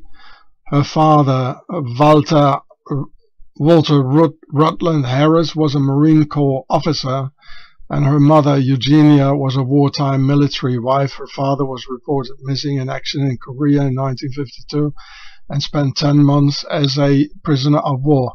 Born in Birmingham, Alabama, Harris spent her childhood in North Carolina and Woodbridge. So in Woodbridge was the Army Research and Development Laboratories. Singer John Denver, real name Henry John Deutschendorf, which is a German name. Deutsch, it means German, and Dorf, it means a village, a German village. So John Denver, his father, was a career U.S. Air Force officer at the famous Roswell Air Base. Well, you all know about the aliens at Roswell. John Denver, there he is. And here it's the early life. Henry John Deutschendorf Jr. was born on December 31, 1943 in Roswell, New Mexico to Captain Henry John Dutch Deutschendorf, a United States Army Air Force pilot. So he must have been an officer. You're not a you're not a pilot if you're not an officer at Roswell, Roswell Army Airfield, and his wife Emma Louise née Swope. And he spent his youth in a lot of Air Force bases like this one Oh, they all look like little toys, all the airplanes. Uh, there was a singer here. And the Maxwell Air Force Base. The Carswell, Carswell Air Force Base in Fort Worth. And uh, so, you know, enough time and place, you know, to to get discovered discovered by the um, by the headset for their 60 Music uh, project. The town of Denver in Colorado was settled by Swiss immigrants. Denver as in John Denver. And here are some more, you can see some more towns here that are even Lucerne Valley. And these are Swiss Americans by percentage of the total population.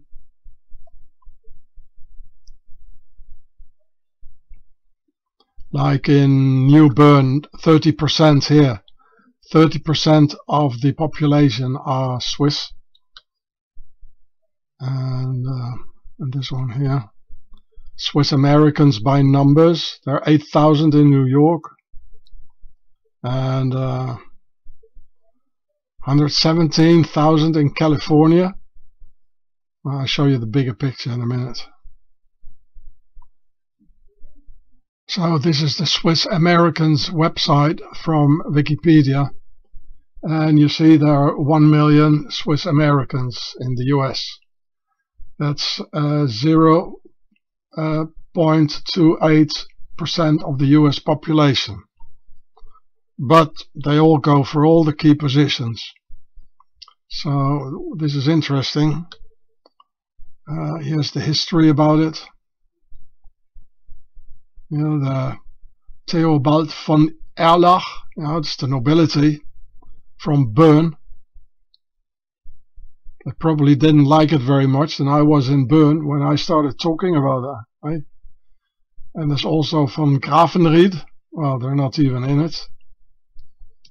They should be. And yeah, in California, there are 117,000 Swiss Americans. Pennsylvania, 73,000.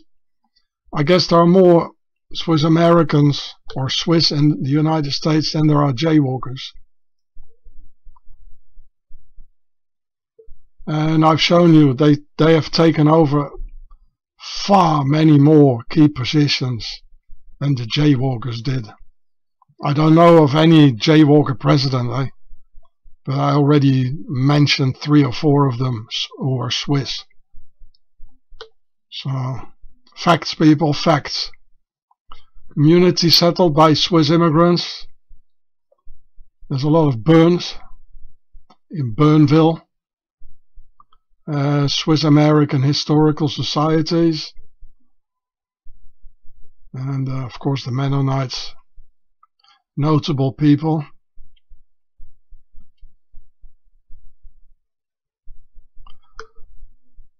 Uh, so for a more comprehensive list, see list of Swiss Americans.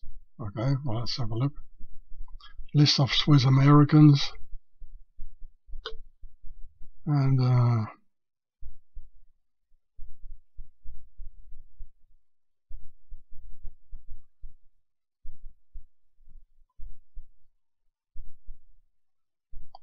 there's a lot of actors what is it? Oh, Robert Downey, Downey Jr., mothers of Swiss descent.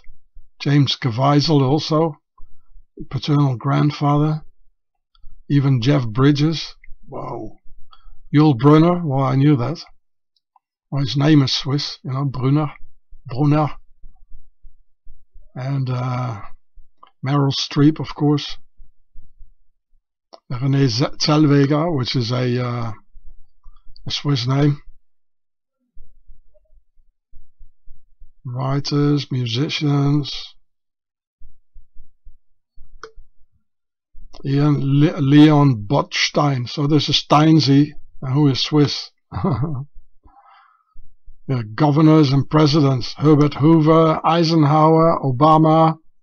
Already got three who are Swiss. Eh? I don't know any jaywalker presidents in the US. I don't know. I don't think there were any. Herbert Hoover here, uh, Swiss. His real name Huber. Um, J. Edgar Hoover, Swiss. Yeah, Henri Bouquet. Oh, I just and Henry Wirz. Yeah, the Confederate soldier executed for war crimes. And a prominent, Henri Bouquet, a prominent army officer in the French and Indian War and the Pontiac's War. of course, religion, scientists,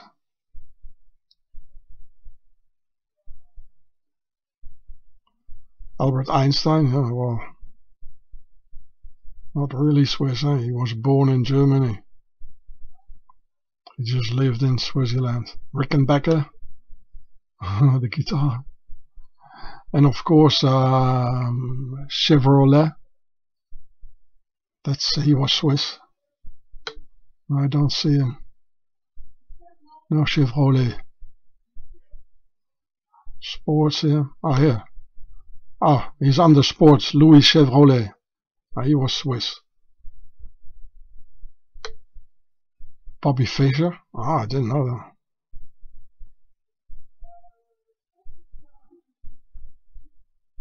Well, etc., etc.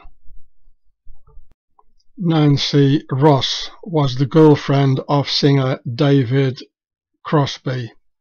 She had a child with Gram Parsons, and her father was a captain in the RAF, the Royal Air Force, and she finally married the grandson of Eleanor Roosevelt, Roosevelt, the same family as the president. The Swiss were selling a lot of their Swiss-made and Swiss-invented LSD in these 60s days. And one of their LSD distributors was Augustus Owsley Stanley III, whose father was a World War II military officer and he became a government attorney in Washington, D.C.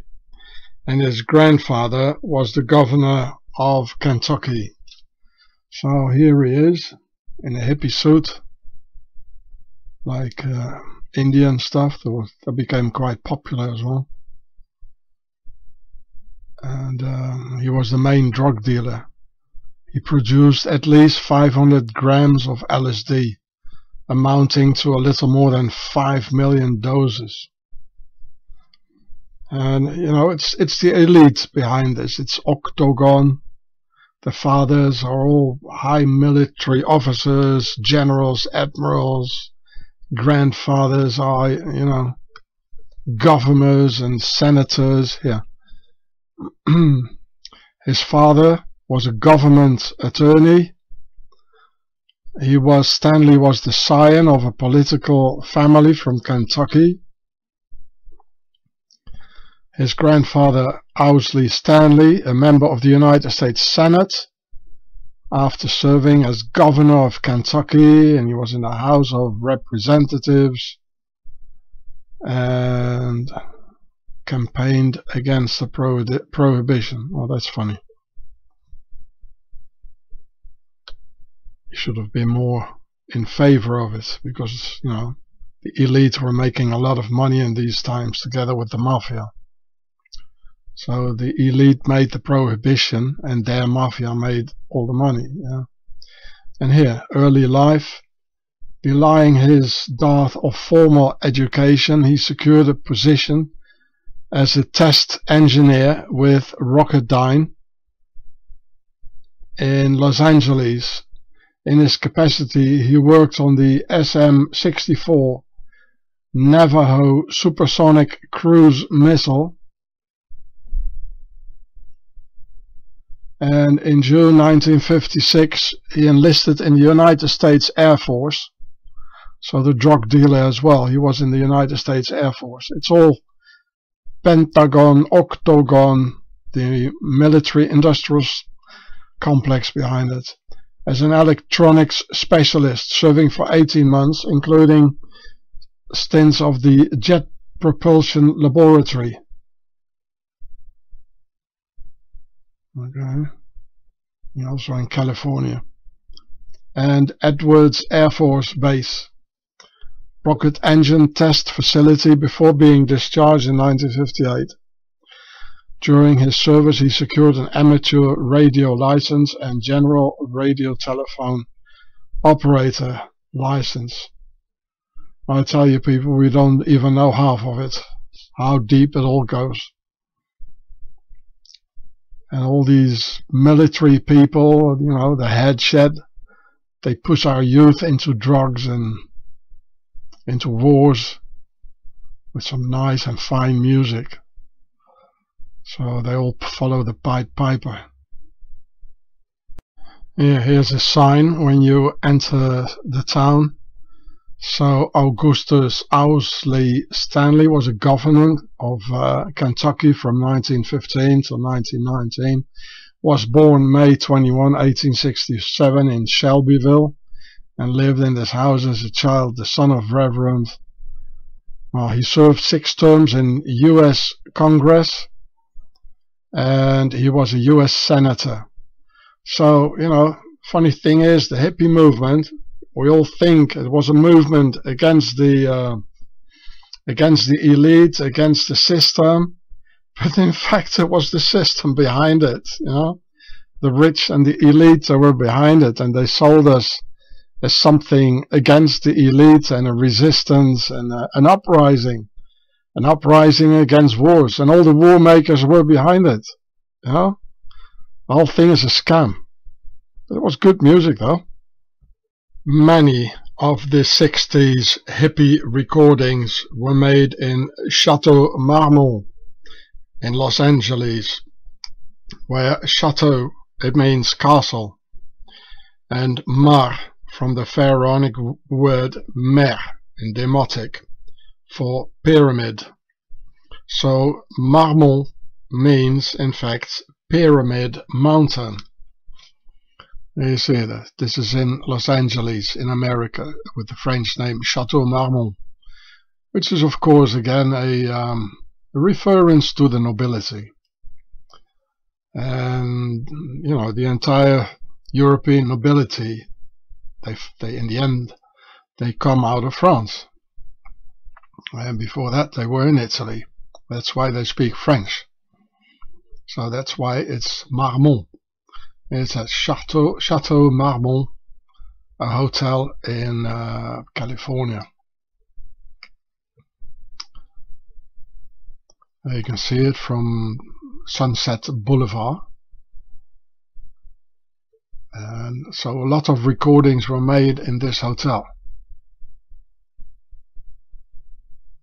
There's some funny symbols here on the it doesn't look like a sun hieroglyph, but it looks like the Vesica Piscis from here, the Vesica Piscis. You know, the two circles uh, with an oval in the middle. And Oh, okay, that's that's what it is. Yeah, that's the Vesica Piscis. Uh, the tower is octagonal. Interesting. Nice hotel. So, you know, it's the elite behind the music, the um, the nobility, pharaoh, etc. And the people they just ran after the Pied Piper and after the skirts, after the the laughter, and the good music, etc. This is how they trap us in a movement. And in fact, the leading general on Napoleon's Egyptian campaign was Auguste Frédéric Viesse de Marmont, who was a duke from Burgundy, France. So here's another tie between Pharaoh's worldwide nobility and the Laurel Canyon hippie music from the Pentagon. So here it says he was a Duc de Raguse. And so there he is. And he was a, a marshal uh, under Napoleon. And you can see he's having the pharaonic sash what all these aristocrats still do. And here a pentagon, a pentagon, like the Hotel Marmont, Chateau de Marmont in Los Angeles and the Pentagon behind the the hippie music of the 60s. And this is in red for the Red House, the Père Tasser of Lower Egypt, where they all come from. Well, this is France.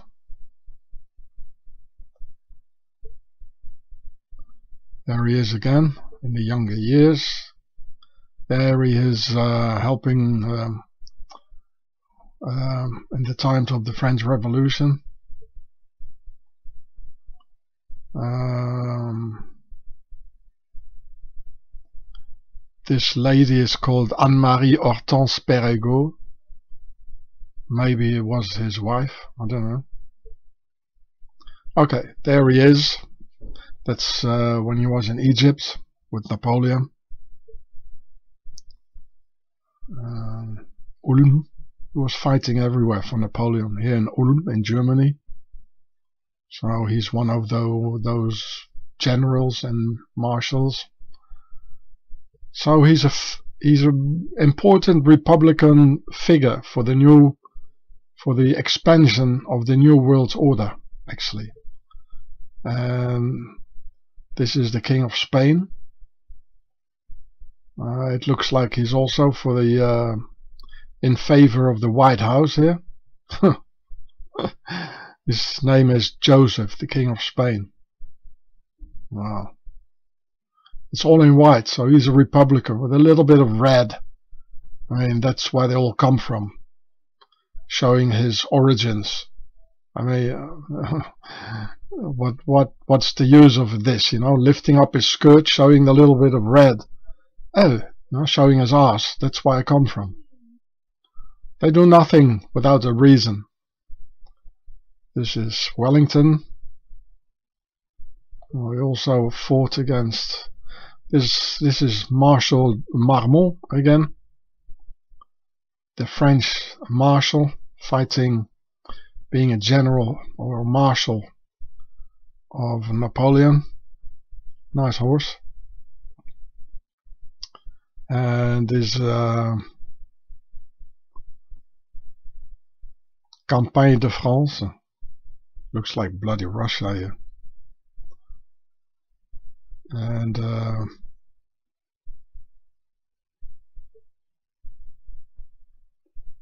Here another battle. And another battle somewhere. And another battle. Another Arc de Triomphe. I think there are four. This looks like a prison here.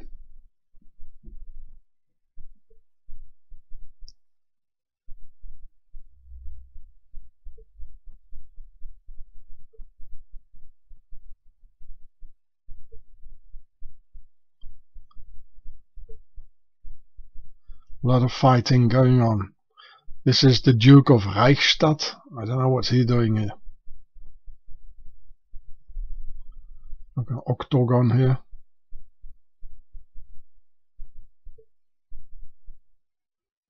Okay, this is the uh, the coat of arms of uh, the Duke of Marmont.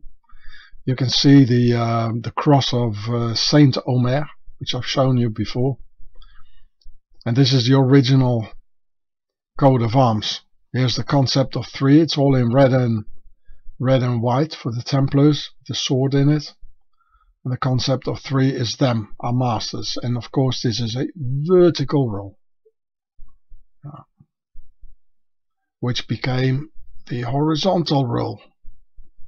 Saint Omer was a Templar. So he was for the horizontal rule and they come out of the vertical rule, the concept of three. And of course the Marshal de Marmont, he was a Republican, so he was part of the horizontal rule, but his origins are the vertical rule. Uh,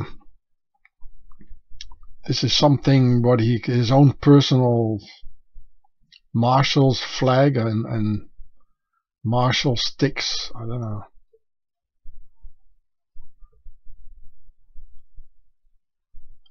Uh, this also is his uh, coat of arms in a later stage. It's uh, and here's the original part of it. Looks a bit like America here. Swissy is here. Of course, that's their base. And this is what it finally became. nowadays, their coat of arms. Yeah. And here's the shell, like the petrol station, Fleur de Lis all over. Mm. The, uh, the sticks of the Marshal in it. And here in the middle is a circle, and this is a square, so it does say square and circle. So, of course, they weren't. they are in favor of the um, of the Republic. So they must be Freemason. Uh, here again, they're changing it a little bit over the time. This is his Marshal stick. Bâton de Maréchal de France. Okay, people, so the uh, the, the the hotel uh, on the the Chateau de Marmont in Los Angeles, it's very much connected to Egypt. It's connected to to the nobility. Well, the name is French, so and uh, and to this duke, of course. It probably belongs to the uh, descendants of the duke. And this is a Chateau de Marmont in France. And um, of course there are more than one, there's several ones. Uh, it was mentioned the first time in 1272. So here lie the origins of the uh, Chateau de Marmont in Los Angeles and where they did the recordings for the hippie music. In the 60s, the most famous record company was Atlantic Records, harboring groups like the Beatles, Rolling Stones, Led Zeppelin, Eric Clapton, Ray Charles, The Byrds, etc. And Atlantic Records was founded by the Turk Ahmet Ertegun. So if I look at the logo or one of their logos, this the oldest logo, you see here a cross. So there is a square and the A is part of a circle. Uh, so that stands for the compass. So it says square and compass. And there's two here. Their logo, it has a meaning. I'll show that to you in a, big, a better picture. So here it is again, Atlantic in a bigger picture. So the whole thing is in a circle for the compass, and there's a little circle here as well. There's a lot of sixes, but there are not three, there are four. So there are one, two, three, four of these things. We're in black, one, two, three, four, which is the concept of four. And the circle is the concept of three.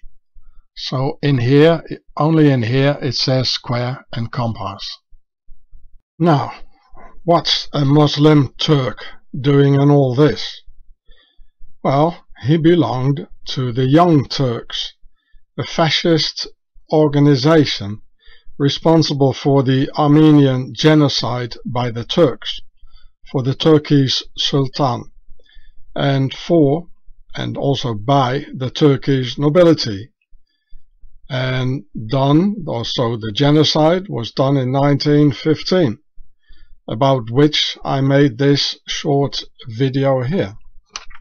Here you can see the young Armenian girls being crucified and the rest what they did to them. To them. Uh, it's, it's a real picture, apparently. So here's the title and on my channel here. And... Uh, I didn't have much time to make this video because I was, you know, on the road. I had problems with my video editor. And, uh, you know, the thing is, it's the same in Europe. You know, it's it's the nobility doing these things, and the the end of the uh, the caliphate was in 1924 when there was another lesser genocide, I think in 1923 or something against the Armenians.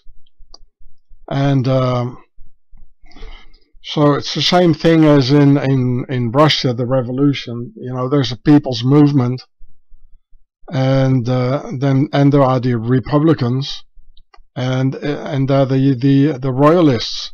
Uh, and the people start off a movement, it gets infiltrated, and um,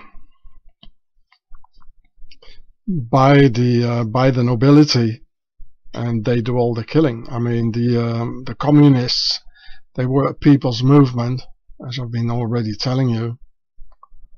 And yes, there were a lot of jaywalkers in it, but they were not fighting against the Russian people, but against the uh, nobility, who were really parasiting on the people who, have, who were hungry.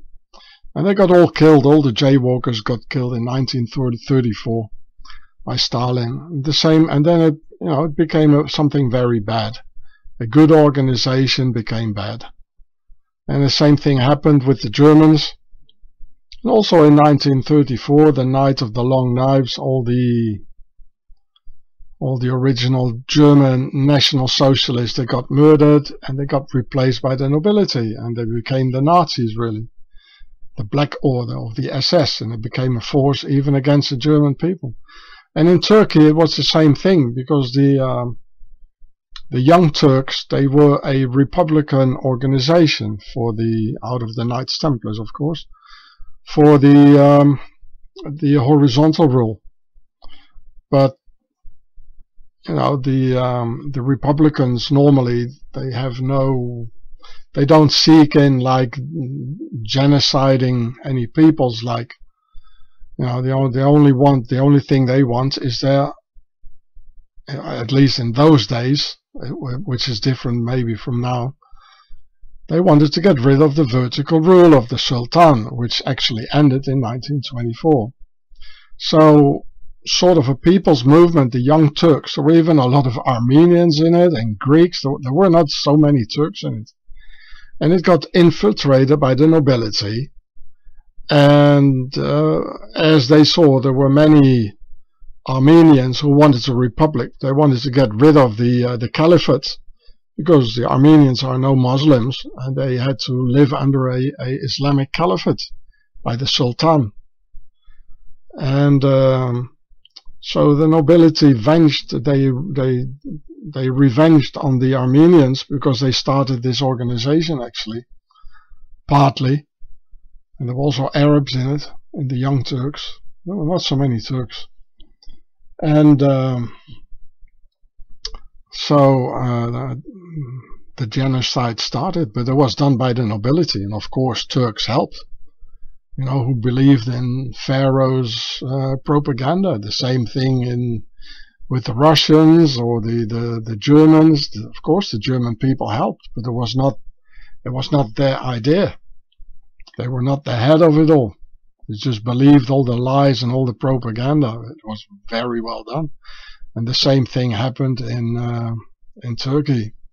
So so this guy, Ahmet Ertegun, he was a young Turk, but uh, not the original young Turk, but uh, the nobility, the infiltrated young Turk.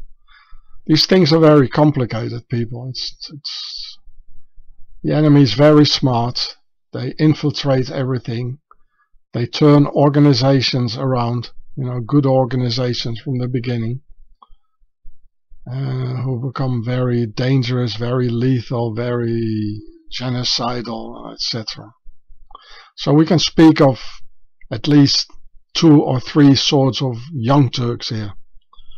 It's the same with nationalists, and or, or people call them Nazis, but there are different types of Nazis. You know, actually, there's only one type of Nazi um, in fact, but the way people use it, you know, the word Nazis, they use the word Nazi also for nationalists, and they are not Nazis. It's a, it's a, it's a different thing. And with the communists, it's the same thing.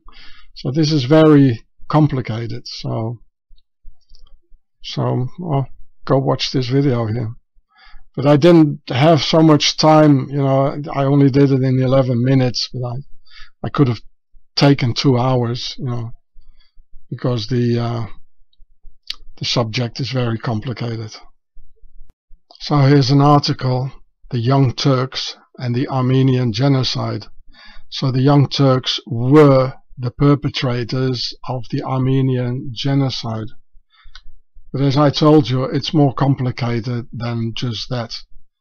Because, well, in the first place, the ones who got genocided, they were not there. They are not here anymore to tell the real story, what, what happened. And even if they could have done this, they wouldn't have known the real backgrounds uh, of their killers. And so the Young Turks, which started actually as, well, Republican organization, but it got all taken over by the nobility. And of course, it's all related to the Knights Templars because the Young Turks they wanted the horizontal rule, and, and the Templars they are be behind it. but it got all taken over by the by the vertical rule uh, nobility. And of course, in Turkey, it's the same thing. You know, they also have the nobility, just like in any other country. So this Ahmet Ertegun of Atlantic Records, he's nobility, and that's why he can adjust so easily. You know, in in Western society, you know, as uh, for a normal Turk, that wouldn't be so easy. You know, he would he would want his family, he would want his religion and his origins, his traditions, and for the nobility, as as he can mingle with the European nobility without any problem. Um, for Ahmet Ertegun of uh, Atlantic Records, there was no problem at all. They even called him the last Sultan, the last Sultan, you know.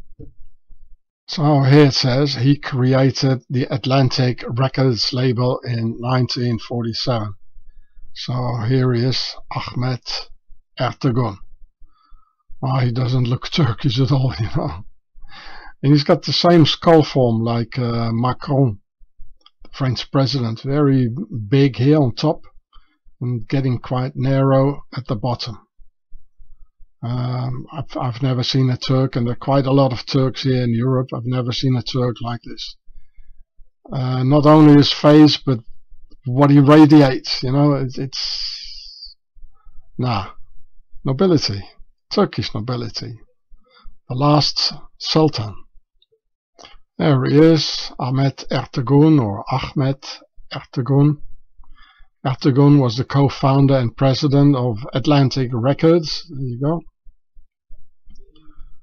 There he is, picture of him.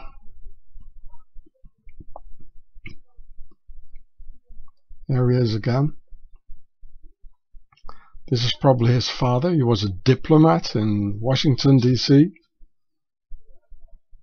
So, uh, nobility. Atlantic Records. There he is again. This one here. so, um,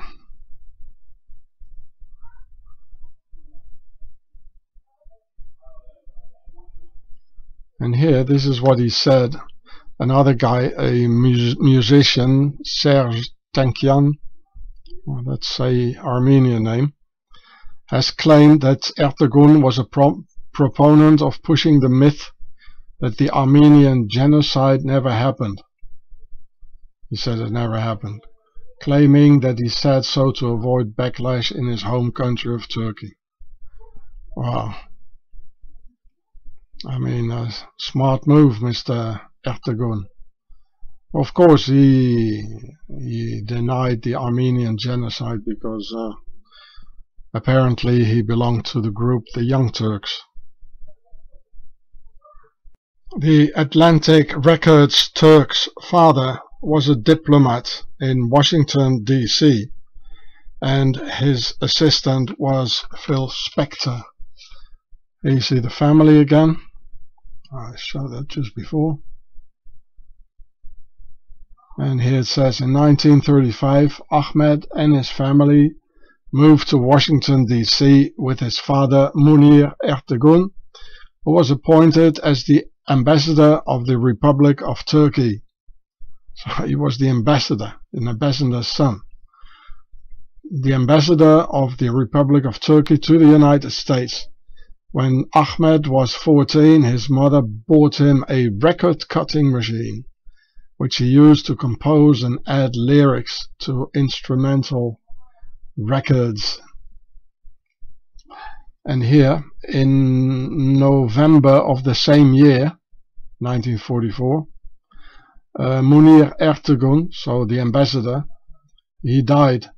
And in 1946, President Harry Truman ordered the battleship, the USS Missouri, to return his body to Turkey as a demonstration of friendship between the US and Turkey. Well, see, this is uh, this is the nobility, you know, amongst each other. They show this respect.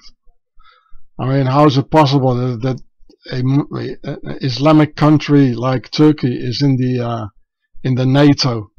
Well, this is only because the Turks are the slaves of their nobility, we are the slaves of our nobility, and just they just do whatever they want. You know, it's the lords who have an, a, a military alliance, and because these lords of Turkey, as you can see here, they are very much appreciated by the lords of the United States, so they take the ship, the USS Missouri, and bring his body back home. And this has nothing to do with, with the Turkish people or the European people. The Young Turks are a killer organization under the control of the Templar Octagon. So that's why these Turks and Atlantic Records could play a role in the Pentagon's hippie movement social engineering. Musician Stephen Stills, his father William Stills was in the military and Stephen Stills attended the Admiral Farragut Military Academy in St. Petersburg, Florida before going to Central America. So Stephen Stills of Crosby, Stills, Nash and Young. There he is. Of course, in an older age. Funny, they only, they only show the the older pictures or the younger pictures actually. Um, so Stills was born in Dallas and raised in a military family again. He moved around as a child and developed an interest, uh, etc. He was also, well, um, and he was spending his youth in Costa Rica, the Panama, the, the Panama Canal Zone, El Salvador. Stills attended the Admiral Farragut Academy in St. Petersburg and he gradu graduated from Lincoln High School in Costa Rica. They're all military children, all of them. Of course, none of these famous 60s musicians got ever drafted into the Vietnam War and had to go into the army.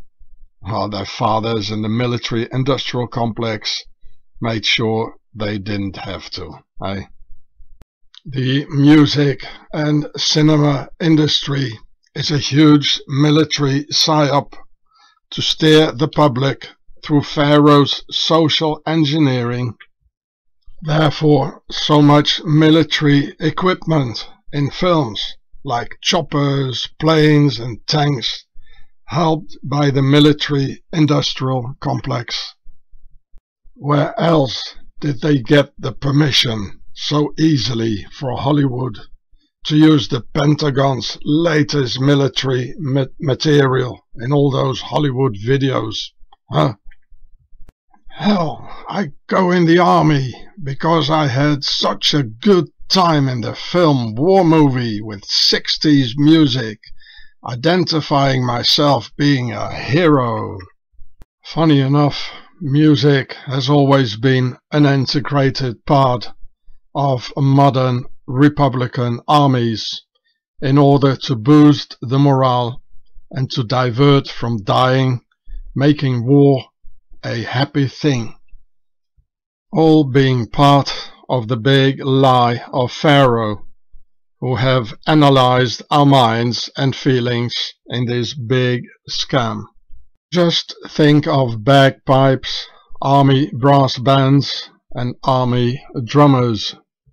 So it's really not that far-fetched. From bagpipes and army brass bands to the 60 musics. And that the Pentagon number 27 is behind the 60s music, also called Vietnam War music. For a smooth dying process and lullaby for soldiers to go to sleep. The long sleep, that is. Just follow the number 27 Pied Piper either into death or into drugs. The military-industrial complex is octagon of the Nazi Templars, so music and film industry is octagon of the Nazi Templars, where in their films their police always win and it's respected to go into the army, the only way to become a real man. In reality, just fighting Pharaoh's geostrategical wars for them. You bleed and die while they fill up their pockets and get filthy rich. Therefore, none of those filthy rich 60s musicians ever got drafted for Vietnam. You get it? Watch my film Warrior vs. Soldier, which you can see here, and I'll send you the text if you want that. So here is uh, Warrior vs. Soldier on my channel Gatsefrats. And here you can read, I, read, I wrote underneath, Mothers, raise your children as warriors so the pharaohs can't snatch them and make soldiers out of them. So I'm reading here a text what the difference is between a warrior and a soldier. I made this almost 10 years ago.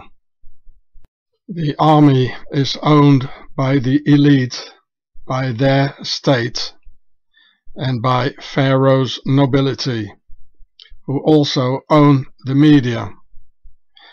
The hippie music was entirely uplifted by the media, by big money and by record companies. The 60s PSYOP psychological operation to drown and choke the Vietnam War horrors with abundant glamour and happy tunes of hope while creating new drug addicts Therefore, the reason of the Vietnam War. Opium. The, here, I read it for you. The drug used by American soldiers reached epidemic proportions in the late 1960s. The Department of Defense Survey, 1971. Marijuana, hash, 50% use, 14% every day. Heroin, 29% use. Psychedelics, uh, LSD and speed, 39% use. Before 1968, marijuana use was largely ignored by the Army. Widespread publicity led to a comprehensive program to eradicate its use. Yeah, okay, yeah. Arrests for marijuana possession reads as many as a thousand weekly. So they had another means as well, you know, by um, punishing the people. It was the attempt of the US military command to suppress the use of marijuana that caused to the switch to heroin as well as methamphetamines, barbiturates, psychedelics. By mid-1971, Army medical officers were estimating that about 10 to 15 percent of the lower-ranking enlisted men serving in Vietnam were heroin users. 10 to 15 percent were heroin users you know so first they try they make people to ad addict to drugs.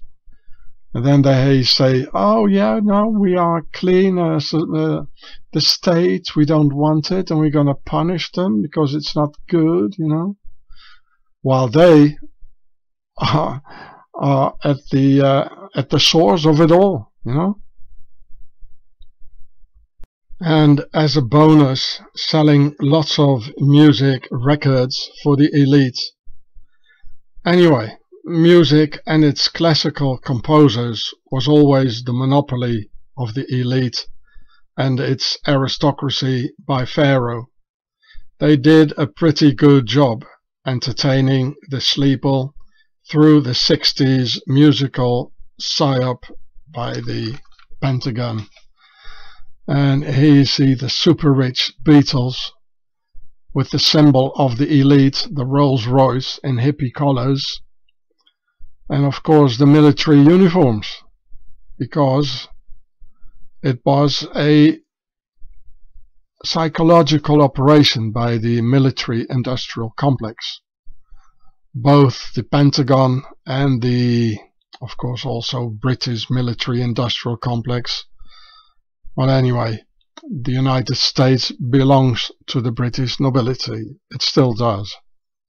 There were only a few men standing against it, like John F. Kennedy and the FBI's TDY, Thomas O'Loughlin, who were quickly terminated by these gangsters ruling over us, and who actually are getting very bold with their actual bug war and forced antidote poisons. And in fact, related to the actual situation today and the Wu flu, um, in the 19th century, in fact, it was Britain and its nobility again in the 19th century that led the drugs trade through Hong Kong and leading to two opium wars with the Chinese.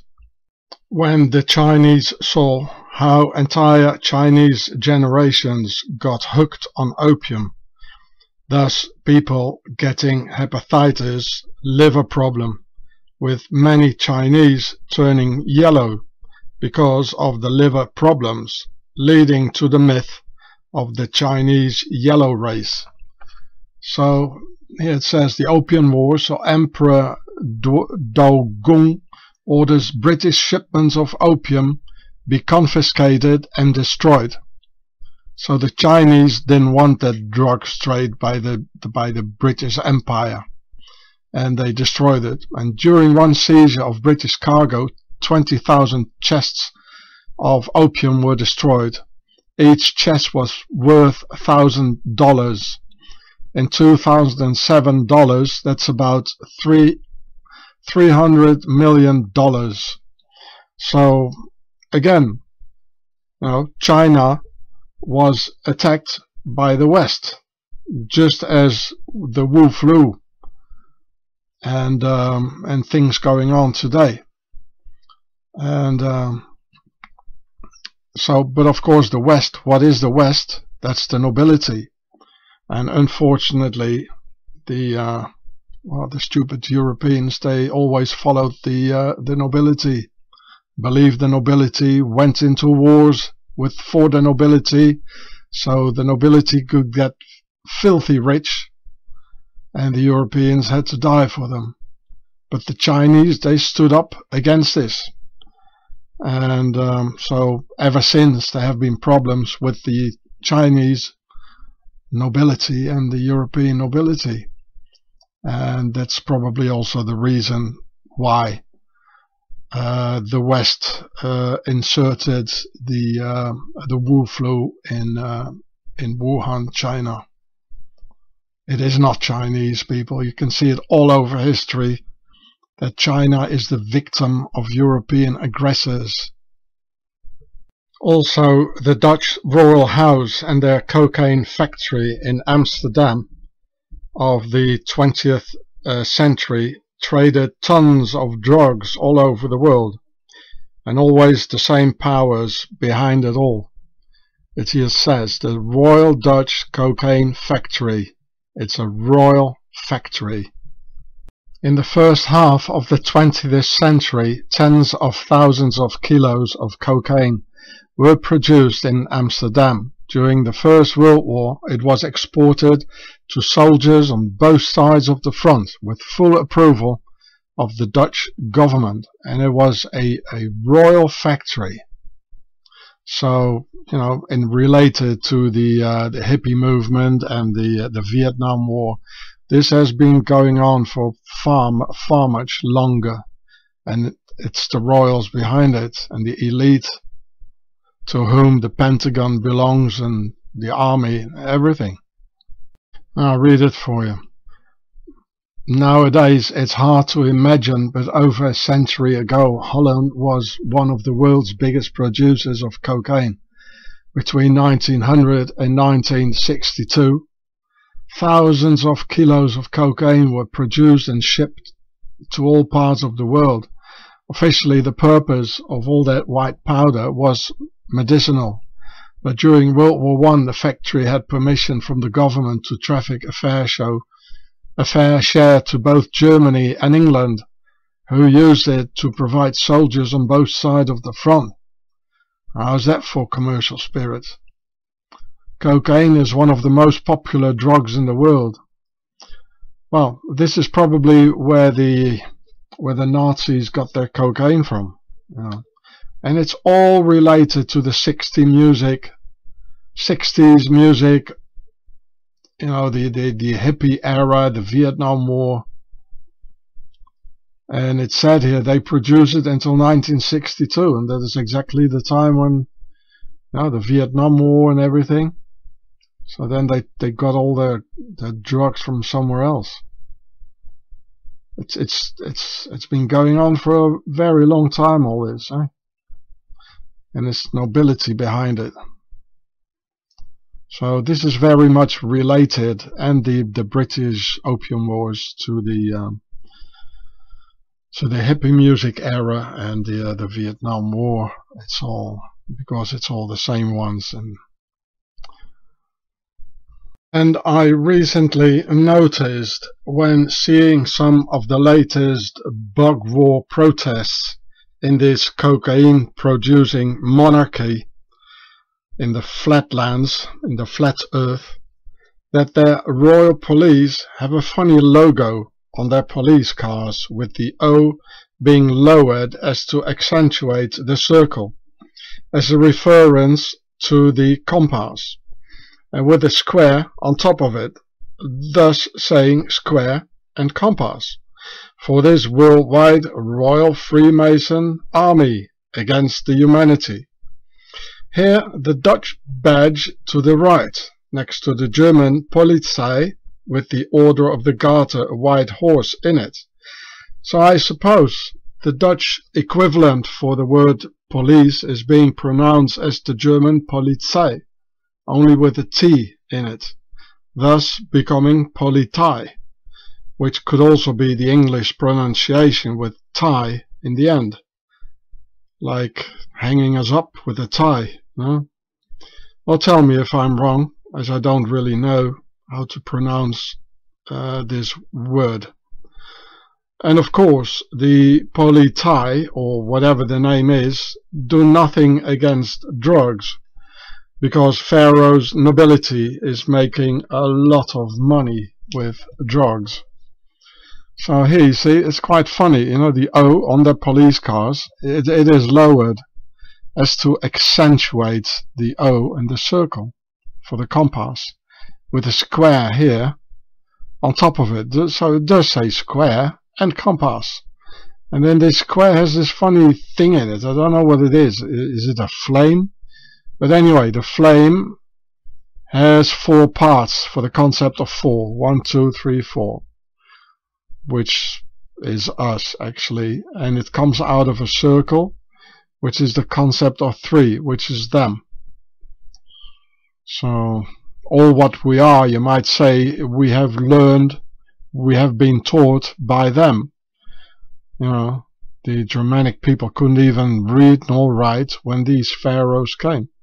So maybe that's why the concept of four, like coming out of this circle. So, but anyway, it does say here square and compass on all their police cars or the, all their politei cars or whatever the pronunciation of the word is. Of course, they also have another logo in that uh, cocaine producing country it says the uh, the Dutch police logo and it is in a octagon here with a sort of eight things coming out of these of the circle here yeah. well there it is okay so this is the octagon, just like the English bobbies have on their heads, and you see it all over the world. All the police logos, they have the octagon, and here eight things coming out of a what is it, a, a bottle or a circle. Well, anyway, here's also a circle. And it's in blue here for the war, the war crown. A war against humanity for this blue, worldwide blue army.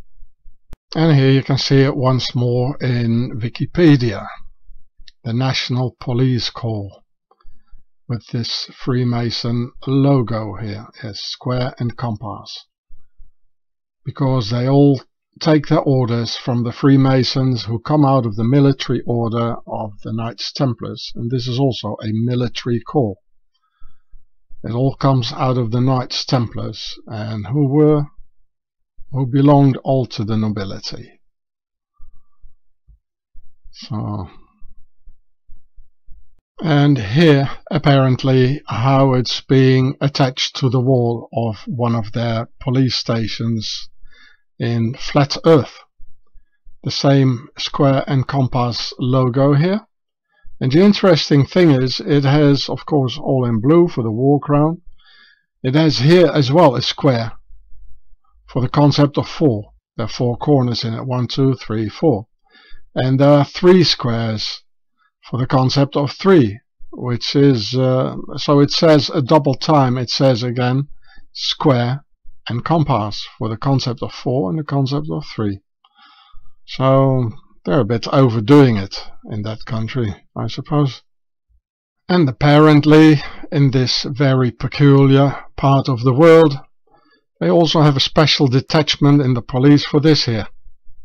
What I'm not be I'm not allowed to pronounce. And it says here together we hold the line.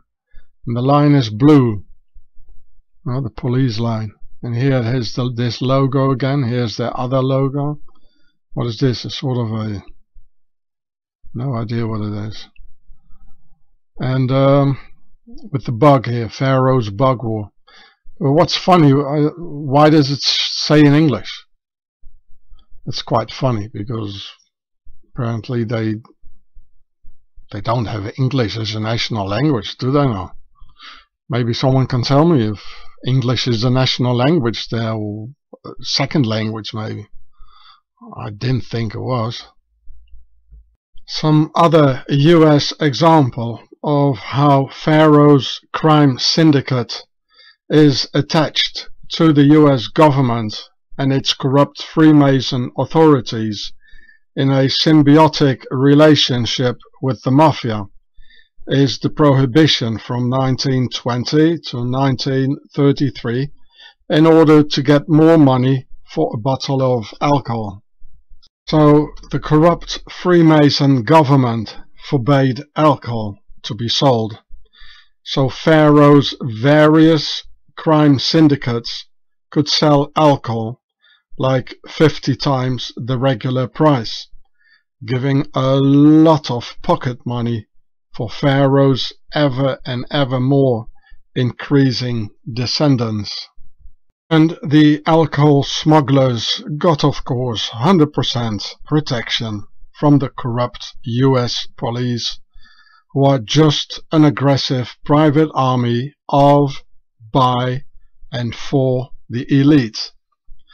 I'll read it for you. Prohibition made the mafia. Prohibition made the mafia. And the police and the authorities, they knew this very well. They knew this beforehand. Exactly the same as today with the drugs. And today with the bug war. And the, the medical dictatorship the government is the mafia. There's just a legal mafia and this is the illegal mafia, but they work together. And it all started because of the Knights Templars uh, in Sicily. Uh. The US police only eliminated the competition when ordinary people started to sell moonshine and smuggle alcohol themselves. Exactly the same situation with today's drugs. History repeats itself, as usual. It says the war on alcohol, prohibition and the rise of the American state. So they use this as a pretext, the criminality, the crime around the alcohol, mm, moonshine and, and you know, smuggling, etc. to, um, to have more money for the um, authorities. So this is how they used these government gangsters, they used the prohibition and the mafia, which are their own men, you know, to to give pretext to the rise of the American state. You know, more money, we need more police, we need more Tommy guns. This is what they always do. In Germany, they use the same thing, like with the Baader-Meinhof and the Rote Armee-Fraktion, the RAF, German terrorists. You know, to have more police, to have more uh, Heckler and Koch machine, uh, submachine pistols, etc., etc., etc. They always do this. And now they use the same thing with the bug wars. More police, we need more, you know, to, it's always the same. The same story presented in the 2018 US film White Boy Rick, based upon a true story where the FBI has a 14 year old child by the name of Rick Wershe being set up to officially sell drugs for the FBI who use a diabolical trap to have the child sell the FBI's drugs falsely promising the child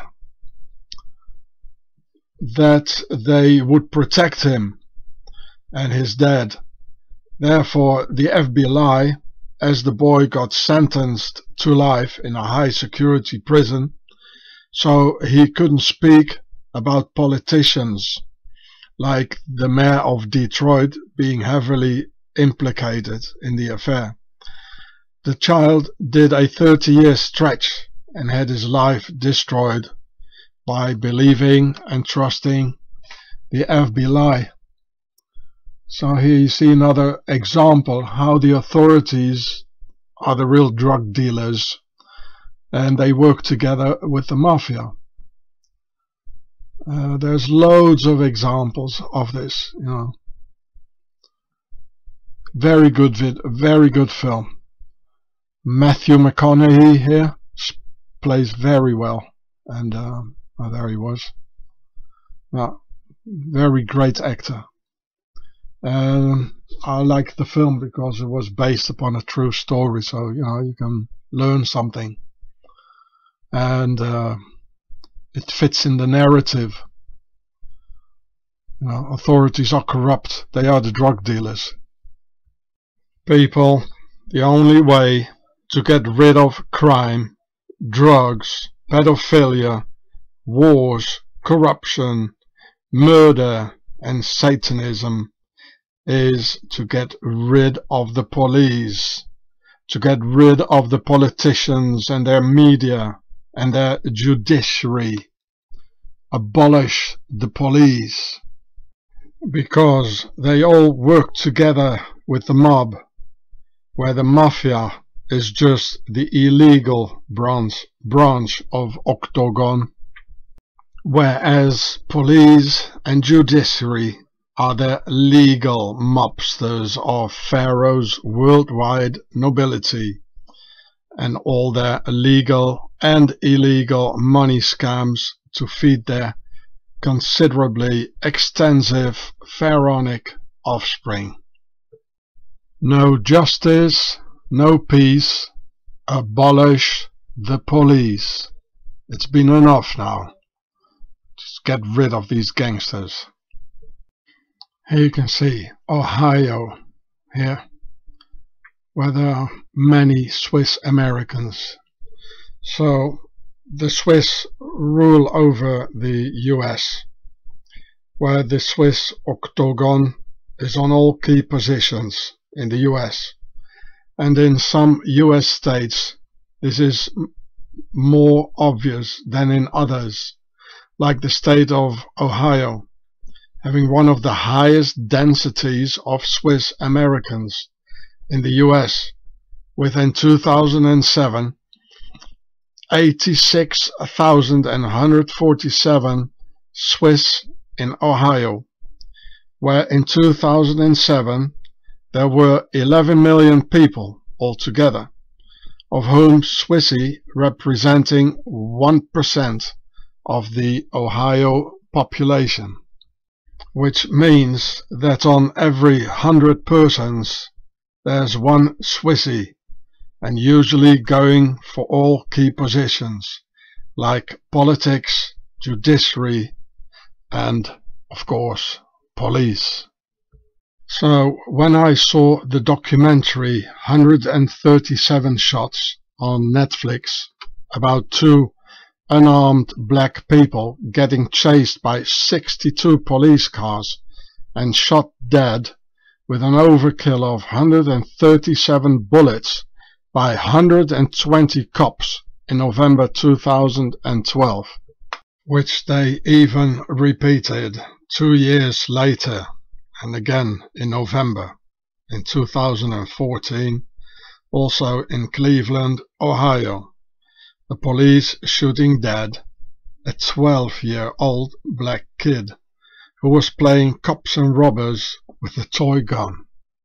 I recognized the typical Swiss fingerprint over these police crimes and their judiciary backup in crime through the enormous amount of Swiss Americans in Cleveland, Ohio. I guess November is not a good time to go and visit Cleveland, according to the statistics. Afterwards, the killer cops got fully protected by the Cleveland Justice Department, by the media, and by the politricks, who all concluded a normal day in the office, so to speak. And then, when I heard the killer cops acting as victims of it all, I recognized Swissy descendants here doing exactly the same things in Ohio, America, as they do in Swaziland, where it is totally normal when everyone agrees to kill unarmed people for no reason at all and lock the innocent up for many years in such an organized manner like a pack of wolves holding together for the final kill altogether with a total and shocking lack of conscience, similar to the Nazis at the Nuremberg trials of 1945. The very same astounding cold behavior and the same play of perpetrators slipping into the victim's role, both saying, I don't remember, I had my orders. I didn't do it, etc. Same thing in Nuremberg, same thing the Swiss do, and the very same thing I saw happening in Ohio at the trials and how the whole thing got covered up. No wonder, because this is the very same bloodline. Nazis, Swiss American killer cops in Cleveland, and Switzerland, the land of Tsar. What happened in Cleveland is happening every week in Switzerland. Of Swiss Nazi killer cops shooting down some immigrant and then being judged as a normal day at the office. And that the Swiss cop had such a difficult line of work making victims out of the perpetrators. Swiss cops even crossed the border into France, where they shot an unarmed white French family man with wife and three months old son next to him in the car, with 18 bullets in his back. This is the European equivalent of 137 shots. 18 shots in the back. So I made I I went and see the father because I'm quite disgusted by these sort of things and um, always perpetrated by the Swiss. And um, I interviewed the father and um, put the video. I made this video about it on my channel Gatsefrats. Yeah. Then the three Swiss killer cops got acquitted in a French court twice, just as in Cleveland and in Swaziland.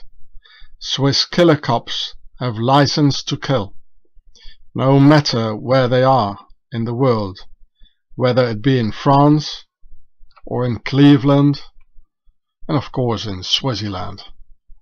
And this was a real cinema film made about this affair and it, the, the title is Mike. It's a film by Lars Blumers. I think it's a German.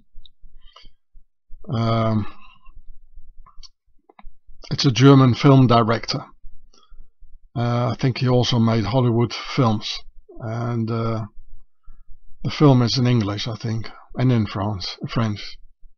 In Switzerland, more than 10,000 asylum seekers have disappeared, which you can see in this video here on this channel. And they have death squads in Switzerland. I've seen them in action and they probably, most likely, um, have made these um, asylum, 10,000 asylum seekers uh, disappear. And this is 10 years ago. Now, the, now it's probably 30,000 or something like this. All the slave ships to America belong to the Swiss, which you can see in this video here. And all the names of the, of the ship owners, the Swiss ship owners, you can find them in this video. And the KKK Ku Klux Klan is a Swiss organization with a Swiss flag in their logo, which you can see in this video here. You see, this is a Swiss cross and it's a Swiss flag, exactly the same. And there's also the square and compass in it. The circle stands for the compass, because with a compass you can make a circle, and this is a square. So all the initiated ones, you know, they see this immediately. And in fact, you know, uh, in in the bottom grades of this organization, you know, they all think they're nationalists and and uh, in favor for the white ra race and all that. But uh, in the end, they don't even know that they, the Ku Klux Klan is being ruled by a occult organization called the Freemasons who come out of the Knights Templars. So here's the title and you can find it in this channel here. Uh, this is a good Arab uh, who was living in Switzerland. He copied my video because otherwise you couldn't have seen it anymore as uh, YouTube deleted my entire channel with uh, 300 videos and the Swiss, they pushed really hard, you know, to, to have this video disappear. Look, here it says, Fraternal Order of Police. And he knows exactly what it all means. So the police is an international crime syndicate who get their orders from another crime organization called the Freemasons, who come out of the Knights Templars from Switzerland, the land of Sarre, their head office of organized crime in the Alps. Now look, says the square and compass with the G, Police Masonic Fellowcraft Club, Ohio the the police is completely is full of Freemasons, and um, so Templars, then Freemasons, and uh, who are everywhere in the police, everywhere. The police is full of Freemasons, and all, and it comes out of a military order called the Knights Templars, and who come out of Switzerland. It says here, police Masonic fellowcraft. It's like witchcraft, know, a craft. Right? So, if in order to understand the um, the killer cops in Cleveland, Ohio, and the 137 shots and gunning down a 12-year-old kid, if you don't understand the relation here, Police Masonic Fellowcraft Club, Ohio, you will never understand it. And if you don't understand where the Masons come from, that they come out of the Knights Templars, you will not understand these murders. And if you don't understand, you know, that the Masons come out of the Knights Templars and that they come out of Switzerland, and Ohio has a, a 1% Swiss Americans living there who all go for the key positions, you will never understand these murders. So, you know, you have to relate it all and know the history and you can find it in my videos. It says, Ohio, West Swissy murdered these innocent people. It says the square and compass, State Highway Patrol, and here it says Masonic Trooper. They are Masonic Troopers. And they all think, you know, there are Knights Templars and have a license to kill. Well, they do have a license to kill. You know, you, you, you I mean, remember that picture of Trump standing in front of the, uh, the, the police fraternal organization or whatever it said. You know, it's it's and these are all premeditated murders. It was not even an accident. It's premeditated. 137 bullets, that's premeditated. Know? And uh, Look, it's all Freemason police. It belongs to the Freemasons. Here. Square and Compass. Alabama, Alabama Trooper. Alaska. All Square and Compass. Each, each one of them has Square and Compass in it. Here. Connecticut State Police. Square and Compass. Colorado, Colorado State Patrol. Square and Compass.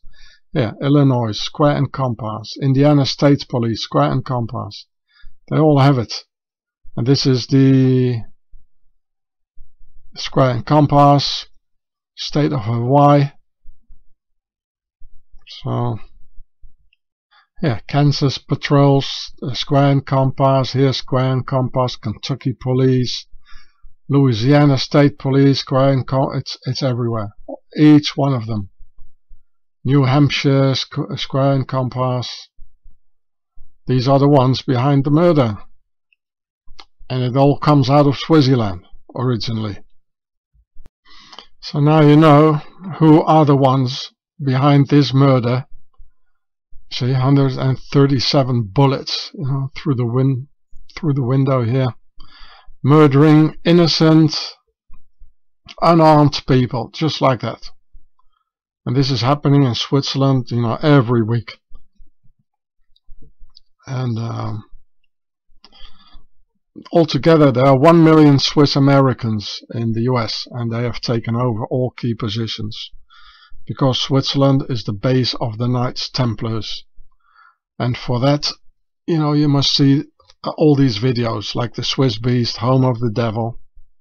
It will take you some time, but you will understand what really happened in Cleveland, Ohio. You can find the whole story here in uh, in Wikipedia.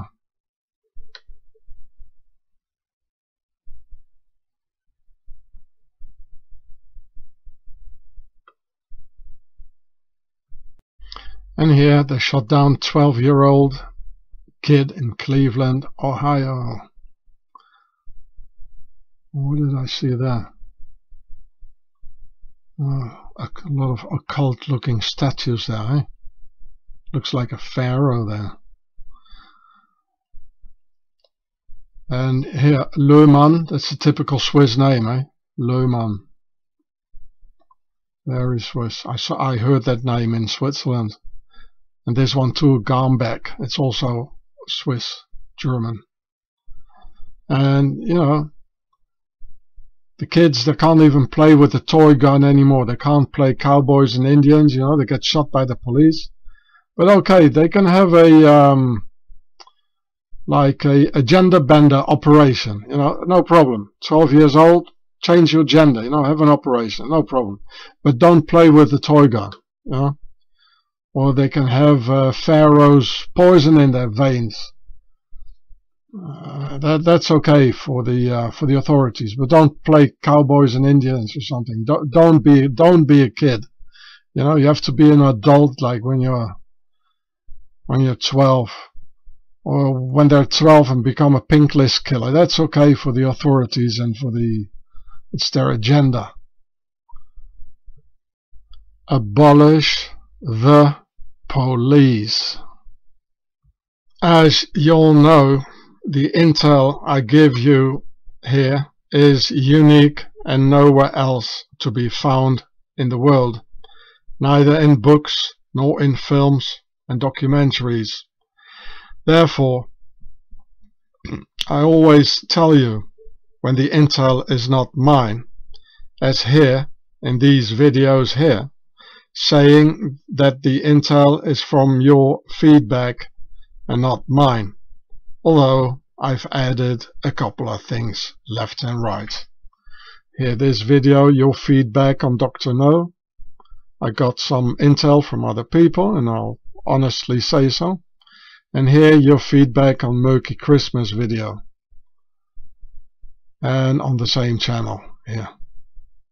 I do so because I believe in certain values. I believe in the three H's honesty, honor, and humbleness. Therefore, I have to admit to you that the information about the fathers of the US 60s hippie musicians, all having very high ranks in the military and intelligence, is not mine.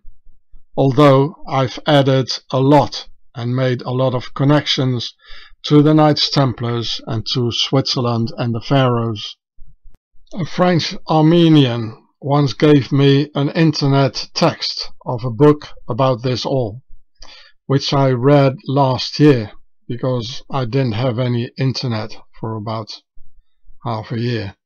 So I don't even know who wrote that book, but he did an excellent job and too important not to tell you and as it fitted the narrative of this video I took the liberty to use this good man's intel for which I can't take credit because I believe in honor, honesty and humbleness.